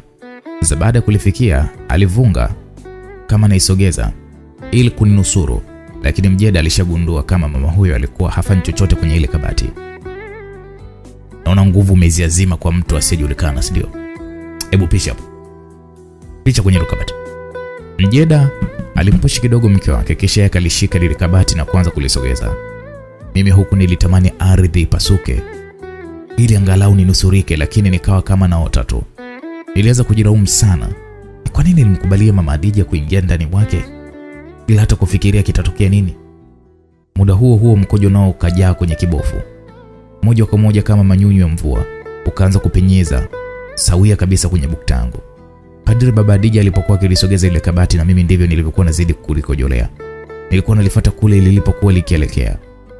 Nikasikia anasema mm, mbona nasikia rasharasha, kuna nini nyuma kabati? Aliuliza hivyo baba Adija, na mama Adija akamdakia, hamna kitu mume wangu, mbona unakuwa na wasiwasi kiasi hicho? Ngoja niangalie kama hamna kitu. Aliongea hivyo yule mjeda, nikajua sasa nimeshakamatika. Mume wangu, nimekwambia kuna kitu nyuma ya hiyo kabati, mbona unakuwa hivyo? Baba Adija hakumjibu chochote kile zaidi ya kuanza kuzipiga hatua kuja nyuma ya kabati nilipokuwa nimejificha. Mara akachungulia na kunikuta nimechuchumaa, tena nimechuchumaa na bukta yangu. Muda huo huo mwili wangu ulikuwa ukitingishika mwili mzima. Na wewe ni nani? Umefuata nini kwenye chumba changu? Swali hilo lilisindikizwa na kofi moja usoni mwangu, kofi ambalo lilifanya nianze kuona mbili mbili kwenye macho yangu. Chomoka hapo, hebu toka, aliongea Mjeda. Nikagundua jamaa mapigo yake ya moyo yalikuwa yakaenda kwa kasi mno, maana alikuwa akiongea kwa kuhema sana. Mke wangu, umeanza kuingiza wanaume ndani ya nyumba yangu, si ndio? Tena chumbani kwangu. Ulikuwa na sita sita, kumbe siri ulikuwa nayo moyoni, si ndio? Hakika nyoa wanawake amfai kabisa. We boya, hebu simama hapo. Mume wangu, huyu kijana alikuwa na matatizo makubwa sana na na na na na na, na. Mama Dija alishindwa hata aongeaje. Sasa wakati mwanajeshi yule akiwa anamtazama mkewe, nilianza kupiga mahesabu pale. Niliuangalia ule mlango wa chumba nikakuta upo wazi. Hapo hapo nilijitoa ufahamu, nikatoka nduki ndani ya kile chumba na bukta yangu mbio mbio mpaka nje. Unaenda wapi? Rudi wewe mpumbavu! Baba Dija aliniita hivyo, lakini mimi nilichomoka na yeye alichomoka ndani chumbani mule na kuanza kunikimbiza. Ulinipeje unene wakati napejiwa na mbiti. Ha, nilijiongelesha kwa Kisukuma nikimaanisha kwamba hawezi kunikamata na ubaunsa wake, maana mimi nilishakimbizwa na fisi na hajanikamata, sembuse na unene wake. Nilitoka sana nduki naye bila hata kukata tamaa akawa ananikimbiza, lakini haikupita muda, kwa namna ile nilivyokuwa nikikimbia, hata kama angetumia mapafu gani asingenikamata. Wakati nakimbia, niliona kichaka kimoja chenye miba, nikapita katikati ya iko kichaka bila hata kujali kama nakanyaga miba. Nilifanikiwa kukipita moja kwa moja, nikaendelea kutimua mbio bwana. Niligeuka nyuma, nikaona yule mwanajeshi hayupo. Anifukuze tena, nikasimama. Nilihema sana, na muda huo huo maumivu ya kwenye miguu yakaanza sasa kuingia. Nilisimama kisha nikachuchumaa, nikabaini damu ilikuwa ikinitoka miguuni kwangu. Kwa mwendo wa kuchechemea, nilianza kusogea mbele, na sikujua eneo hilo ilikuwa ni eneo gani, maana ilikuwa ni vichaka vichaka fulani hivi bila hata ya kuwa na nyumba. Nilitembea nikaona kijinji kimoja hivi, nikaamua kuanza kukifuata iko kinjia. Upande mwingine alionekana Eliza akizipiga hatua za mwendo wa haraka haraka sana baada ya kuweza kutoka supermarket, huku kwenye mkono wake wa kulia akiwa amebeba kijimfuko kimoja hivi cha rambo kikubwa hivi. Alitembea na kufanikiwa kuziacha hatua kadha wa kadha nyuma na kuanza kuikaribia nyumba ya kina Adija. Sasa ile nafika tu karibu na geti, ghafla akachuchumaa na kuanza kutapika sana. Eliza alitapika akamaliza, akasimama tena, akawa anatembea kwa mwendo wa kuweweseka mno. Matondo, si unajuta ufahamu, utaelewa tu. Siku zangu hivi karibuni sizioni, nahisi na mimba, na ulinipa hiyo mimba ni wewe. Sasa utanioa tu hata kwa ulazima. Alijiongelesha hivyo ni Eliza, huyu mdada wa kazi za ndani, huku akizidi kuzipiga hatua kuingia ndani ya nyumba hiyo, nyumba ya kisasa kabisa. Sasa ile anafika tu humo alikuta mabishano makubwa sana kati ya mama Dija pamoja na baba Dija. Mume wangu alikuwa dhumuni langu eh, kukifanya kile kitendo. Tafadhali naomba unisamehe, mimi siwezi kurudia tena, siwezi. Na kusamehe kwa lipi? Nasema hivi, kwa huo upumbavu wako uliofanya, sitokani kusamehe hata siku moja, na muda huu ungasha virago vyako uondoke kwangu. Ngoja nikuandike talaka yako. Unanifanya mimi ni mpumbavu eh? Ili miezi miwili wakati sipo, kumbe chumba changu likigeuza kuwa danguro. Nyie wanawake mfai ni bora uende kwenu. Labda huko utakuwa huru, sawa? Utakuwa huru zaidi kuufanya huo upumbavu wako. Yaani chumba changu mimi, kitanda changu mimi, unafanya uzinzi. Eliza alishtuka, alishtuka sana, akashindwa kujua ni kwa nini yamekuwa hayo. Hakujua baba Hadija alirudi lini pale nyumbani, akabaki na maswali mengi yasiyokuwa na majibu.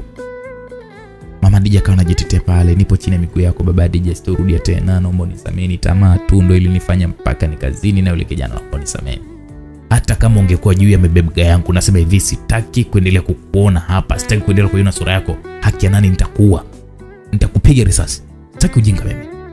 Baba Hadija hakuwa na mzaa kabisa, alichukua mabegi ya mama Hadija akatoka nayo nje akayarusha mbali kabisa. Muda huo huo akamrudia naye, akamtoa mkuku mkuku mpaka nje, akamsukuma huko na kumrushia karatasi moja hivi. Akarudi haraka haraka na kuufunga ule mlango. Mama Hadija aliyasogelea mabegi yale, akasimama mbele ya mabegi yake hayo, akashika, alianza kulia sana, tena kwa uchungu mno, alilia sana, alilia sana.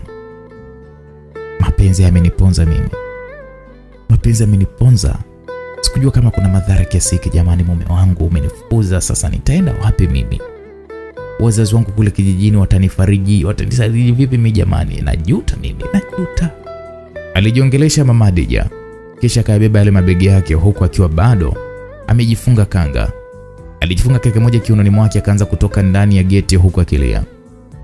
Alitazama njia moja iliyokuwa ikielekea upande wa magharibi, akaamua kuifuata kwa mwendo wa taratibu mno hadi akaanza kutokomea. Sasa kwa upande wangu mimi, baada ya kukifuata kile kinjia, nilijikaza, pamoja na kwamba nilikuwa nina maumivu miguuni mwangu. Nilitembea we hadi nikaanza kufika maeneo ya mbali kabisa. Masaa ya mchana nayo yalizidi kuyoyoma, hatimaye njaa ilizidi kunikamata. Nilijipa matumaini, nikakaza mwendo mpaka nikaona nyumba moja hivi ya makuti, nikaamua kuifuata ili angalau basi nikaombe hata maji tu ya kunywa.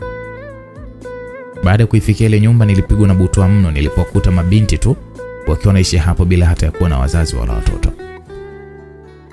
Niliwakuta tu mabinti. Mabinti hao walikuwa ni watatu, Alafu kwa kuangalia tu walikuwa na miaka kati ya 18 na 20 na wote walikuwa wamevaa nguo fulani hivi za ajabu ambazo ziliacha maziwa yao nje. Nikamwambia, samahani dada zangu, naombeni msaada wenu, maana nimekwama, naombeni mnisaidie. Sasa wakati sijamaliza kuzungumza hayo, ghafla kwa mbali nikaona gari moja hivi ndogo ikija mbele yangu. Nisijue ilikuwa imetokea wapi. Kwa spidi ajabu gari ile ilinifikia ikasimama. Hapo hapo akashuka jamaa watatu na binti mmoja, huku wote kwa pamoja wakiwa wamevalia nguo za kijeshi. Chini ya ulinzi, tuma chini haraka, unajifanya mjanja, si ndio? Sasa utaenda utuelewa kwa nini nyoka huwa anababuka baada ya kumwagiwa mafuta taa. Yaani bila uoga unaenda kushusha bendera ya jeshi? Chinzi kabisa wewe. Nikamwambia mimi si- si- sijashusha bendera ya jeshi mimi.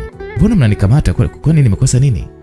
Niliuliza hivyo wale wanajeshi huku nikiwa nimechanganyikiwa. Wakasema hatujamaanisha umeshusha bendera ya kitambala. Wewe hapo kwa nini umezini na mke wa bri- bri- bri- brigadier? Nikasema brigadier ndo nani jamani? Mnanionea? Wakaniambia ujue, utaelewa huko huko. Basi wale wanajeshi walinikamata wakaniingiza ndani ya gari yao na kuondoka katika lile eneo.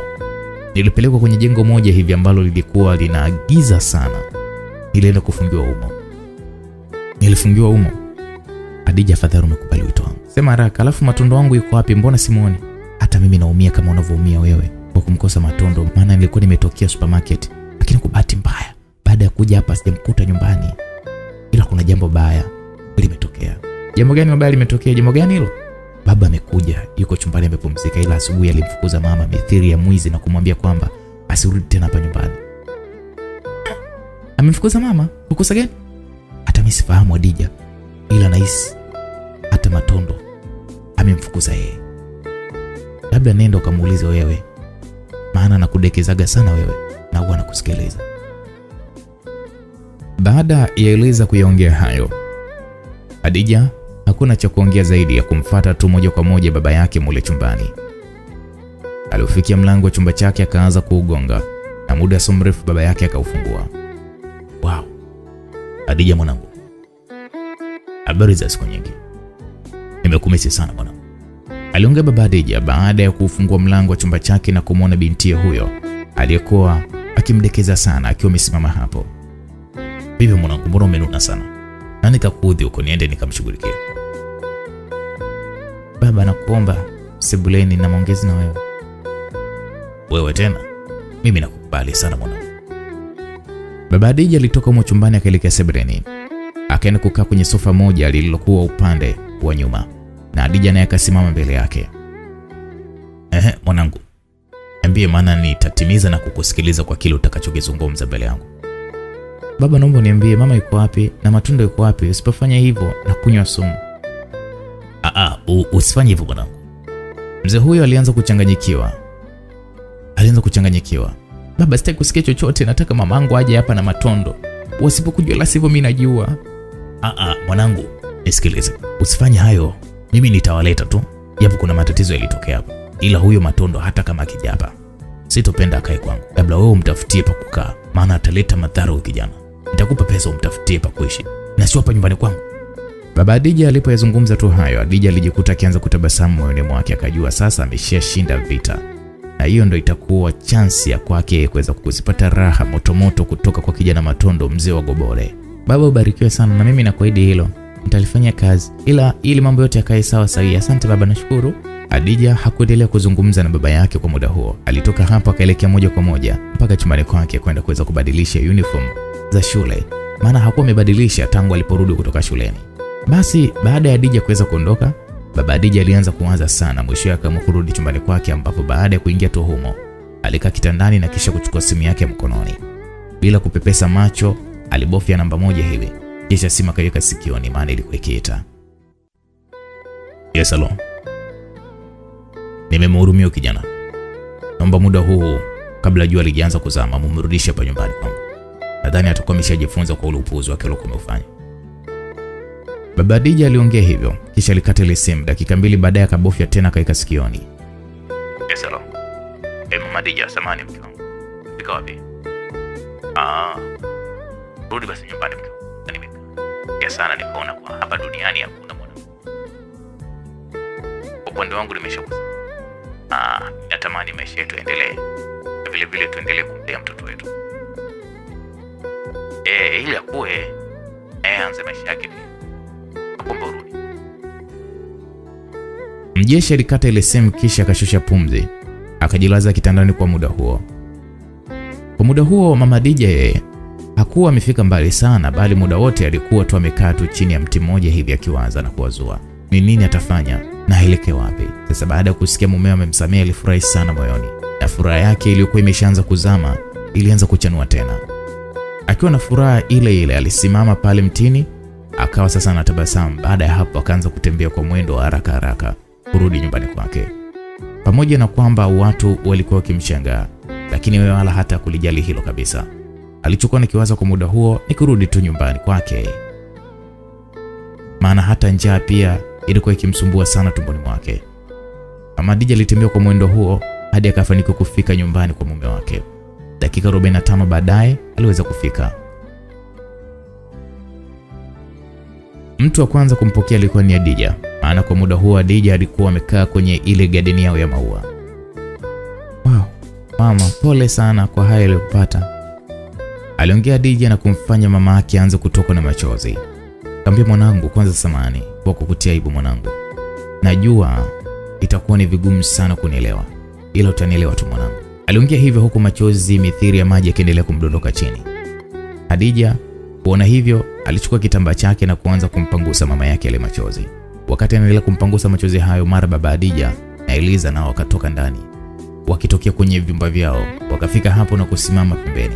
Baba Adija baada ya kumwona mama watoto wake alikuwa analia, alimwonea huruma sana. Huruma ilimjia naye akasogea na kuungana na Adija na kumnyamazisha mama yake. Mama, kwani kipi kimetokea? aliuliza Adija kwa sauti ya huruma. Mwanangu, nimefanya unzinzi na kijana Matondo. Ati nini mama? Jajajajaja. ja, ja, ja, ja. Matondo huyu ninayemfahamu mimi au ni Matondo mwingine? Ndio huyo huyo mwanangu, ila usimchukie, maana mwenye makosa ni mimi na sio yeye Matondo, hivyo usimuelewe wala usimfikirie vibaya. Aliongea mama Adija na kumfanya binti yake huyo aanze kulia kwa uchungu mno. Mama, sikuzani kama Matondo angekuwa mpumbavu kiasi hiki. Matondo kuanzia muda huu namchukia zaidi ya hata ya kitu chochote kile. Hata kama mama wewe ndio mwenye makosa ni wewe, lakini Matondo ni mpumbavu. Kwa nini nakubali kulala na wewe mama? Sitamani hata kumwona akipenyeza mbele mboni za macho yangu, maana hisi kama vile nitatapika kabisa kabisa kabisa. Matondo anatembea na mamangu kweli? Hadija hakuendelea kukaa pale wala kuongea na mama yake au baba yake. Aliondoka mpaka chumbani kwake kwenda kulala, maana hata hamu ya yeye kuweza kula chakula ilikatika kabisa. Unaona sasa, mama Hadija, siku zote tamaa huwa hawa haiwezi kuzaa mema. Tamaa imezoea kuzaa mabaya tu, na hiyo ndo kazi yake ya kila siku.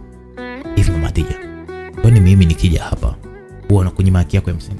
Si huwa nakupa mama? Kwa nini sasa uingiwe na tamaa hiyo ya kipumbavu? Kulala kwenye kitanda changu na kijana mdogo kama yule. Kwa kweli mama Hadija, umenivua nguo kabisa. Ila sawa tu, maana binadamu ndo tulivyo na ndivyo tulivyoumbwa katika dunia. Kwa upande wangu mimi nimeshakusamehe, ila naomba usije kurudia tena kuufanya upumbavu. Aliongea baba Adija kwa huruma sana na kumwacha mama Adija akiendelea kububujikwa na machozi machoni mwake. Baba Adija, na hapa kabisa mbele za Mungu sitarudia kufanya hiko kitendo. Nisamehe, nimekosa. Tuendelee ku- ku- ku- ku- ku- ku- kuganga yajayo.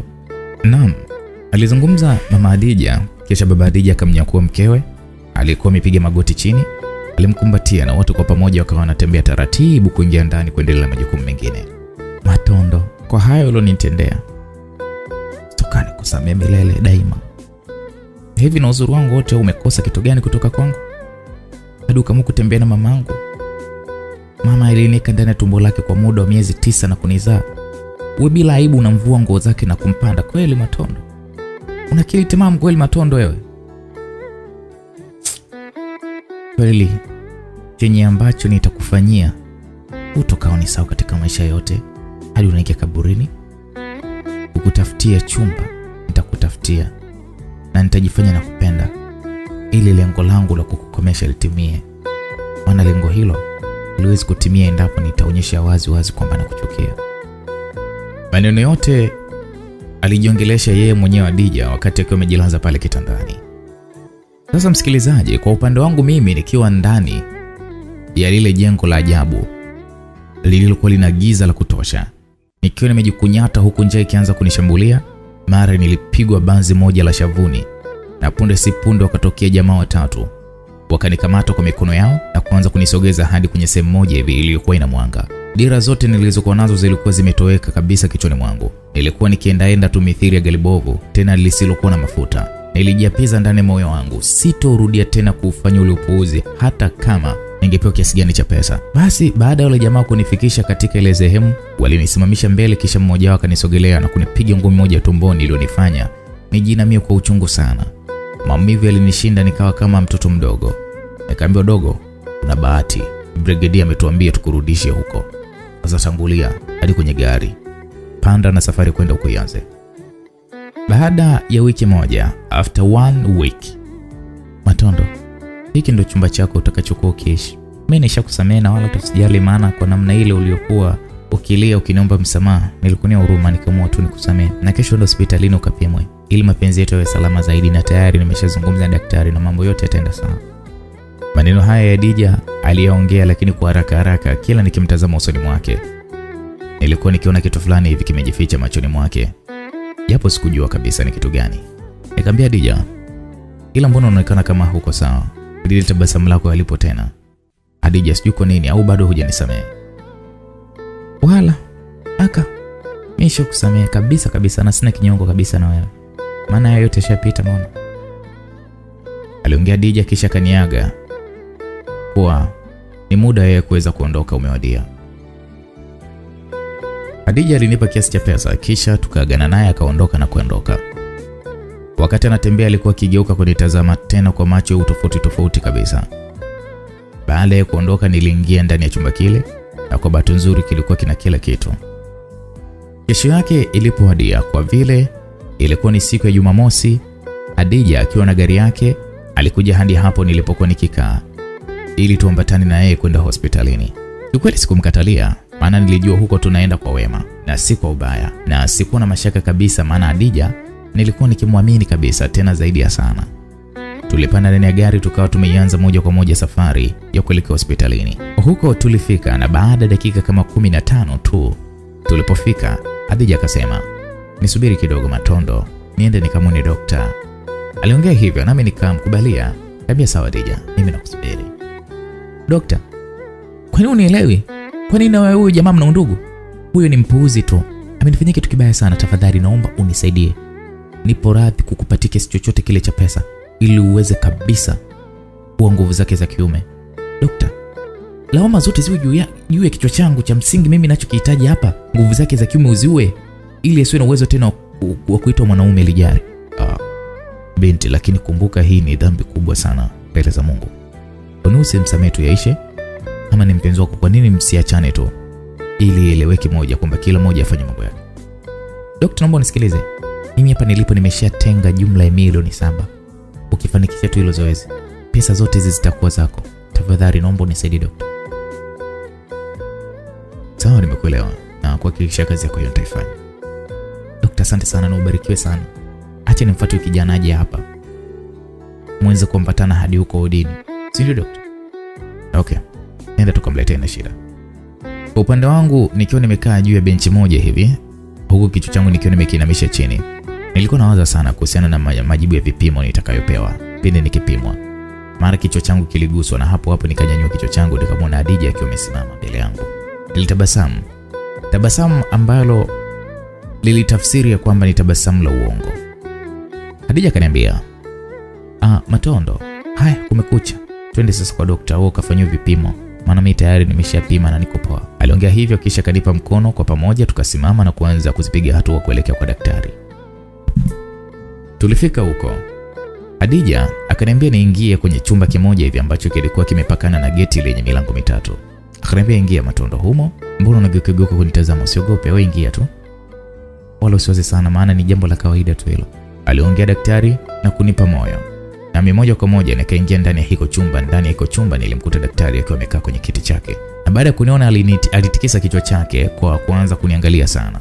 Hazikupita hata dakika tatu, dokta akaanza kububujikwa na machozi, kitendo ambacho kilinishangaza sana na sikuweza kutambua ni kwa nini dokta yule alianza kulia baada ya kuweza kuniona. Akaniambia, wewe ndo Matondo? Aliuniza huku akichukua kitambaa chake na kisha kuyapangusa machozi yake. Akasema, mimi naitwa Dr. Masanja Mabula, mzaliwa wa Bariadi. Bila shaka wewe ni Msukuma, si ndio? Nikamwambia ndio, mimi jina langu ni Matondo Jigona, pia ni mzaliwa wa Bariadi. Hapa mjini mimi nimekuja tu kutafuta maisha baada ya elimu kuweza kuniponyoka mikononi mwangu. Sasa dokta, nisingependa tuongee sana, naomba tu nifanye vipimo vya HIV ili nijue kama niko poa au la.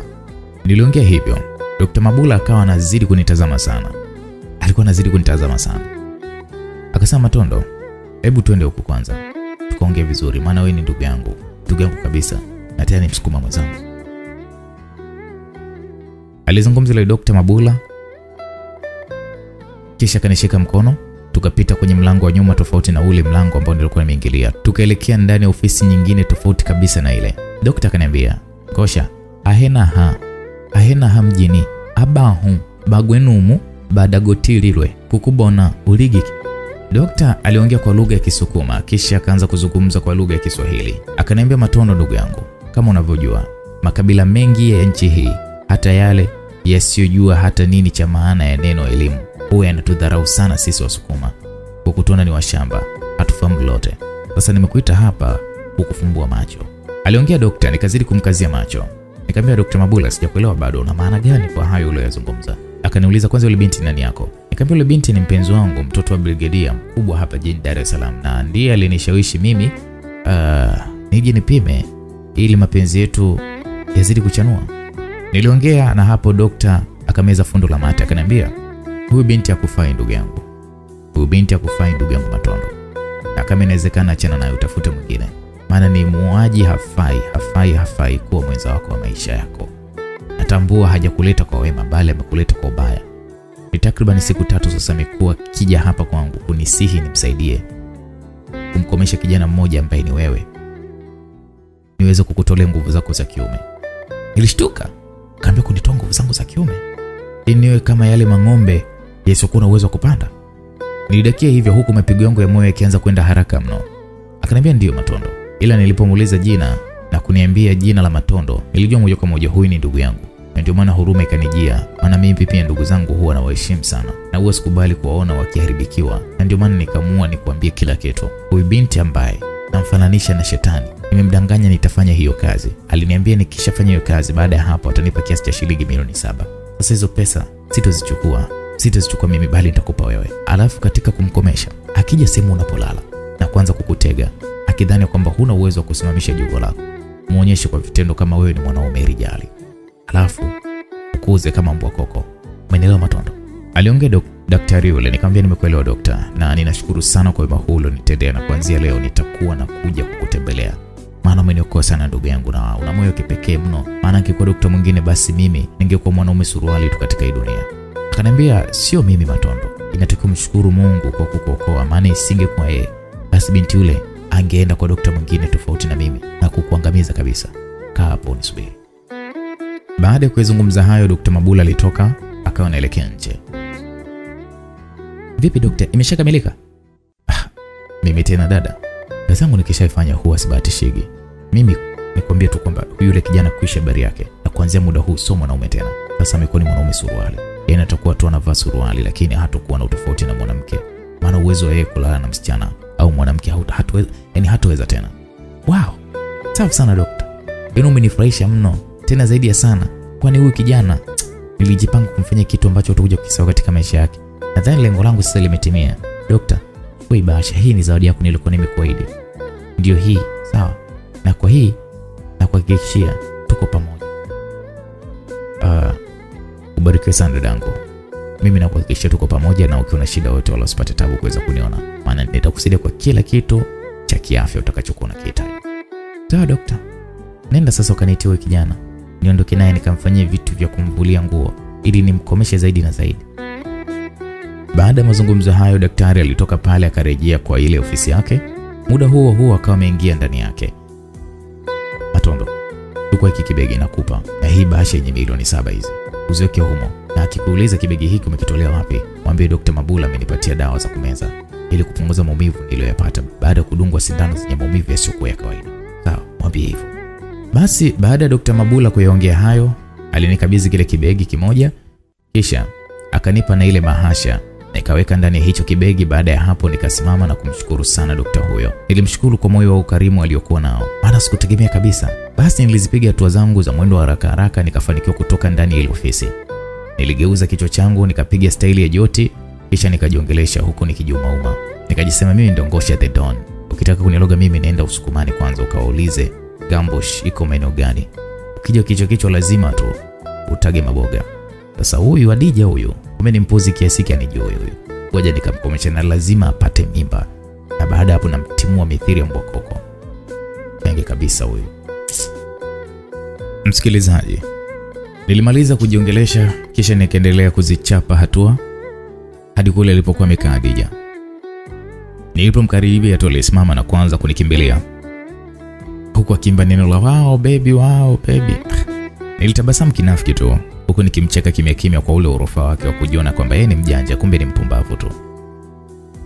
Alinisogelea akanikumbatia, nami nikamkumbatia, tukawa sasa tumeachiana tena. Baby, hilo begi umelitoa wapi tena?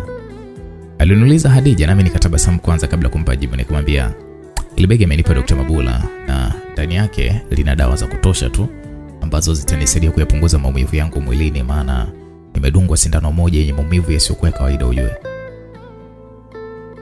Nilimjibu hivyo kwa uongo, naye akabaki na tabasamu, akasema haya, nimekuelewa Matondo mpenzi wangu. Sasa muda huu nataka tuondoke hapa, twende hotelini tukale, tukaenjoy, na baada ya hapo twende hadi kwako tukamalize Jumamosi yetu hii kabla ya kujapambazuka. Aliongea hivyo, nikawa namcheka tu moyoni, maana nilijua ya kwamba mawazo yake alidhani kwamba mimi sikuwa ni mwanaume. Alidhani kwamba mimi ni mwanaume suruali, sina uwezo tena wa kuitwa mwanaume wa kweli. Nikajisemea moyoni, wewe jishebedue tu na utanitambua kwamba mimi ni nani na kwa nini kule Usukumani kuna majina mengi sana ya kina Matondo, Mabula, Mbula, Masanja, Ngeni, Mandango, Walwa, Makonda, Mrenda na mengineyo mengi tu. Yaani Makonda maanake Mrenda. Basi nikajiongelesha kimya kimya na kumwacha akihangaika kuushika mkono wangu kwa ajili ya kuweza kuambatana naye kupanda ndani ya gari hilo na tukaondoka zetu. Aliongoza mpaka kwenye gari na hatukukawia kwa sababu tulipanda ndani ya gari hiyo na tukaondoka. Safari yetu ilishia kwenye hoteli moja hivi kubwa mno, na hoteli ya maana sana hapa mjini. Akiwa na furaha isiyokuwa na kifani, Adija alijitoa kwa kadri awezavyo kuweza kunilisha. Jioni ile nilikula maini ya kutosha, nyama ya za kuku nazo nilizifukia mno, ndizi nazo sikuziacha. Yaani kwa namna ile nilivyokuwa nikila, hata kama usiku ule ningekutana na mwanamke mgumu kiasi gani na asiridhika, aisee, angeniomba akanywa kwanza maji. Tulikula mpaka tukaona mambo yametosha. Giza lilipoanza tu kuingia, tuliondoka ndani ya hoteli na safari ya kuelekea getoni kwangu sasa ilianza. Safari hiyo ilimalizika baada ya dakika 15. Tulipofika, Adija alipaki gari yake sehemu moja nzuri sana, kisha tukaongozana naye mpaka ndani. Yeye mwenyewe aliufunga mlango na baada ya hapo mguu na njia mpaka juu ya kitanda. Bila kumshurutisha, alivua nguo zake zote akabaki mtupu na kuanza kugalagala pale kitandani huku akijichekesha chekesha. Alikaa akaanza kuibanabana miguu yake na kuipanua kabla hata hajanisogelea kuanza kunivulisha shati langu. Matondo, usiku leo nitalala na wewe, yani usiku mzima. Ah, tu enjoy. Si utakuwa tayari Matondo au umechoka? Sitaki niambie umechoka bwana. Alikuwa ananiambia hivyo Adija? Hapana, mimi sijachoka. Eh, sijachoka. Eh, Hapana, sijachoka. Sema tu kama sikushiba basi nitakuwa nimevimbiwa. Ila usijali, niko vizuri. Oh, niko vizuri wala sijui ukaanza kujiuliza maswali mengi kichwani mwako. Niko vizuri. Niliongea kizushi huku nikimtazama kwa macho ya chini chini, mithiri ya fisi anayevizia kuiba tenga la nyama zizini. Akaniambia, sawa mpenzi, anza basi kuzivua hizo nguo zako ili tuingie mtungini kwa pamoja. Baada ya Dija kuyazungumza hayo, sikuwa na namna nyingine ya kuweza kumwongelesha. Nilibaki tu kimya, nikivipa nafasi vitendo zaidi kuliko hata maneno, maana kwa usiku huo nilipanga kumfanyia kitu kibaya ambacho hatakuja kukisahau kabisa katika maisha yake yote ya usichana. Nilisimama na kuanza kushuka juu ya kile kitanda na kumwacha yeye akiwa amejilaza chali, huku akinitazama kwa macho fulani hivi yaliyochanganyika na dharau. Nadhani alijua kuwa kwa usiku huo sitaweza kumfanya chochote kile, na kwa mawazo yake alijua kwamba atanikomesha au ameniingiza ndani ya choo cha kike na kunifungia na mlango wa choo hicho kabisa. Yani yeye aliwadha hivyo. Nikiwa nimegeukia ukutani, nilichomoa ile suruali yangu ya jeans, kisha nikabaki na tabasamu tu na kucheka kimya kimya. Zilipita dakika tatu baadaye, nikageuka na kuanza kumsogelea Dija aliyekuwa amejilaza pale kitandani. Kwa bahati nzuri, gobole langu alikuwa limechachamaa sana. Sasa baada ya kumkaribia, alinikamata kisha akanisukumizia hadi juu yake, nikadondoka na mchezo ukaanza. Nilimwacha yeye kwanza, yeye ndo awe dereva wangu.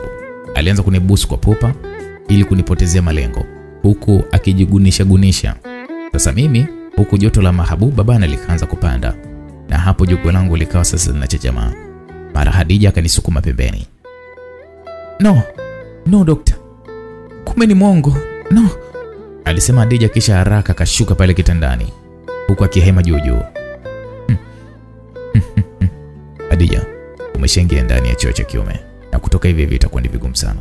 Sasa kabla sija kufanya kitu kibaya, shika kwa kiti hapo, alafu jinamia wewe mwenyewe nifanye yangu. Mimi ndiye Ngosha mtu wa Bariadi.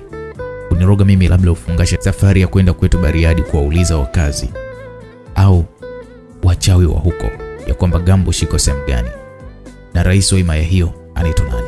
Ulijaribu kuniroga eh, kwa kutumia pesa, lakini mimi nikakuwahi kwa kutumia sistemu ya Chembagata zilizotumika kuulia zaidi ya fisi wa Kitanzania mia moja wenye miguu minne na nguvu za kutosha. Sasa wewe na miguu yako hiyo miwili eh, iliyojaa mapovu ya kutosha, unataka kuneza miku rahisi rahisi kweli? Gobole bado liko imara. Niliongea hivyo. Adija, aibu ilianza kumkamata. Kusema kweli, aibu ilianza kumwingia, akaona nisogele kwa uoga, huku akivirusharusha vidole vyake. Matondo, naomba msamaha kwa yote niliku- niliyotaka kukufanyia, maana nimegundua kwamba hukuwa na kosa, ila mimi ndiye nilikosea. Nisamehe sana mpenzi wangu Matondo, nina amini Mungu iko pamoja nawe, maana nikipanga ku, nil, nil, nilipanga kukukamiza kabisa. Nisamehe Matondo, aliongea huku machozi yakimtoka. Nilimtazama mara moja tu, kisha nikamsukumiza kitandani na kuanza kumchezea. Kwa mara hii nilimchezea kwa fujo sana, huku nikijifanya kuyapapasa papasa makalio yake kwa kumpiga piga vibao vya nguvu. Nikawa naambia baby, pole eh? Baby pole, unaniumiza. Alianza kulalamika kabla hata sijaitia kambani gobole langu. Gobole lilikuwa limechechema kweli kweli. Nikamwambia usijali mpenzi, nitakufanya pole pole, wala hutaumia. Nilimpa matumaini huku ndani moyo wangu nikimrushia matusi mazito yasiyokuwa na mfano. Nilimchezea mpaka kalainika vya kutosha na kuwa tayari kwa kuweza kuliwa. Akiwa anagugumia taratibu, nilimshusha pale kitandani, nikamweka chini, kisha nikatoa amri moja ambayo hakusita kuifuata. Nikamwambia binua juu hayo makalio yako. Niliongea hivyo, akafuata kwa kuweza kuyabinua juu hayo makalio yake mpaka kakifanya kitumbwa chake kilichokuwa kikitoa udenda kianze kuonekana wazi wazi. Nilikamata gobole langu kisha nikama, nikalizamisha kwa nguvu mno hadi nikahisi nimegonga ukuta wa, wa, wa, wa uterus. Akaniambia, Matondo, utaniua leo, utaniua. Alianza kulalamika Hadija, huku akijifanya kuanza kukizungusha zungusha kiuno chake. Niliganda kidogo bila kumpampo. Baadaye nikaichomoa tena gobole langu na kumgeuza kwa mbele. Niliushika mguu wake mmoja wa kulia nikaunyanyua juu, kisha na gobole langu nikalitia tena kambani. Kwa mara hii, baada ya kulizamisha, nilianza kumpampo bila hata kupumzika tena kwa nguvu na kumwacha akiendelea kugumia na kuhema tu. Niliongeza spidi mithiri ya mtu anayejaza upepo kwenye tairi kubwa la trekta. Aisee, miguno yake ikabadilika na kumfanya aanze kulia kabisa. Akaniambia, Matondo, Matondo, mimi Matondo, unaniua. You wanna kill me Matondo, unaniua. Nilichomoa kwa spidi ya 4G ya kumfanya teme maji kwa wingi mno kwenye kitumbua chake, maji hayo yaliyokuwa yamechanganyikana kama na damdamu hivi. Akasema, Matondo, nimechoka, unanifanya kwa nguvu, utaniua. Aliongea, nikamcheka kwa dharau. Nikamwambia, Dija, kama unayependa maisha yako usitaki nikasirike. Haraka sana zama kitandani, kisha ipanue miguu yako. Si huwa mnawadharau wanaume suruali wenye vile vimea ambavyo mnaviita sijui nini sijui vibamia sijui vya hamsini. Haraka zama kitandani. Niliongea hivyo, Adija akajirusha pale kitandani, akatulia kimya. Nilimsogelea Adija na kuanza kumtazama kama amesinzia ula. Niliona kama hayuko sawa vile, ikanibidi nianze kumgeuza geuza. Baada ya kumgeuza geuza kunako upande wa mbele, nilibaini tayari alikuwa ameshapoteza fahamu. Nasema, pumbavu, ulitaka kuja kunitega huku ukiwa huna mazoezi ya kutosha, si ndio? Ungetapika damu leo, ngera yako imezimia. Mimi ndiye Ngosha Theron. Penzi kabisa. Niliongea kwa sauti ya juu kidogo, nikaanza kuivaa bukta yangu. Nilichukua kitambaa kimoja kikubwa, nikaanza kumpepea mpaka pumzi kamrudia tena na akawa amezinduka. Akaniambia, thanks Matondo baby, thanks, sikuachi. Maneno hayo aliyozungumza nikamwona kama mtu aliyeongea huku akiwa bado amesinzia. Nilichukua blanketi moja kubwa lililokuwa hapo hapo hapo kitandani, kisha nikamfunika nami nikalala kwa ajili ya kesho. Muda mfupi usingizi ulinipitia, nami na wote kwa pamoja tukawa tumesweja au kwa Kiswahili tumesinzia. Asubuhi kulipokuja kupambazuka, niliamka pale kitandani nikawa nimebadilika sana, uweze amini msikilizaji. Asubuhi hiyo nilijiandaa rasmi kwa ajili ya kuweza kumtimua Adija pale kwangu, tena atokomee mbali kabisa, nisimwone mbele ya mboni za macho yangu. Nilikaa kwa kujinamia pale kitandani. Baadaye nikawa nawaza misemo kadha wa kadha ya kuanza nayo kabla sijamkurupua mazima mazima. Niliendelea kuwaza misemo hiyo, muda huo huo nikamtazama kwa kumpizia pale kitandani alipokuwa amelala. Sasa wakati naikamilisha kamilisha misemo yangu, mara aliamka na kunikumbatia. Alinikumbatia mgongoni, kitendo ambacho kilinikera sana hadi nikaamua kumpush kwa kiwiko. Asubuhi asubuhi tu mpenzi wangu na mawazo na hasira kiasi hicho, kipi kinachokufanya uwe hivyo?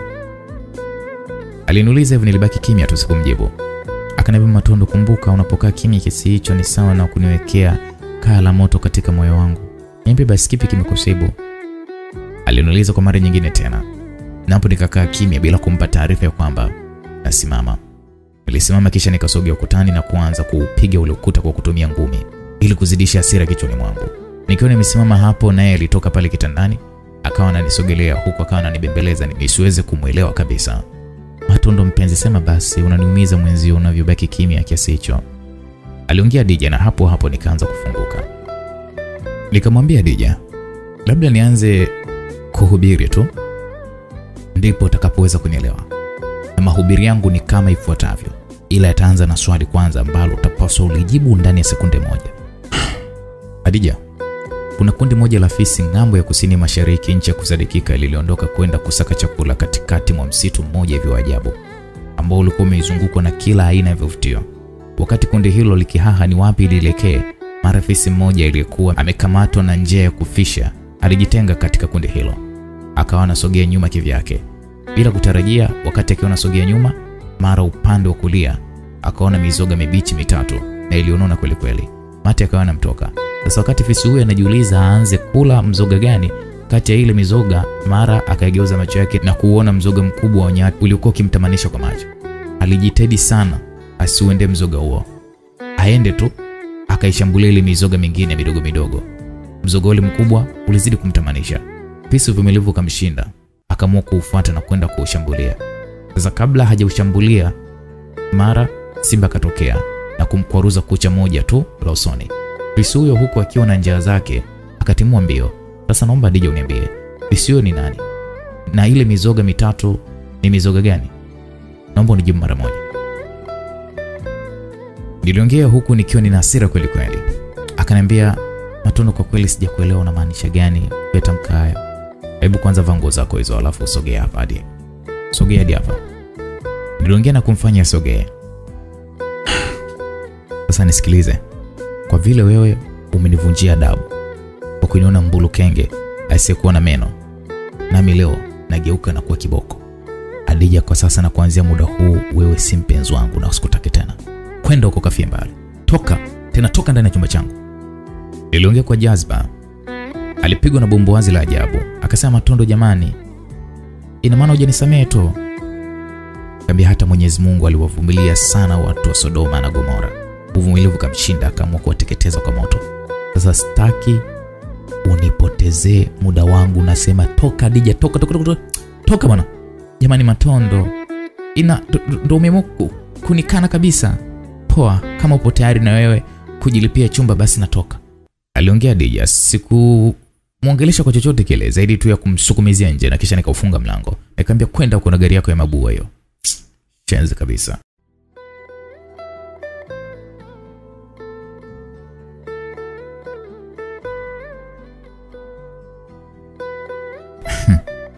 Nilimtimua Adija, nilimtimua mithiri ya mbokoko, huku nikimrushia mvua ya matusi na kumwambia kwamba mapenzi na yeye ndio basi tena, na asija akajisumbua kunitafuta kwa namna yoyote na muda wowote ule. Basi baada ya kuufunga mlango wangu, nilienda kukaa juu ya kitanda changu, ikawa nakipigapiga huku nikiang'atang'ata meno yangu kwa hasira mno. Nilisimama nikaanza kutembea kwa kukizunguka kile kitanda, baadaye nikausogelea mlango na kuuegemea.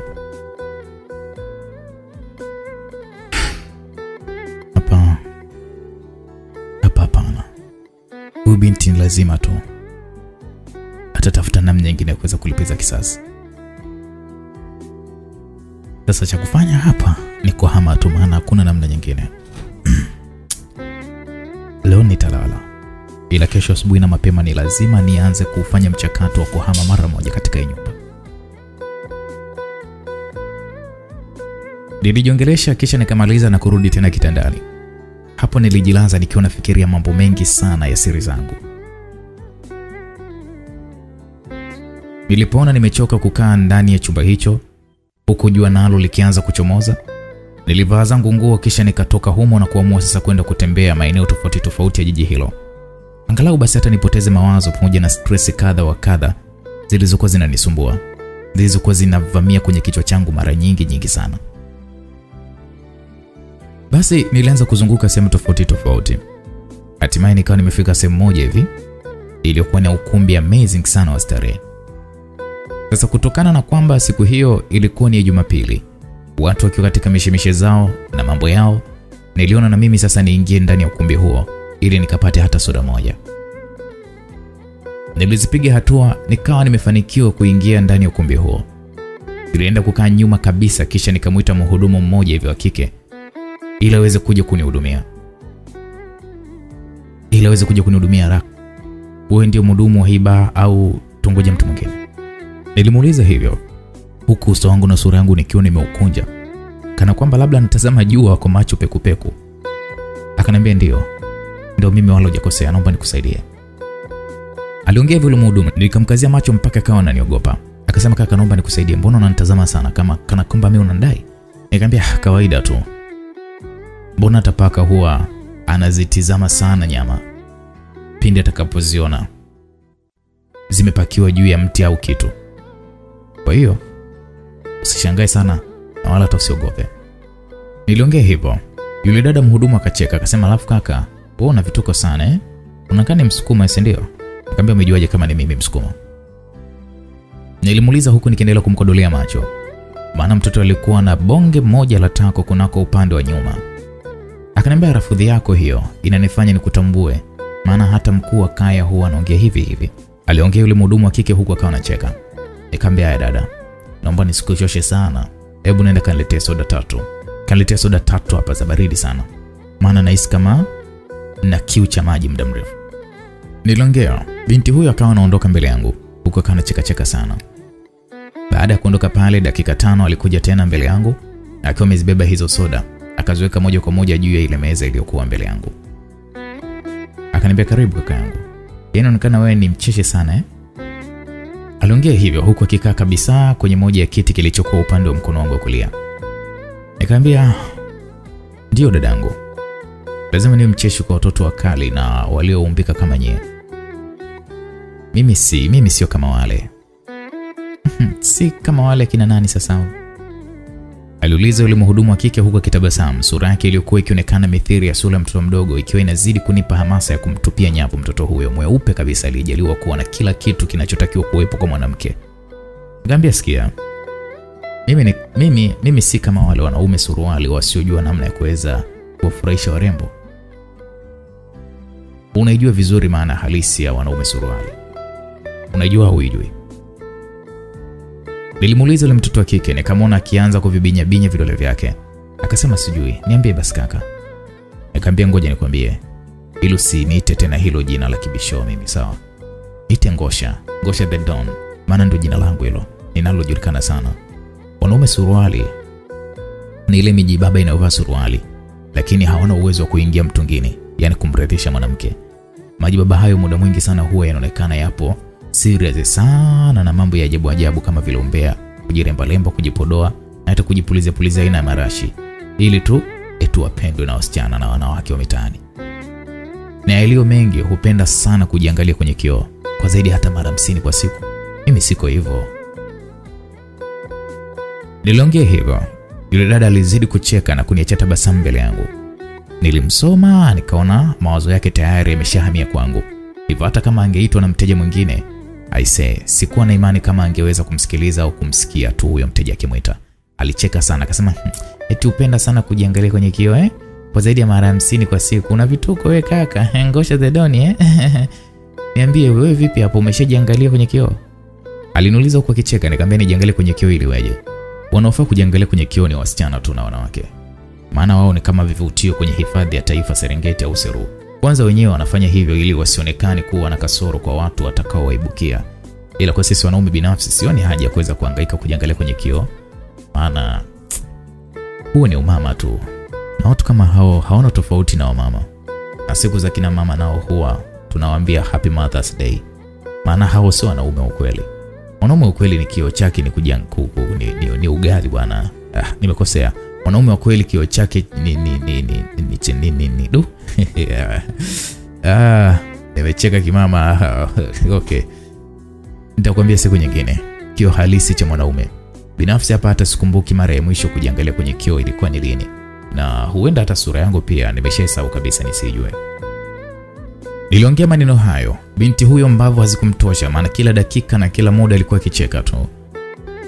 Akasema, kaka, umeshinda kwa hizo tabia zako, umenishinda ise. Nikamwambia naenda kahudumia wateja huko. Nilimjaribu ili kuona tunijibuje. Akasema, ah, wapi bwana, tunaenda kupiga story kwanza, tupo wengi hapa, hivyo wengine watawahudumia tu wateja wengine. Baada ya kuona hivyo, nikasema yes, mjomba, nishachukua pointi tatu hapa. Nikamwambia, ila wewe dada ni mzuri, yaani uzuri wako hata sijui niuelezeaje. Nilianza kumtemea cheche mtoto huyu wa kike huku nikimkazia macho. Nilifungua soda moja nikainywa yote ndani ya dakika moja tu na kumwacha hoi kwa kicheko binti huyo. Akasema, Ngosha, hmm, kwani mimi ni mzuri wapi jamani? Mbona mimi ni wa kawaida sana eh? Wapo wengi tu, mbona wanaozidi kwa wanaonizidi kwa uzuri? Aliongea huku akijingatangata. Nikamwambia, usikiliza, wewe ni mzuri tena ni mrembo uliobarikiwa kuwa na kila kitu cha kuweza kumteka mwanaume. Sijui umenielewa? Kwanza wewe ni kama malkia wa Shamu anayesubiri mfalume wake katikati ya bustani nzuri iliyopambwa na kila aina ya maua, na sipati picha kabisa siku ukivalishwa shela na hilo umbo lako nambari nane iliyochorwa na mchoraji mahili na mwenye uzoefu. Sikiza, tuachane nayo. Mimi kwanza, jina langu halisi naitwa Matondo, mzaliwa wa Bariadi, au ukikosea sana niite Profesa Ngosha, mzee wa gobole lisilokuwa na risasi za moto, ila risasi za furaha tu. Sijui unaitwa nani? Niliongea hivyo, msichana huyo alibaki akicheka kimya kimya, muda huo huo macho yake akiwa ameyainamisha chini kama vile anaona aibu. Akasema, mimi naitwa Fetrisha, ni mzaliwa wa Tanga, nimekuja tu hapa jijini kwa ajili ya kuweza kutafuta maisha. Nikamwambia, oh, Fetrisha, Feti da. Uh, unaitwa hivyo si ndio? Niliuliza tena huku akawa anacheka cheka tu. Akasema, mimi naitwa Fetrisha bwana. Aliongea kwa kulivuta jina lake, na hapo nikawa nimemwelewa nime vizuri. Sasa nikamwambia, oh, Feti, unajua jina lako ni zuri kinoma yani. Ukweli Feti, nimejikuta tu nikikupenda ghafla, ila nawe kama unanipenda naomba tuonane ndani ya nyumba namba 150 chumba namba 20. Niliongea hivyo kisha nikasimama na kumpa pesa, akakataa. Akaniambia, Gosha, nitakulipia mimi mwenyewe, wala hata usilipe, maana umeifanya siku yangu kuwa njema sana. Ila kwa nini uondoke mapema kiasi hiki Ngosha? Nimechoka tu Feti, unajua tena miili hii iliyoumbwa kwa udongo na mauvumbi. Kama utavutiwa na mimi usisite kuja geto kwa heli. Nilimwaga hivyo Feti, kisha nikaondoka na kumwacha akiwa amebaki ya panda. Niligeuka nikakuta nanitazama huko akitamani kunikimbilia muda huo huo. Msikilizaji, Adija kwa upande wake, siku ile ile mnamo majira ya saa tisa za mchana, mawazo yake yalimpeleka mbali sana. Akaamua kwenda kwa mganga mmoja hivyo kienyeji aliyekuwa anajulikana kwa jina la Madaso au Madaso Gambiti. Baada ya kufika huko na kukutana na mganga huyo, alianza kumwelezea shida yake kwa uchungu sana, huku machozi akiwa yanamtoka. Akawa anamwambia mganga, tafadhali naomba unisaidie, nampenda sana Matondo na ninahitaji kuwa na yeye katika maisha yangu yote. Sema tu nilifanya ushenzi nikawa nime nimegombana nime, nime naye, aliongea Hadija. Wakati huo huo, kile kigoda alichokuwa amekikalia kilionekana kama kina misumari. Mganga Madaso Gambiti alimkazia macho, kisha akachukua kibuyu kimoja na kukitemea mate kabla hata hajaangua kicheko. Alicheka sana yule mganga, akasema, mimi ndiye mganga Madaso Gambiti, mganga niliyebarikiwa kuwa na kila aina kipaji cha uganga. Sasa mimi huwa na kuwaga na desturi moja ya kuwapigisha wateja wangu sala moja hivi ya maana sana. Haya, piga magoti, ivue hiyo blouse yako, baki na nyonyo tu. Aliongea yule mganga huku udenda ukianza kumtoka baada ya kumwona Hadija akichomoa blouse yake na kubaki kifua wazi. Fumba macho yako na uyafuatilize maneno haya. Sema, bwana Shetani, bwana Shetani, kaa mbali na mimi, kaa mbali na mimi, na unikome kabisa, na unikome kabisa. Najikabidhi mikononi mwa mizimu, najikabidhi mikononi mwa mizimu. Naomba mizimu isikie dua yangu, naomba mizimu isikie dua yangu, na isikie kilio changu, na isikie kilio changu. Ikaukamate moyo wa Matondo, mtoto wa Kisukuma, ikaukamate moyo wa Matondo, mtoto wa Kisukuma, ikaufinyange finyange moyo wake, ikaufinyange finyange moyo wake, katika jina la mizimu, katika jina la mizimu. Omega, Omega. Sasa kuanzia muda huu Matondo tabadilika na atakuwa wako tena, ila sharti la jambo la mwisho ni lazima ulale na mimi usiku huu, ili iwe kama sadaka ya kulitatua ombi lako. Unasemaje mganga? Nahisi kabisa sijakuelewa. Unasema nifanyaje ili ili waje? Ningeweza kukushangaa sana kama ungeniuliza swali kama hilo, maana nilijua tu utaniuliza. Sasa ngoja nikujibu au ngoja nirudie. Nimesema hivi, ukitaka kufanikiwa katika ombi lako hilo, ni lazima ulale na mimi, hiyo iwe kama sadaka kwako. Nadhani sasa umenielewa. Aliongea mganga huku akichuchumaa na kuanza kurukaruka kichurachura kwa kuzunguka. Hadija hakuna cha kufanya, alibaki mdomo wazi tu huku akianza kujiuliza maswali mengi sana ndani ya kichwa chake. Mimi nimkubalie? Ah, Hapana, mwili wangu sio dampu la kupokea kila aina takataka, aliwaza Hadija. Baadaye akasimama juu na kisha kujishika kiunoni, akamwambia mganga, sharti lako hilo naenda kamwambie mkeo, kwani kwa upande wangu tayari limenishinda. Bora hata niende kwingine kuliko kukubali upuuzi wako wa kijinga. Siwezi kukubali mganga, aliongea Dija na kumfanya mganga acheke cheko cha dharau sana. Alicheka sana mganga, akasema, dada, ulishawahi kuonea wapi nyama ikamfuata fisi? Fisi ndiye anayefuata nyama, na kwa hapa umeuleta mwenyewe utamu wako, wala sijakulazimisha, unaweza kuondoka tu. Alimalizia mganga kwa kicheko, na hapo ndipo Adija alipoanza kuondoka pale, huku akijikuna kwenye kichwa chake. Alizipiga hatua za haraka haraka sana Adija, kana kwamba amekereka sana, kisha akawa amefanikiwa kuifikia gari yake. Alianza kutapatapa pale, huku akikaa na kusimama, muda huo huo akiwa anapiga kibao kioo chake cha mbele cha gari yake. Akana Samii, tangu lini zaliwe hata siku moja sijawahi kushindwa na sitegemei kushindwa. Sasa iweje mimi nashindwa eh? Nishindwe na msukuma mshamba wa kiasi kile niliyemtoa matongotongo kwa mikono yangu mimi mwenyewe? Hapana, isi hapana, ngoja nitajua cha kumfanya, alijiongelesha Hadija, kisha kazama ndani ya gari yake na kuondoka. Wakati anaondoka pale, tayari majira ya saa kumi, majira ilikuwa jioni hivi, ilikuwa imeshawadia tayari. Safari yake hiyo ilikuja kuishia ndani ya ngome moja hivi iliyokuwa na majumba ya mawe. Alipaki gari yake pembeni kidogo mwa ile ngome, kisha yeye akashuka na kuanza kuzipiga hatua kuingia ndani mle kuingia ndani ile ngome. Wakati anaingia humo, kwa mbali walionekana jamaa watano wakiwa wamekaa karibu na jumba moja hivi dogo hivi, jumba hilo la mawe chini ya mti tena walikuwa wamekaa, huku wakiwa wameshikilia sigara katika mikono yao, na ilionekana kabisa sigara hizo walikuwa wakizivuta. Adija baada ya kuwaona alitabasamu kidogo, baadaye akaongeza mwendo wake na kufanikiwa kuweza kuwafikia wale jamaa. Akaambia, dada, karibu sana hapo unyamani, ondoa uoga na ujisikia upo nyumbani kabisa, au umekuja kivingine nini? Maana baba yako yule brigadia ni mshida mtupu, ujue. Jamaa mmoja alikuwa akitoa moshi mwingi na sigara mdomoni mwake, aliongea hivyo. Hadija akamwambia, mimi sijaje kihivyo mdaku. Unajua nini mdaku, hapa nilipo nina shida sana, naomba ninyi kama ninyi mnisaidie, maana nimejaribu njia na mbinu nyingi nimeshindwa. Na kuhusu ujira wenu tu kwa hicho nitakachowaambia kukifanya, kuna pesa ya maana sana nitawapatia. Oh, sister, na shida gani? Hebu funguka basi utuambie, maana hatuja hatu, hatu, hatutaona na haya kusaidiza kuweza kusaidiana. Jamaa aliyekuwa akiendelea kutoa moshi mwingi mdomoni na puani aliongea hivyo. Hadija akasema, jamani, kuna kijana mmoja hivi mweupe mweupe, ila ana mchanganyiko na rangi ya maji ya kunde. Ana mwili mkubwa kidogo, ni mshamba mshamba kiasi fulani hivi. Anaishi Magomeni, mtaa wa tatu, nyumba namba 150, chumba namba 20. Sasa nataka mkamteke kesho, alafu mlete hapa hapa, mumpige sana na mumfanyie umafia wa kutosha, nikiwezekana mumtembeze kichambo cha kutosha sana. Mimi kesho hiyo saa moja au saa mbili nitakuja, maana kuna maswali mengi sana nitamuuliza na nataka yajibu yote mbele yenu. Sijui mmenielewa? aliuliza Adija na wote kwa pamoja wakamhakikishia kwamba mmemuelewa tena kwa asilimia zote. Wakamwambia, dada Adija, hiyo kazi tuachie sisi dada. Ni mateja hawa, walikuwa wanavuta bangi sijui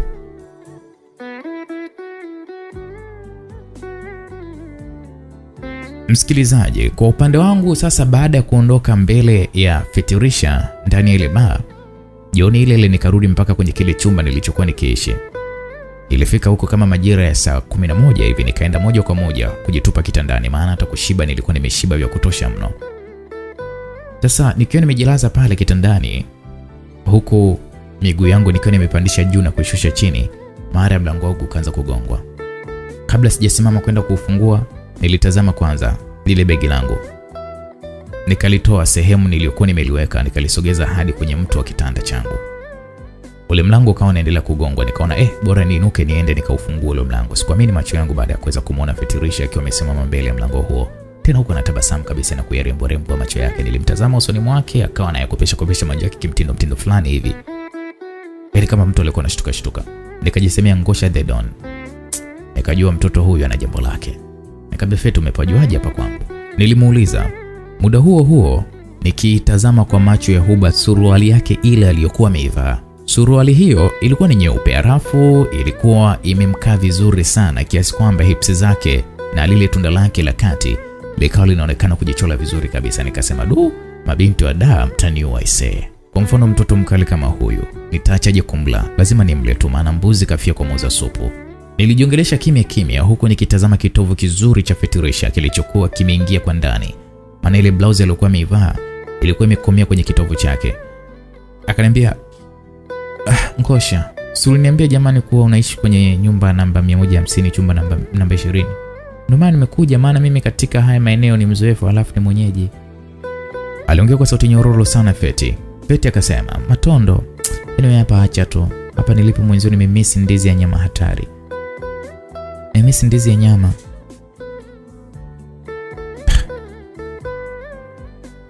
Ambia ndizi?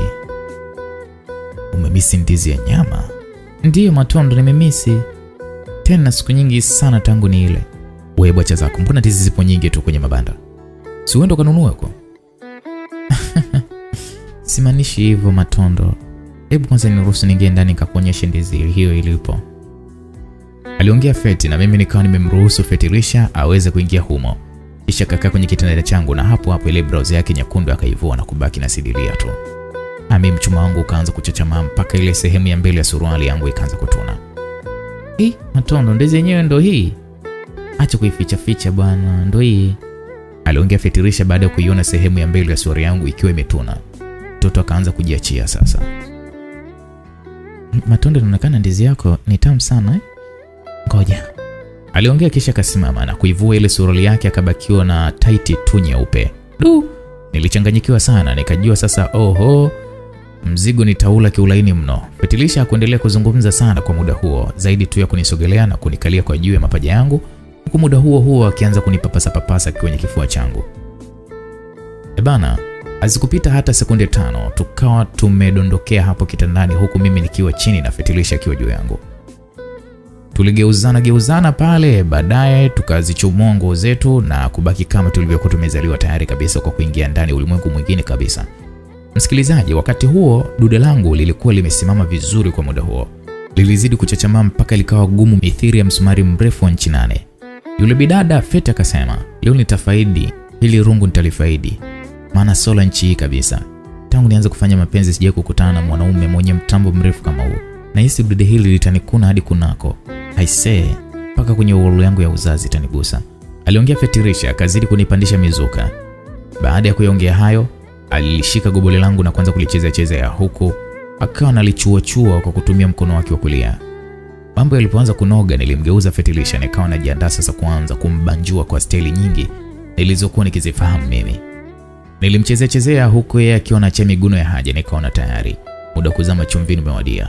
Kabla ya kuzama humo chumvini, yani ndani ya kitumbua cha mrembo huyo, mara tumbo langu likaunguruma ndani ya masikio yangu, nikasikia sauti nene mithiri ya kipaza sauti, nikashindwa kuielewa sauti hiyo. Ghafla jogoo langu nalo likanywea.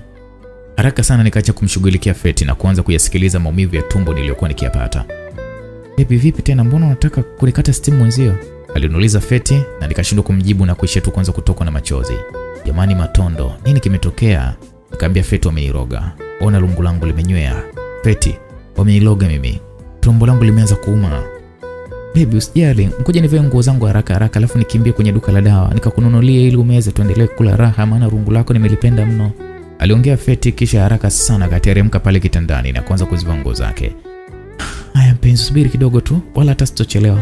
Alisema hivyo Feti, kisha akanyoosha mkono wake wa kushoto na kuufunga ule mlango. Alitoka mara moja baada ya kufungua mlango huo, kisha akakazana kuzipiga hatua kwenda kuninunulia dawa. Binafsi sikujua ni kipi kimetokea, maana jambo hilo kwangu nililiona kama la kimiujiza tu, na wala sikutegemea kama nitapatwa na kitu kama hicho kabisa kabisa, sikutegemea. Basi baada ya Fetirisha kuweza kuondoka, mimi nilijikaza, nikajikaza kidogo, nikawa nimekaa kitako kitandani na kujinamia, huku nikizidi kujiuliza maswali mengi. Ni nini au ni kitu gani kimenikuta? Niliwaza, au ni wachao wameniroga au Adija ameniendea kwa mganga wa kienyeji. Lakini napo mawazo hayo nilijikuta nikiyapinga na kuyatupilia mbali. Niliacha kuwaza hivyo, nikabaki nayapepesa tu macho yangu huku na huko. Dakika tatu baadaye, mlango wa chumba changu ulianza bwana kugongwa. Nikajua labda tayari Fetirisha ameshafika. Kwa hiyo sikutaka sana kuufungua kwa pupa, lakini nikaanza kwa kuuliza kwanza, we nani? Niliuliza mara moja tu, lakini niliposikia sauti ya kiume ikinijibu ni mimi jirani yako Jimmy, sikutaka kwanza kujiuliza sana. Nilisimama mara moja, nikashangaa kuona maumivu ya tumbo hayapo tena. Mara muda huo huo jogo langu nalo likaanza kuchochamaa. Nilisogeza kidogo tu mguu wangu wa kulia, nikaufungua mlango wangu ule. Wewe ndiye Matondo eh? aliuliza kijana huyo mwembamba mwenye mwili mdogo. Nikamkazia macho na kumjibu hapo hapo, ndio ni mimi. Vipi, kuna tatizo limejitokeza? Hapana, ila nimekuja kukufumbua macho, maana usituone binadamu tunatembea barabarani ukajua kwamba labda tuna amani sana. Hapana, amani haipo, ila tunatembea tu ili mradi tuweze kufika tunakokwenda. Aliongea, nikaona kama vile sijamwelewa anamaanisha nini kuyasema hayo maneno. Nikamwambia Jimmy, sijakuelewa una maana gani kwa hayo unayozungumza? Matondo, binadamu tumetunza mambo mazito sana ndani ya mioyo yetu kiasi kwamba tukisema kila mmoja ajaribu kuyatoa hadharani, basi kila mmoja, hata yule mwenye matatizo makubwa, atasema ya kwake ni madogo, tena yana nafuu kuliko hata yule. Oa Jimmy, bado sijakuelewa bana, unamaanisha nini? Matondo, nimemwona binti mmoja hivi akitoka ndani ya chumba chako, na kama sikosei, binti huyo anaitwa Fetrisha, anafanya kazi kwenye baa ile nje kidogo ya mtaa wetu hapa. Vipi, na wewe unafahamiana naye? Ndio, na, na muda kidogo tangu nifahamiane naye. Kwani vipi, kuna shida? Matondo, siku zote hata yule mtoto wa chui akijikanyaga kwenye kinda la watoto wa paka, naye ataonekana kama ni mtoto wa paka, na yamkini anaweza hata kunyonya kwa paka huyo huyo mwenye watoto, ila akikuwa na kujikuta yupo tofauti na hao, anaweza akawaletea madhara kwa kuwashambulia hao wenzake, na wakati mwingine kuwalarualalua kabisa. Okay, tuachane na hayo. Yule binti light, kama ungekuwa unamfahamu kama ungekuwa unamfahamu vizuri, hata siku moja sidhani kama ungepata nafasi ya kuweza kumkaribisha chumbani kwako. Binti yule japo anaonekana kuwa ni mrembo na ameumbika, lakini ni sawa na joka lililolala kwenye nyasi. Vipi, ni mchawi au? Hapana, sio mchawi wa kuroga, sio mchawi wa kuroga kama vile unavyofikiria, ila ni mchawi wa wanaume na vijana wa kiume, hasa wale wanaojiita mahensam. Binti huyo akishamwona tu kijana handsome tu, basi anafanya kila mbinu ili mradi tu apate kulala na kijana huyo na ana sifa ya kuhonga wavulana kuliko kuhongwa. Hivyo binti wa kuogopwa kama chatu, tena chatu la mwituni. Nisikilize ndugu yangu, binafsi nashindwa hata nikuelezeaje. Matondo, unaona mimi hapa? Ndio nakuona mimi hapa, ni mhanga, nimepitiwa na ulimi hatari wa joka hilo la kike, na ninakuhurumia sana jamaangu. maana maisha ya kumeza dawa kila siku iendayo kwa Mungu ni magumu sana, na ninakushangaa ni kwa nini hukutumia hata jicho la tatu kuhoji maswali hata matatu mawili matatu hapa hapa hapa hapa hapa mtaani. Sikiliza, hapa jijini kuna wanawake, kuna mabinti, kuna mashoga na kuna wasichana, wote wanaonekana kuwa na mvuto wa hali ya juu sana. Sikatai wala sikukatazi kuzituliza hisia zako, maana wewe ni kijana na damu yako bado inachemka, ila nataka nikwambie tu kwamba kuwa makini. Si kila anayetembea majini kwa kupinda pinda ni kambale, wengine ni majoka, na si kila mwanamke aliyebeba makalio makubwa anafaa, wengine wafai, maana wamebeba kifo ndani ya makalio yao hayo. Atondo, mimi wakati nakuja hapa Dar es Salaam nikitokea kijijini kwetu, nilikuwa na malengo makubwa sana katika maisha yangu na nilitamani sana siku moja yatimie, ila baada ya kufika tu na kuanza kuchanganywa na mabinti wa jiji hili, nilisahau kila kitu ya kwamba kuna maisha baada ya kuzini au kufanya usherati. Alipomaliza tu kuongea hayo, kabla hajaendelea, mara Fitirisha akaonekana kwa mbali akizipiga hatua kusogea hadi pale nilipokuwa nimesimama mimi pamoja na Jini. Baada ya kumwona, aliyefumba macho yake na akayafumbua. Fitirisha alizidi kutusogelea hadi akatupata. Nilimwona akishtuka kidogo baada ya kumwona Jimmy. Aibu fulani hivi ikawa inaonekana machoni mwake. Matondo, tuingie ndani basi, tayari dawa za maumivu ya tumbo nimeshazileta, aliongea. Nikamwambia tangulia, nakuja. Baada ya kuingia ndani niliufunga mlango kisha nikasogea na Jimmy mbali kidogo mwa kile chumba changu ili Fetirisha asiweze kutusikia. Eh? Hebu niambia sasa Jimmy. Baada ya kuanza kuchanganywa na mabinti kawaje? Nilianza kumkomalia kwa maswali mengi, maana historia yake hiyo niliona kama vile inataka kufanana na historia yangu. Hapana. Nisikilize. Nisikilize Matondo. Hapa mjini nilianza kujiona superstar kwa mademu na wasichana. Ushamba wangu wote niliweka kando nikajifanya mjanja na ninajua kutongoza. Sijui kama nilikuwa na bahati mbaya au nilikuwa na nyota ya ukimwi. Yaani kila binti ambaye nilikuwa nikimtongoza alikuwa anikatai hivyo, nikawa nabadili tu mabinti kama nguo. Asubuhi nikilala na msichana mweusi, basi usiku nitalala na msichana mweupe. Mchana nikilala na msichana mfupi, basi jioni nitalala na msichana mrefu. Matondo, unaweza ukadhani kwamba maneno haya ni sawa na hadithi, lakini ndo ukweli halisi. Baadhi ya marafiki zangu na hata jamaa zangu walijitoa mhanga sana kwa kuanza kunishauri nibadilike, niachane na tabia umalaya au kupendapenda wasichana na wanawake, baada ya kuona ninapiga mbio kuelekea shimoni, lakini mimi katu sikuwasikiliza. Nilijifanya mimi ndo mapenzi nayajua, kwamba sioni kitu kibaya chochote kile kitakachonipata. Sikiliza, mimi nikadhani kuushirikisha ule msemo wa kwamba hakuna raha za dunia nisije nikasubiri uzeeni. Unaelewa? Nilizidi kuharibikiwa mimi ndugu yangu, kiasi kwamba ilifikia kipindi nikawa natembea hata na mashoga wa kiume ili tu kubadilisha radha, maana aina za wanawake walioolewa na ambao hawajaolewa nilikuwa nishawapitia karibia wote. Miaka yangu hiyo ishirini na mitatu niliona kama dhahabu, niliona kama dhahabu kamili ya kuendelea kuwageuza geuza wanawake, na gobolo langu nene nilikuwa naliona kama vile almasi kwangu. Kumbe nilikuwa nikijichimbia kaburi mimi mwenyewe. Siku moja nilienda kwenye baa hiyo anakofanyia kazi huyo binti anifatilisha, nikaenda kunywa sana pombe mpaka nikalewa na kuona sasa muda wa kula wasichana umewadia. Bila kutarajia nilimtongoza Fitirisha siku hiyo hiyo, na ndani ya muda huo huo akanikubalia na kusema yeye ni mtoto wa Kitanga, anaenda kunipa mapenzi moto moto. Tulienda tukalala na mwisho wa siku tukafanya mapenzi. Kesho yake akaja jamaa mmoja akaniambia nimeshapotea. Nikashindwa kumwelewa na maana gani, lakini siku moja aliponiambia nimelala na msichana aliyefanikiwa kuambukiza vijana na wanaume gonjwa la hatari la ukimwi, hapo ndipo nikaanza kuyakumbuka maneno ya ndugu na jamaa zangu waliokuwa wakiniambia. Jue nililia sana ndugu yangu, nikajua sasa ndoto zangu zimeyeyuka. Nikaamua kwenda hospitalini kupima, na kweli nikakutwa na ukimwi. Eh? Una ukimwi?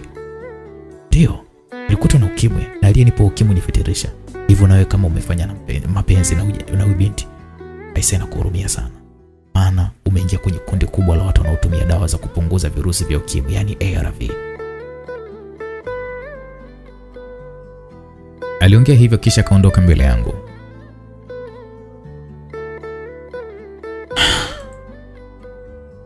Naam. Basi nilibaki nimesimama pale kama sanamu. Baada ya Jimmy kuniambia maneno yale, nikajua kumbe maumivu yale ya tumbo kuliyapata pamoja na jogo wangu kuweza kunywea yalikuwa na maana kubwa sana kwangu. Niliogopa sana, nikadhani kwamba sijui misimu sijui ni nini, nikawa nashindwa kabisa hata kuelewa. Nikasema hii hatari. Leo nilikuwa napotea, ina maana na mimi napita kwenye kivuli hiki cha upofu wa mapenzi? Hapana. Aisee, na umri wangu huu wa miaka ishirini, nisipokuwa makini nitapotea. Basi nilijiongelesha mimi mwenyewe na punde si punde Fetirisha nikamwona akija pale nilipokuwa nimesimama. Wakati huo huo akiwa amejifunika kanga moja, tena kanga yangu niliyokuwa nikiitumia kwa kutandika kwenye meza, alafu nanyosha nguo zangu. Alinifikia na kusimama mbele yangu akaniambia, Matondo, ina maana umenileta hapa kunitazama kama choroko, si ndio? Au umenileta hapa kwa ajili nini?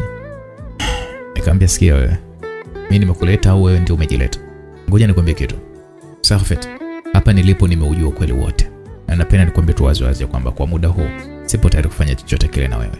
Aha, kumbe ndo mlivyokuwa mna, mnadanganyana, si ndio? Na yule kijana wako mbea eti. Sasa sikiliza, nataka uniambie neno moja tu, kama upo tayari kunipa ndizi yako hiyo au la. Mlango wa chumba chako nimeshaufunga na funguo ninazo mimi hapa. Sasa chagua moja, kusuka ama kunyoa. Nisikilize malaya, unanijua mimi kweli au unanisikia tu?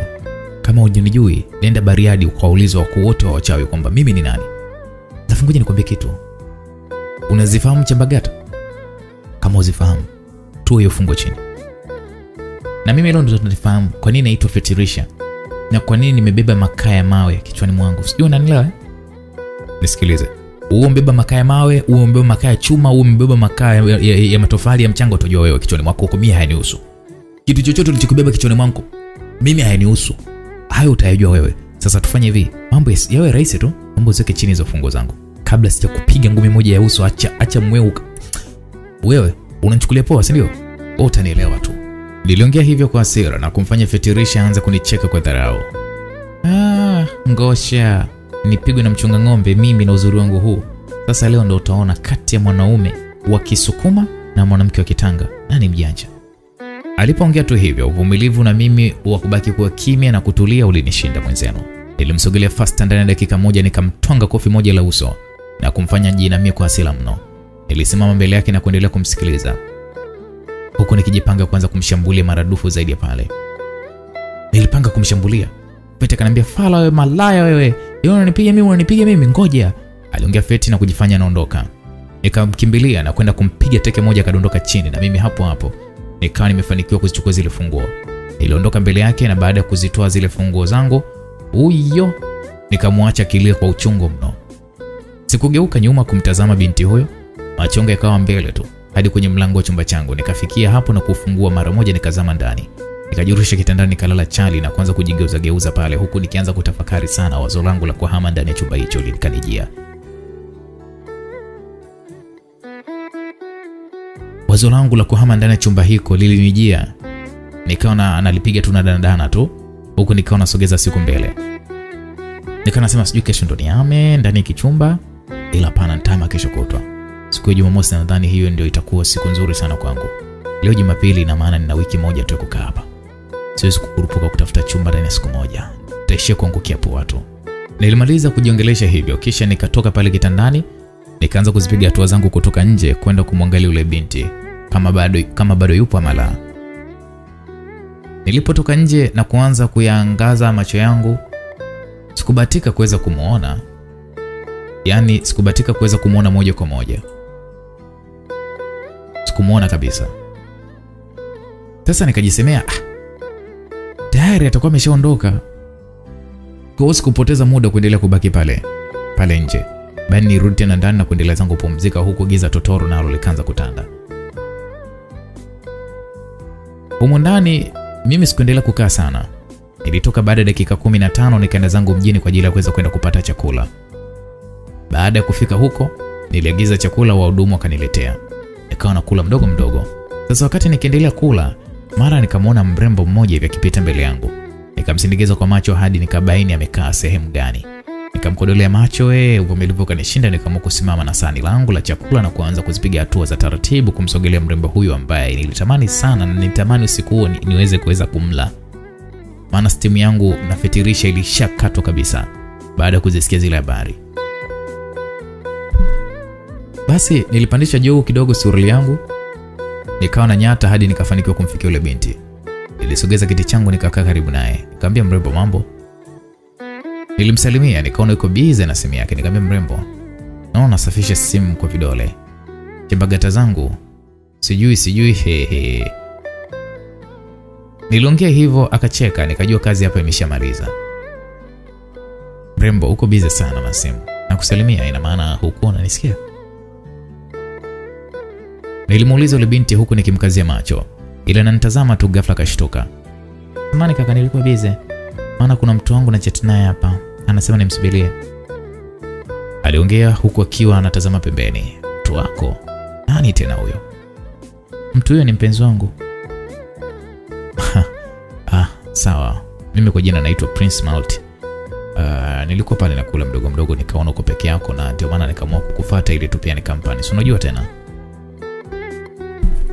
Nilimdanganya jina na kujitahidi sana kuzungumza vizuri Kiswahili changu. Akaniambia, oh, jina zuri sana hilo. Mimi kwa jina naitwa Justina, nakaa nje kidogo ya mtaa wa Magomeni, vilevile ni mwanafunzi wa chuo. Aliongea yule bidada Justina, kisha akatabasamu kidogo. Nili- Nilijikohoza, kisha nikamkazia macho tena, macho yake akayakwepesha kwangu. Prince Malt, vipi kaka, mbona unanikazia macho hivyo, kulikoni? Aliniuliza huku akianza kujichekesha chekesha. Nikamwambia kukazia macho kiasi hicho kumenifanya nianze kuikumbuka digrii yangu ya uhasibu na mahesabu yake jinsi nilivyokuwa yakinitesa sana. Yalikuwa yanatesa sana hiki kichwa changu. Yaani kwa ufupi, uliposema tu wewe ni mwanafunzi wa chuo kanikumbusha mbali sana. Yaani kipindi hicho nilipata tabu sana, usione hivi. Ila kwa sasa namshukuru Mungu nina PhD ya uhasibu na ni meneja msaidizi wa Benki Kuu ya Tanzania. Kwa hiyo ni hivyo tu. Nilimdanganya yule binti huku nikichekacheka kimya kimya. Kumbe ni meneja msaidizi wa Benki Kuu ya Tanzania. Umenifurahisha sana Prince Malt. Aliongea kwa uchangamfu sana na hapo ndipo nilipoanza kumrushia cheche zangu za kishua. Nikamwambia unajua mimi unasikiliza Justina. Kiukweli kabisa bila kukuficha umejaliwa uzuri. Yaani wewe katika kumi bora ya warembo duniani umeshika nafasi ya kwanza. Mtoto jicho utazani ziwa mtindi. Limechanganywa na mayai, hatari. Mtoto tako limebinuka utazani chaga. Sorry. Mtoto na oo la kuvunja chaga yani. Mtoto na rangi nzuri mithiri ya apple chuchu saa sita kuliko hata ile ya mchana. hii ni kama parachichi. Unajua una kiuno sasa, yani ndio usiseme kabisa. Yani watoto wazuri kama nyinyi mnafaa kuolelewa na maprofesa kama sisi. Eh, achana nao vijana wanafunzi wanafunzi zako wanaotegemea wallet za wazazi wao na bodi ya mikopo. Sawa, yani wewe ukitaka uwe mzuri zaidi, basi kubali mimi ndiwe mpenzi wako, maana utakula mema ya nchi, sio nchi tu, hata mema ya mbingu pia. Wewe utakazi yako itakuwa ni kula tu. Niliongea hivyo, binti akabaki kimya, huku akinitazama kwa macho yaliyoregea kweli kweli. Hivi mtoto tayari kashalainika sasa huyu, naona ameingia mwenyewe kwenye kumi na nane zangu. Nilijiongelesha hivyo, kisha nikamsogezea lipsi zangu ili nimbusu. Akaogopa na kuzikwepesha lipsi zake. Nirudia kwa mara ya pili tena, nikaona mtoto amejitutumua. Alizipokea, tukawa tunalambana ndini pale mpaka tukajikuta tumesimama. Ah, baby, baby, baby, twende kanipe aliongea Justina. Tukatoka pale mpaka nje. Prince, hii gari nimenunuliwa na mwanaume boya boya mmoja hivi ambaye ndiye niliyokuambia kwamba na chat naye, ile kwa vile nimempata zaidi yake, mambo mazuri zaidi nitayapata. Vipi, kwani gari yako iko wapi?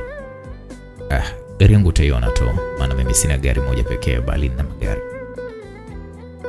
Niliongea akawa na tabasamu huku anaendelea kuniangalia kwa macho kurembua. Basi bibi, nimekuelewa. Sasa usiku tunaenda kupumzika guest au? Maana nina hamu balaa hapa nilipo, na yule jamaa nilikuwa nikimsubiri kwa ajili ya jambo hilo. Aliongea yule binti, nikambusi kidogo mdomoni wake, nikamwambia ah, guest, mimi nina White House ndogo kwa ajili ya mapumziko madogo madogo, ipo Magomeni, mtaa wa pili, nyumba namba 150, chumba namba 20. Sasa kama vipi, twende basi huko. Niliongea, tukakokotana hadi ndani ya gari, tukapanda humo na kuondoka usiku huo huo. Kwa upande mwingine, alionekana Eliza akiwaza sana usiku huo ndani ya chumba chake kitandani, huku akishika simu yake na kuitupa. Michirizi ya machozi ilikuwa ikionekana wazi wazi kwenye mashavu yake. Aliendelea kujikaza, huku machozi mengine yakianza kumtoka mpaka ikafikia hatua akawa anajiongelesha peke yake. Jamani, Matundo wangu, ni wapi nitampata? Moyo wangu umemchagua yeye, na ndio maana nikaamua kubeba kichanga chake ndani ya tumbo langu. Sasa hii ni hatari. Siku mimba hii ikianza kukua, mama adija atanifukuza humu ndani na sijui nitaenda wapi, maana sina baba wala mama na hata ndugu tu nao sina. Sijui nita sijui hata nitafanyaje mimi. Ila Matondo hata siku moja sitakuja mwache, na ndiye atakayekuja kuwa mume wangu, japo hapo baadaye nitamtafuta kwa juhudi, mtampata tu. Alafu huyu adija lazima ni mgande hata kwa mitego tu, ili apate kuniambia matoto wangu yuko wapi, ili nimwambie ukweli nimwambie ukweli wote kwamba kichanga hiki tukile kwa pamoja. Alimaliza Eliza na kuendelea kuyaacha machozi yamtiririke machoni mwake. maana alikuwa akitia huruma sana. Baadaye alitulia na usingizi ukampitia. Sasa ngosha the doni, nikawa nimefika na mrembo Justina ndani ya geto huko. Baada ya kushuka ndani ya gari tukiwa tumekumbatiana, tuliingia humo na kwenda kwa moja kitandani. Tulikaa kidogo tu, kisha nikawa namshikashika Justina huku nikiutazama mlango wangu. Alipoachia hizo shh. Shh, shh, shh, shh. siku sita kuanza kumrushia makombola mazito zaidi. Haraka sana nilichomwa blauzi yake nikamblaza pale chali na kisha kuanza kuzishughulikia zile chuchu zake za saa sita. I say nilianza kuzinyonya kwa pupa mpaka Justina akawa na hema na kuguna juu juu. Muda huo huo miguu yake alikuwa naitupatupa. mm, mm, Prince sijui oh, Prince enda enda enda, yani alikuwa anasema nakupenda. Nikaichomoa sketi yake ile fupi nyeusi, akabakiwa na screen tight tu, ambayo naye niliichomoa pia fasta toka bakiwa na nguo yake laini ya ndani. Nguo hiyo niliitoa nayo, kisha hapo hapo kitumbua cha mtoto nikaanza kukifanyia manyuveri. Wakati nakifanyia hayo manyuveri mautundutundu, mara mtoto akapizi kunako mdomoni mwangu. Nikajikaza kisabuni na kutema zile cheche alizokuwa amenirushia alizokuwa amerushia mdomoni. Nikaendelea kumshughulikia. Hazikupita hata dakika tatu akapizi tena, na hapo ndipo alipolegea na kunikaribisha yeye mwenyewe katikati mwa shamba lake la dhahabu. Nilivua nguo zangu haraka, nikalichomoa gobole langu na kulizamisha humo. Nikaanza kupanda juu na kushuka chini, huku mtoto akilia tu kwa raha alizokuwa akizipata. Alikuwa analia oh, sijui aja aja aja aja ah, ah, ah, ah. Aliendelea kuguna na mimi nikaongeza spidi zaidi huku na mimi nikiusikilizia utamu ule kwa raha murua, kwa sikwambie mtu kwa muda huo, nikisi kama vile niko peponi. Nilipona karibia kukojoa tu, mtoto akanivutia kwake kwa nguvu, uji wangu wote ukatua ndani kitumbua chake. Jamani, mimi kumwagia nje nilikuwa siwezi. Niliacha mguno huo, kisha nikashuka juu yake na kujeka kando, kabla hata raundi ya pili sijaanza. Bebi, wewe ni mtamu hatari kwako ha, kwa hii ha, singatuking'oa sasa baada ya Justina kuiongea hayo, mara mlango wa chumba changu si ukaanza kugongwa. Aise, tulishtuka. Justina kaniuliza nani tena? Nikamwambia sijui, inabidi nishuke. Nikabidi sasa nishuke pale kitandani na kavaa bukta yangu. Justina akalisogeza pazia kubwa likafunika vizuri kitanda, kisha akajifunika yeye kwa shuka. Akasema, nani unaigonga mlango? Niliuliza huku nikawa na uendea ule mlango, nikasikia nikaona isiwe tabu nikanyosha mkono wangu wa kulia nikaufungua mlango bila hata kutarajia, nikajikuta nikipigwa teke la tumbo lililonifanya nidondoke juu ya Justina pale kitandani. Ile nanyanyuka tu macho yangu juu, nikaona jamaa wawili wamevaa makoti meusi na maxi uso, wamevaa zile maski usoni anaweza kuzuia sura. Ni balaa, ni balaa. Wale jamaa walisimama mlangoni, kisha muda huo huo jamaa mwingine watatu akaonekana akiingia ndani ya chumba changu. Mimi huku mapigo yangu ya moyo yalianza kwenda kwa kasi sana, nikajua leo nakufa. Maana kwa mawazo yangu wale jamaa nilijua tu ni lazima watakuwa watu wabaya. Prince Malti, vipi, mbona unanegemea huku ukirudirudi nyuma? Nini tatizo? Kwani kitu gani kimetokea? Aliniuliza Justina, nikajua bado hajawaona wale jamaa. Nilimwonyesha kwa kidole, akashtuka sana na kupayuka hapo hapo baada ya kuwaona. Nyinyi kina nani? Mmefuata nini hapa? aliuliza huku akitetemeka pale kitandani. Wakamwambia, we malaya hatutaki kuyasikia maneno yako hayo tena. Kabla hatujakutoa ubongo, ngasha kile kilicho chako uondoke haraka sana, kwani huyu bwana wako uchwara anayejifanya amelizoea sana jiji, tunamhitaji tumuoneshe. Jamaa mmoja aliongea hivyo, nikawa nahisi sasa haja kubwa inataka kunitoka. Justina alijaribu kubisha, alibishabisha pale, lakini alipotishiwa mtutu wa bastora aliogopa sana, akajua atauawa. Akiwa amejifunika shuka, alichukua sketi yake akaivaa, akachukua haraka haraka blauzi yake akaivaa, kisha kimya kimya akashuka pale kitandani na kuanza kutoka nje bila hata kugeuka. Na hapo ndipo nikajua kumbe wanawake walio wengi huwa ni wasaliti, hususan kwenye matukio ya hatari. Justina, usiniache se, usiniache Justina. Nilimwambia hivyo bila hata kutarajia, nikasikia mlio wa gari ukiondoka moja kwa moja, nikajua tayari binti huyo kashaondoka zake.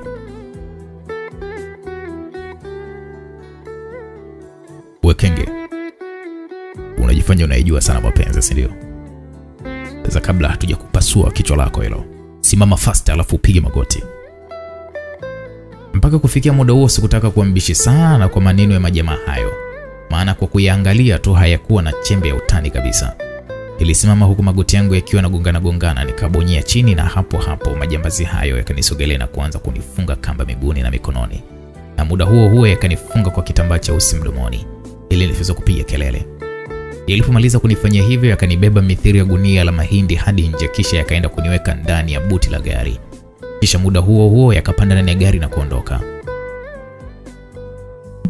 Kama dakika 15 hivi gari hili lisimama, na baada ya dakika moja tu wawili wakafungua buti ya gari na kunibeba hadi kwenye jumba moja hivi la mawe mawe, na ambalo lilikuwa limezungushiwa ngome ya ajabu kweli kweli.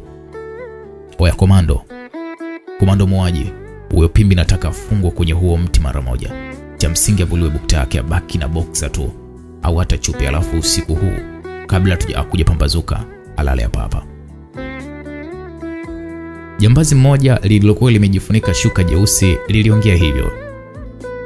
Nilikamatwa kama mwizi, ile bukta yangu nikavuliwa, nilikuwa nimevaa. Muda huo huo wakanisogeza kwa nguvu hadi kwenye ule mti, wakanifunga kwa kamba nene ambayo kiukweli ilikuwa ni balaa. Baadaye wakaondoka wale majambazi wanne, akabaki jambazi mmoja akinilinda ili nisipate njia ya kuweza kutoroka.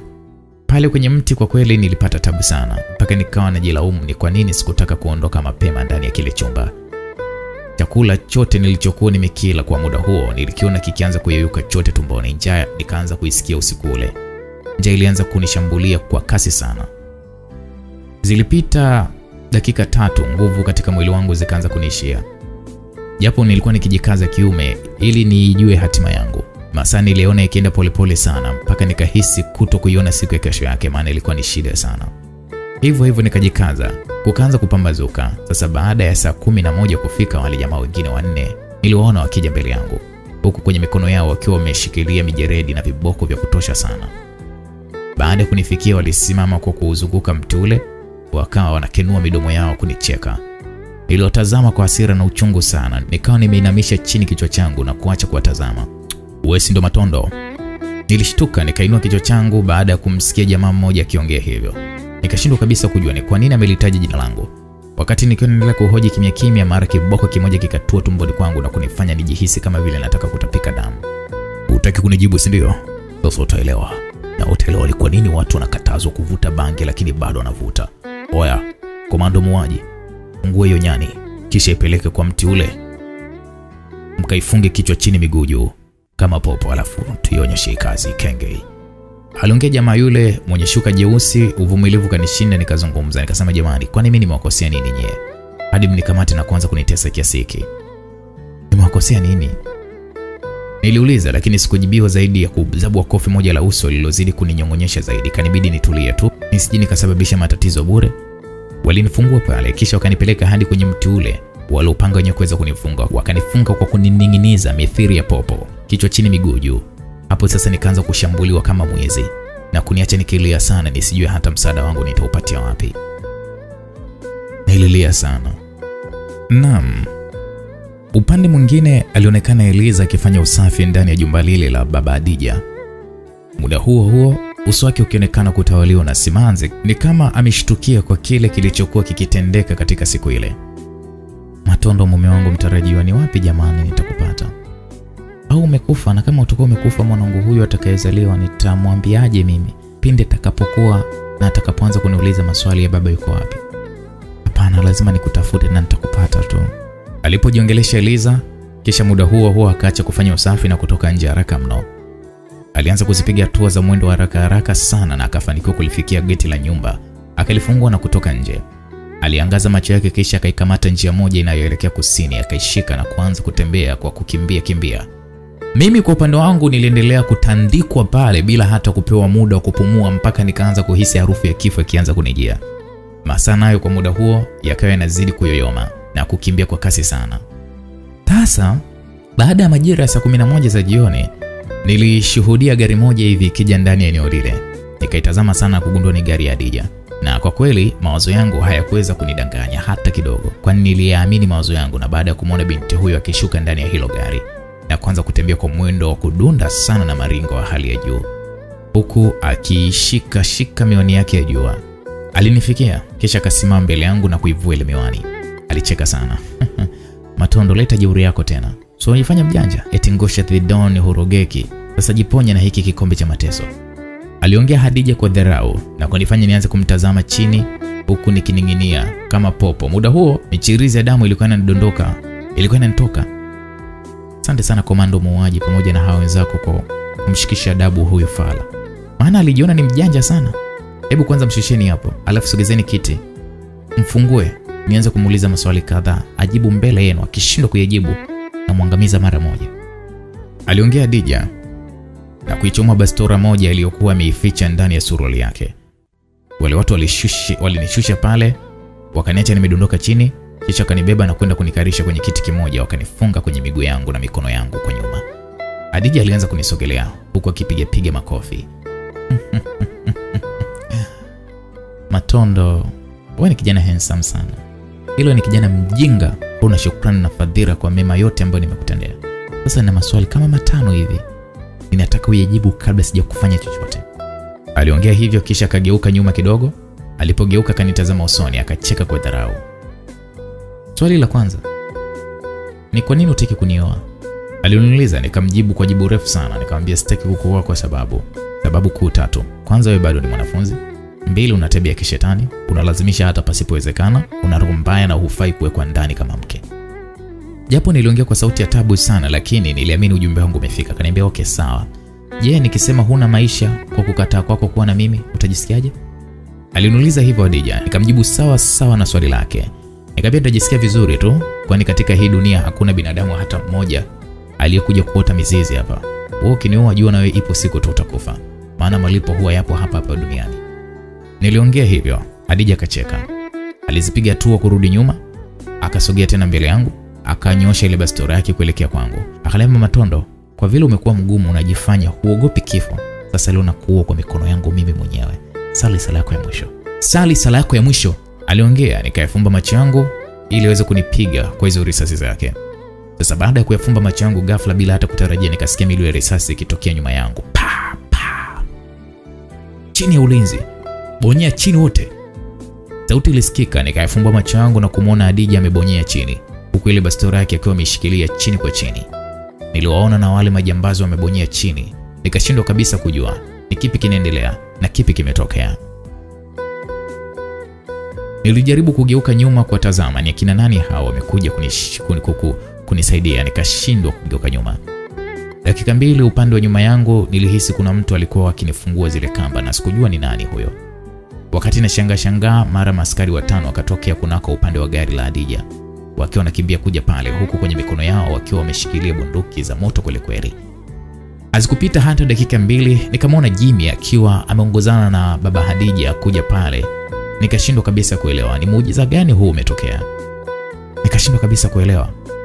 Mara zile kamba kwenye mikono yangu zikafunguliwa, na hapo hapo ndipo nikamwona Eliza akitokwa na machozi, huku akiniegemea kwenye bega langu la kushoto. Nilimtazama kidogo, nilimtazama kidogo tu Eliza, kisha nikayageuza macho yangu na kuendelea kuwatazama wale maaskari ambao walikuwa tayari wameshafika ndani ya lile eneo. Bila kupoteza muda, waliwafuata wale majambazi, kisha wakawazingira na hapo hapo wakaanza kuwafunga pingu ili wawapeleke mahakamani. Maana kwao hizo ndo zilikuwa arobaini zao, kama ule msemo wa siku za mwezi ni arobaini unavyosema. Baba Dija na Jimmy nao wakafika hapo, lakini brigedia huyo alijikuta tu akipigwa na butwaa baada ya kumwona mwanaye akiwa ni miongoni mwa wale waharifu. Hadija, leo ndo umenifumbua macho, nilikuwa sijui. Yaani kukugharamikia kote kule ili wewe uweze kusoma, kumbe ni mpumbavu. Anasema hivi, sitojali kwamba wewe ni mwanangu au ni nyanya wangu, utaenda jela na shule yako itakuwa imeisha hapo. Mpumbavu mkubwa wewe, simama juu haraka. Aliongea baba yake Hadija kwa hasira sana, bila hata kujua kama yule ni mwanaye. Alikuwa ameficha bastora mkononi mwake. Sasa Hadija ile anasimama tu, kabla hata hajazungumza chochote kile, alishika ile bastora kisha akaachia sauti kubwa ya kilio, mama!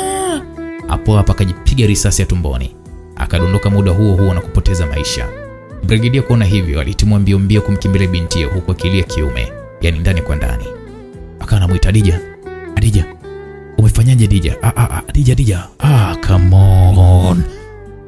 Alimfikia hapo akachuchumaa haraka na kuanza kumgeuza geuza huku akiendelea kulia, na ubrigedia wake alilia mpaka huruma ikawa imewajia wale maaskari wengine. Wafungeni hao, wapelekeni mahakamani. Ah, Adija. aliongea brigedia, na hapo wale majambazi wakasimamishwa na kupelekwa kwenye defender, wakapandishwa humo na gari hiyo ikaondoka ikiwa na hao majambazi watano na maskari watano. Maskari wawili walibaki pale, wakaanza kumbembeleza brigedia aliyekuwa akipayuka kwa uchungu, wakashirikiana naye kumpandisha ndani ya gari yake ili mwili wa binti huyo ukahifadhiwe ndani ya chumba maalum cha kuhifadhia maiti tayari kwa mazishi. Baada ya gari lile iliyokuwa imeubeba mwili wa Hadija kuondoka pamoja na brigadia mwenyewe na wale maskari, ndani ya eneo lile nilibaki mimi, Jimmy pamoja na Eliza. Matondo, pole sana. Naona bado Mungu anakupenda, maana hii ilikuwa ni zaidi hatari tena ya kutisha, aliongea Jimmy aliyekuwa amesimama mbele yangu. Muda huo huo akanisogezea ile bukta nikaivaa, na baada ya hapo nikazungumza. Kweli kabisa rafiki yangu, yaani isingekuwa hivi leo hii mimi nisingekuwa nikiitwa tena Matondo, bali marehemu ndo lingekuwa jina langu. Nikiondoka hapa ni lazima niende kanisani nikayakabidhi maisha yangu kwa Bwana ili nianze maisha yangu mapya, maana maisha haya ya utumwa yatanifikisha pabaya. Niliongea hapo hapo, Jimmy na Eliza wakaninyanyua, wakawa wameniweka katikati, wakaninyoosha mikono na kunisaidia kutembea, na mimi mikono yangu nikaiweka shingoni mwao, tukawa tunazipiga hatua kuondoka pale kurejea hadi kunako sehemu yangu ya makazi. Huko tulifika baada ya kama dakika kumi, tukaingia ndani, na huo ndo ukawa mwanzo mzuri wa maelewano yangu mimi na Eliza, kwa jinsi ambavyo alikuwa amejitoa kikamilifu kushirikiana na Jimmy kuyaokoa maisha yangu. Nilimwapia kwa kinywa changu ya kwamba yeye ndiye atakayekuwa mke wangu na mama wa watoto wangu wa kufa na kuzikana. Basi Jimmy alipoondoka mule, nilibaki mimi na Eliza, na hapo ndipo nikaanza kumhakikishia moyoni ya kwamba ndiye atakayekuja kuwa mke wangu, tena mke wangu wa ndoa. Nikamwambia Eliza, hata siku moja sikutegemea kama ungekuja kuwa msaada wa maisha yangu kiasi hiki. Mwanzo nilikuwa nikikutazama na kukuona kwa nje, wewe ni house girl tu na haufai hata kuitwa mke. Kumbe hayo yote yalikuwa ni mawazo yangu mgando, na leo ndo nimeamini ya kwamba kumbe ulikuwa ukinipenda kwa dhati kutoka moyoni mwako, na kuahidi kuanzia muda huu uwejihesabu kwamba ni mke wangu mtarajiwa, tena nitafunga ndoa ya maana na wewe, na kwa muda huu nitashirikiana na wewe kwa kila kitu, ili kuhakikisha kwamba tunayafikia malengo hata kiuchumi tu katika haya maisha yetu. Liliongea kwa sauti ya upole sana, nikarejesha tena tabasamu la binti huyu ambalo kwa siku nyingi tangu nimwache peke yake lilikuwa limepotea hilo tabasamu.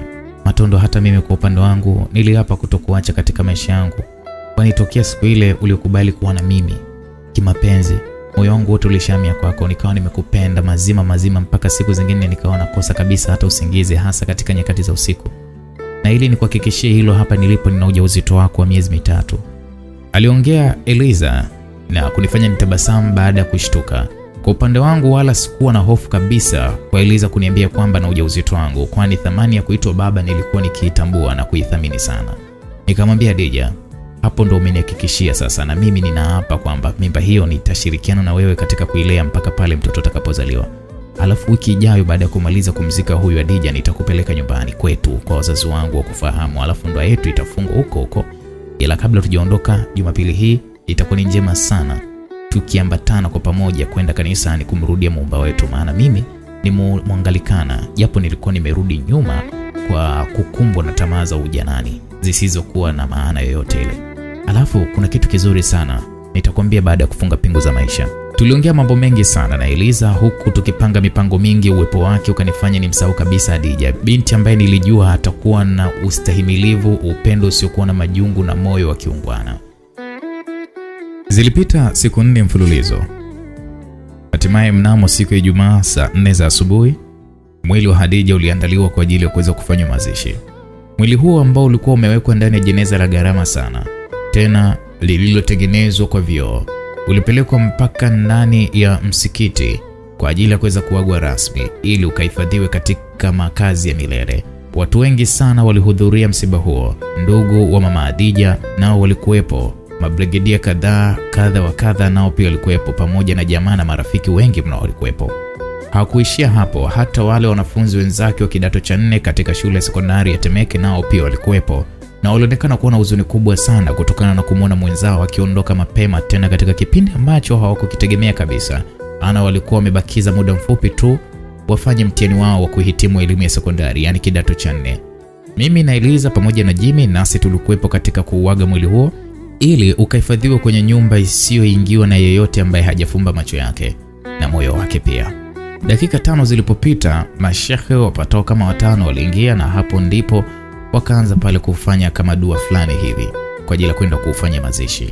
Basi kila kitu kilimalizwa hivyo, hapo vilio vikaanza. Eliza kwa muda huo alikuwa ameniegemea begani, huku mimi nikiishia tu kujiuliza maswali mengi tu yasiyokuwa na majibu. Ni kwa nini Adija alichukua maamuzi magumu kiasi hicho cha kujiua? Binafsi sikujua kabisa ni kwa nini alifanya hivyo. Baada ya yote kuweza kukamilika, hapo mwili ukapelekwa makaburini kwa ajili ya maziko. Mpaka uh, zinamalizika dakika 45 tayari zoezi zima la mazishi lilikuwa limeshakamilika. Hivyo Adija tukawa tumempumzisha kwenye nyumba yake milele. Watu pale walifanyafanya dua zao na vitu kama hivyo, baadaye watu wakaanza kusambali lile eneo kurudi makwao. Sasa mimi na Eliza tukiwa tumeambatana kwa pamoja, tulianza kuzipiga hatua kuondoka ndani ya lile eneo, huku vichwa vyetu tukiwa tumevinamisha chini. Tulitembea mpaka tukawa tumefika barabara moja hivi iliyokuwa ikielekea kunako makazi yangu. Sasa tukiwa tunaendelea na mwendo wetu huo, mara nilinyanyua macho yangu nikamwona mama Diji akiwa ameshikiliwa na wanawake watatu, maana kwa namna alivyokuwa akionekana, alionekana hata nguvu zilikuwa zimemwishia. Sikutaka kumwacha hivyo hivyo bila hata ya kumwendea kumpa angalau hata pole, maana nilijua kufanya hivyo ni ungwana, tena ni thawabu kubwa sana hata mbele za Mwenyezi Mungu. Nilimshika mkono Eliza, tukawa tumemfikia mama Adija. Nilimtazama kwa macho ya huruma sana, kisha nikamwambia pole sana mama kwa hili lililokupata. Najua Adija yeye amepumzika, nasi tutamfuata, maana katika hii dunia hatujaja kuota mizizi wala kuishi milele. Usihuzunike mama, maana bado Mungu hajakuacha na ipo siku atakuja kukufariji na ikiwezekana kukupa mbadala wa mwanao kipenzi Adija. Si wewe pekee tu ambaye umehuzunishwa na msiba huu, hata sisi pia tumehuzunishwa sana. Cha msingi uh, ni kukubali tu matokeo ya kwamba hili limeshatokea na hatuna budi kulikubali. Mimi nipo pamoja nawe mama, na nitajitahidi kwa kadri ya uwezo wangu kukufariji. E, hili nalo litapita mama. Nilipomaliza tu kuyazungumza hayo, kama nguvu zilimjia vile, yule mama Adija akanisogelea na kunikumbatia. Hilo likawa limeisha. Basi tuliagana naye, nikamshika mkono Eliza, tukawa tunaondoka mbele yake. Tulitembea kwa mwendo huo wa taratibu mpaka tukafanikiwa kufika getoni kwangu. Unajua nini Eliza, mambo yamekwisha sasa. Cha msingi hapa tunatakiwa kuangalia mpango wa kusafiri hadi kijijini kwetu, kuanza mpango wa maandalizi ya harusi yetu, maana inavyoonekana kila kitu kiko sawa. Halafu Jumapili hii tuende kanisani tukayasafishe maisha yetu upya, ili tu, tuanze upya safari yetu ya maisha ya hapa duniani. Niliongea hivyo, Eliza alitabasamu na kuongea akasema, nimekuelewa Matondo mpenzi wangu, hata mimi pia naona mambo yameshatimia, na kwa hilo wala sina neno. Mimi nakusikiliza tu wewe, maana kwa sasa ni kama dereva wa maisha yangu, na ndio maana nikaamua kuona wewe katika kila safari hii ya maisha yangu mimi, aliongea Eliza. Kwa hilo tukawa tumekubaliana kwa pamoja. Siku mbili zilipokatika, hatimaye ile siku pendwa ya Jumapili, yaani siku ya kumwabudu Mungu ikawa imefika.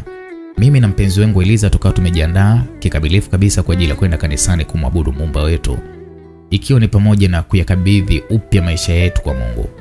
Haikuwa shida sana kwa upande wa nguo za Eliza za kuvaa kwa ajili ya kanisani, kwani mimi mwenyewe nilikuwa nimemnunulia nguo nzuri tu za kutosha baada ya zile za awali kuziacha zote nyumbani kwa Brigedia Mvungi. Basi kila kitu kikamalizika, nasi tukawa tumeenda hadi kanisa la Anglikana kwa ajili ya kuweza kumwabudu Mungu wetu, maana yeye ndiye aliyeonekana kuwa ni Bwana na Mwokozi wa maisha yetu. Bwana Yesu asifiwe. Amen, amen.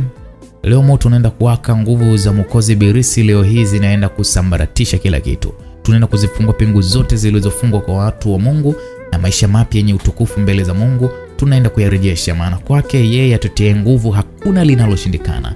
Kama kuna mtu au watu wanataka kuyakabidhi maisha yao kwa Mungu wetu, au kama kuna watu wanataka kumrudia muumba wao, naomba wapite wajiongee hapa mbele taratibu, tuweze kuomba nao.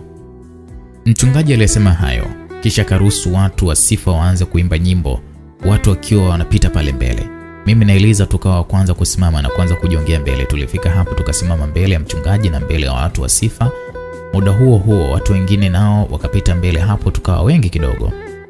Tulisalishwa sala ya toba. Baadaye mchungaji akatuambia tupige magoti ili tumwombe Mungu.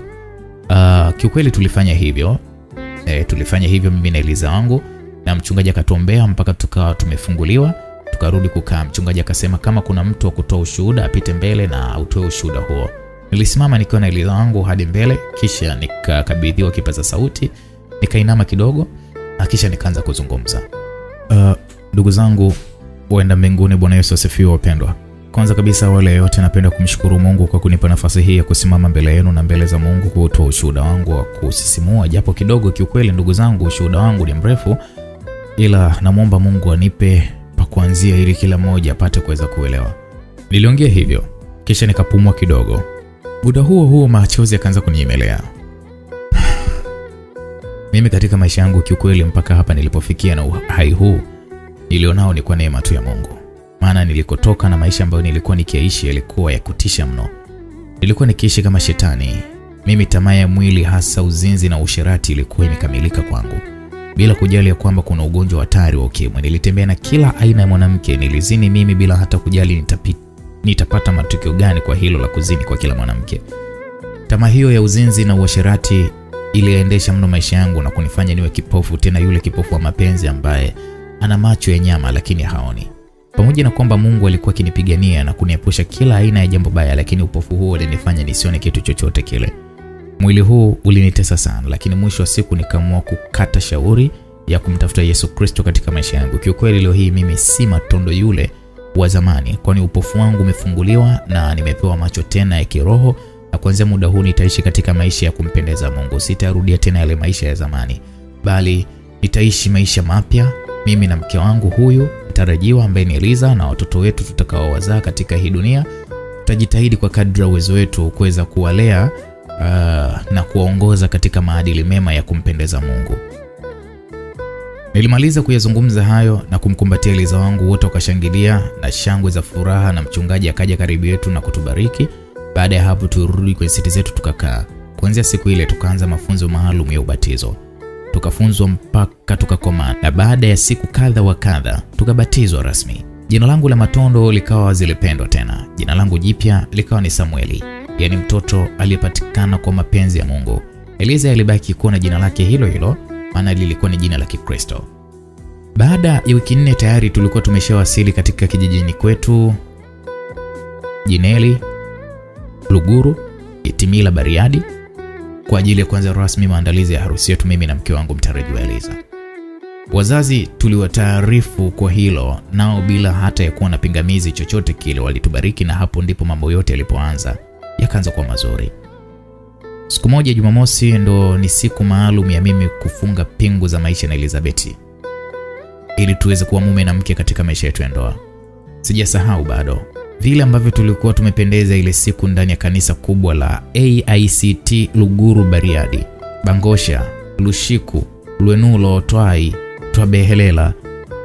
Siku hiyo kiukweli tulikuwa tumependeza sana, yaani Eliza akiwa ndani ya shela lake alikuwa akionekana kama malaika kabisa, maana kwa namna alivyokuwa amepambwa tu, hata malaika alikuwa hagusi hata kidogo mbele ya mke wangu Eliza. Ndoa tuliifunga, mwishowe ikamalizika. Kilichounganishwa na Mungu kikawa kimezungushiwa uzio wa chuma kiasi kwamba mwanadamu asingeweza kukitenganisha.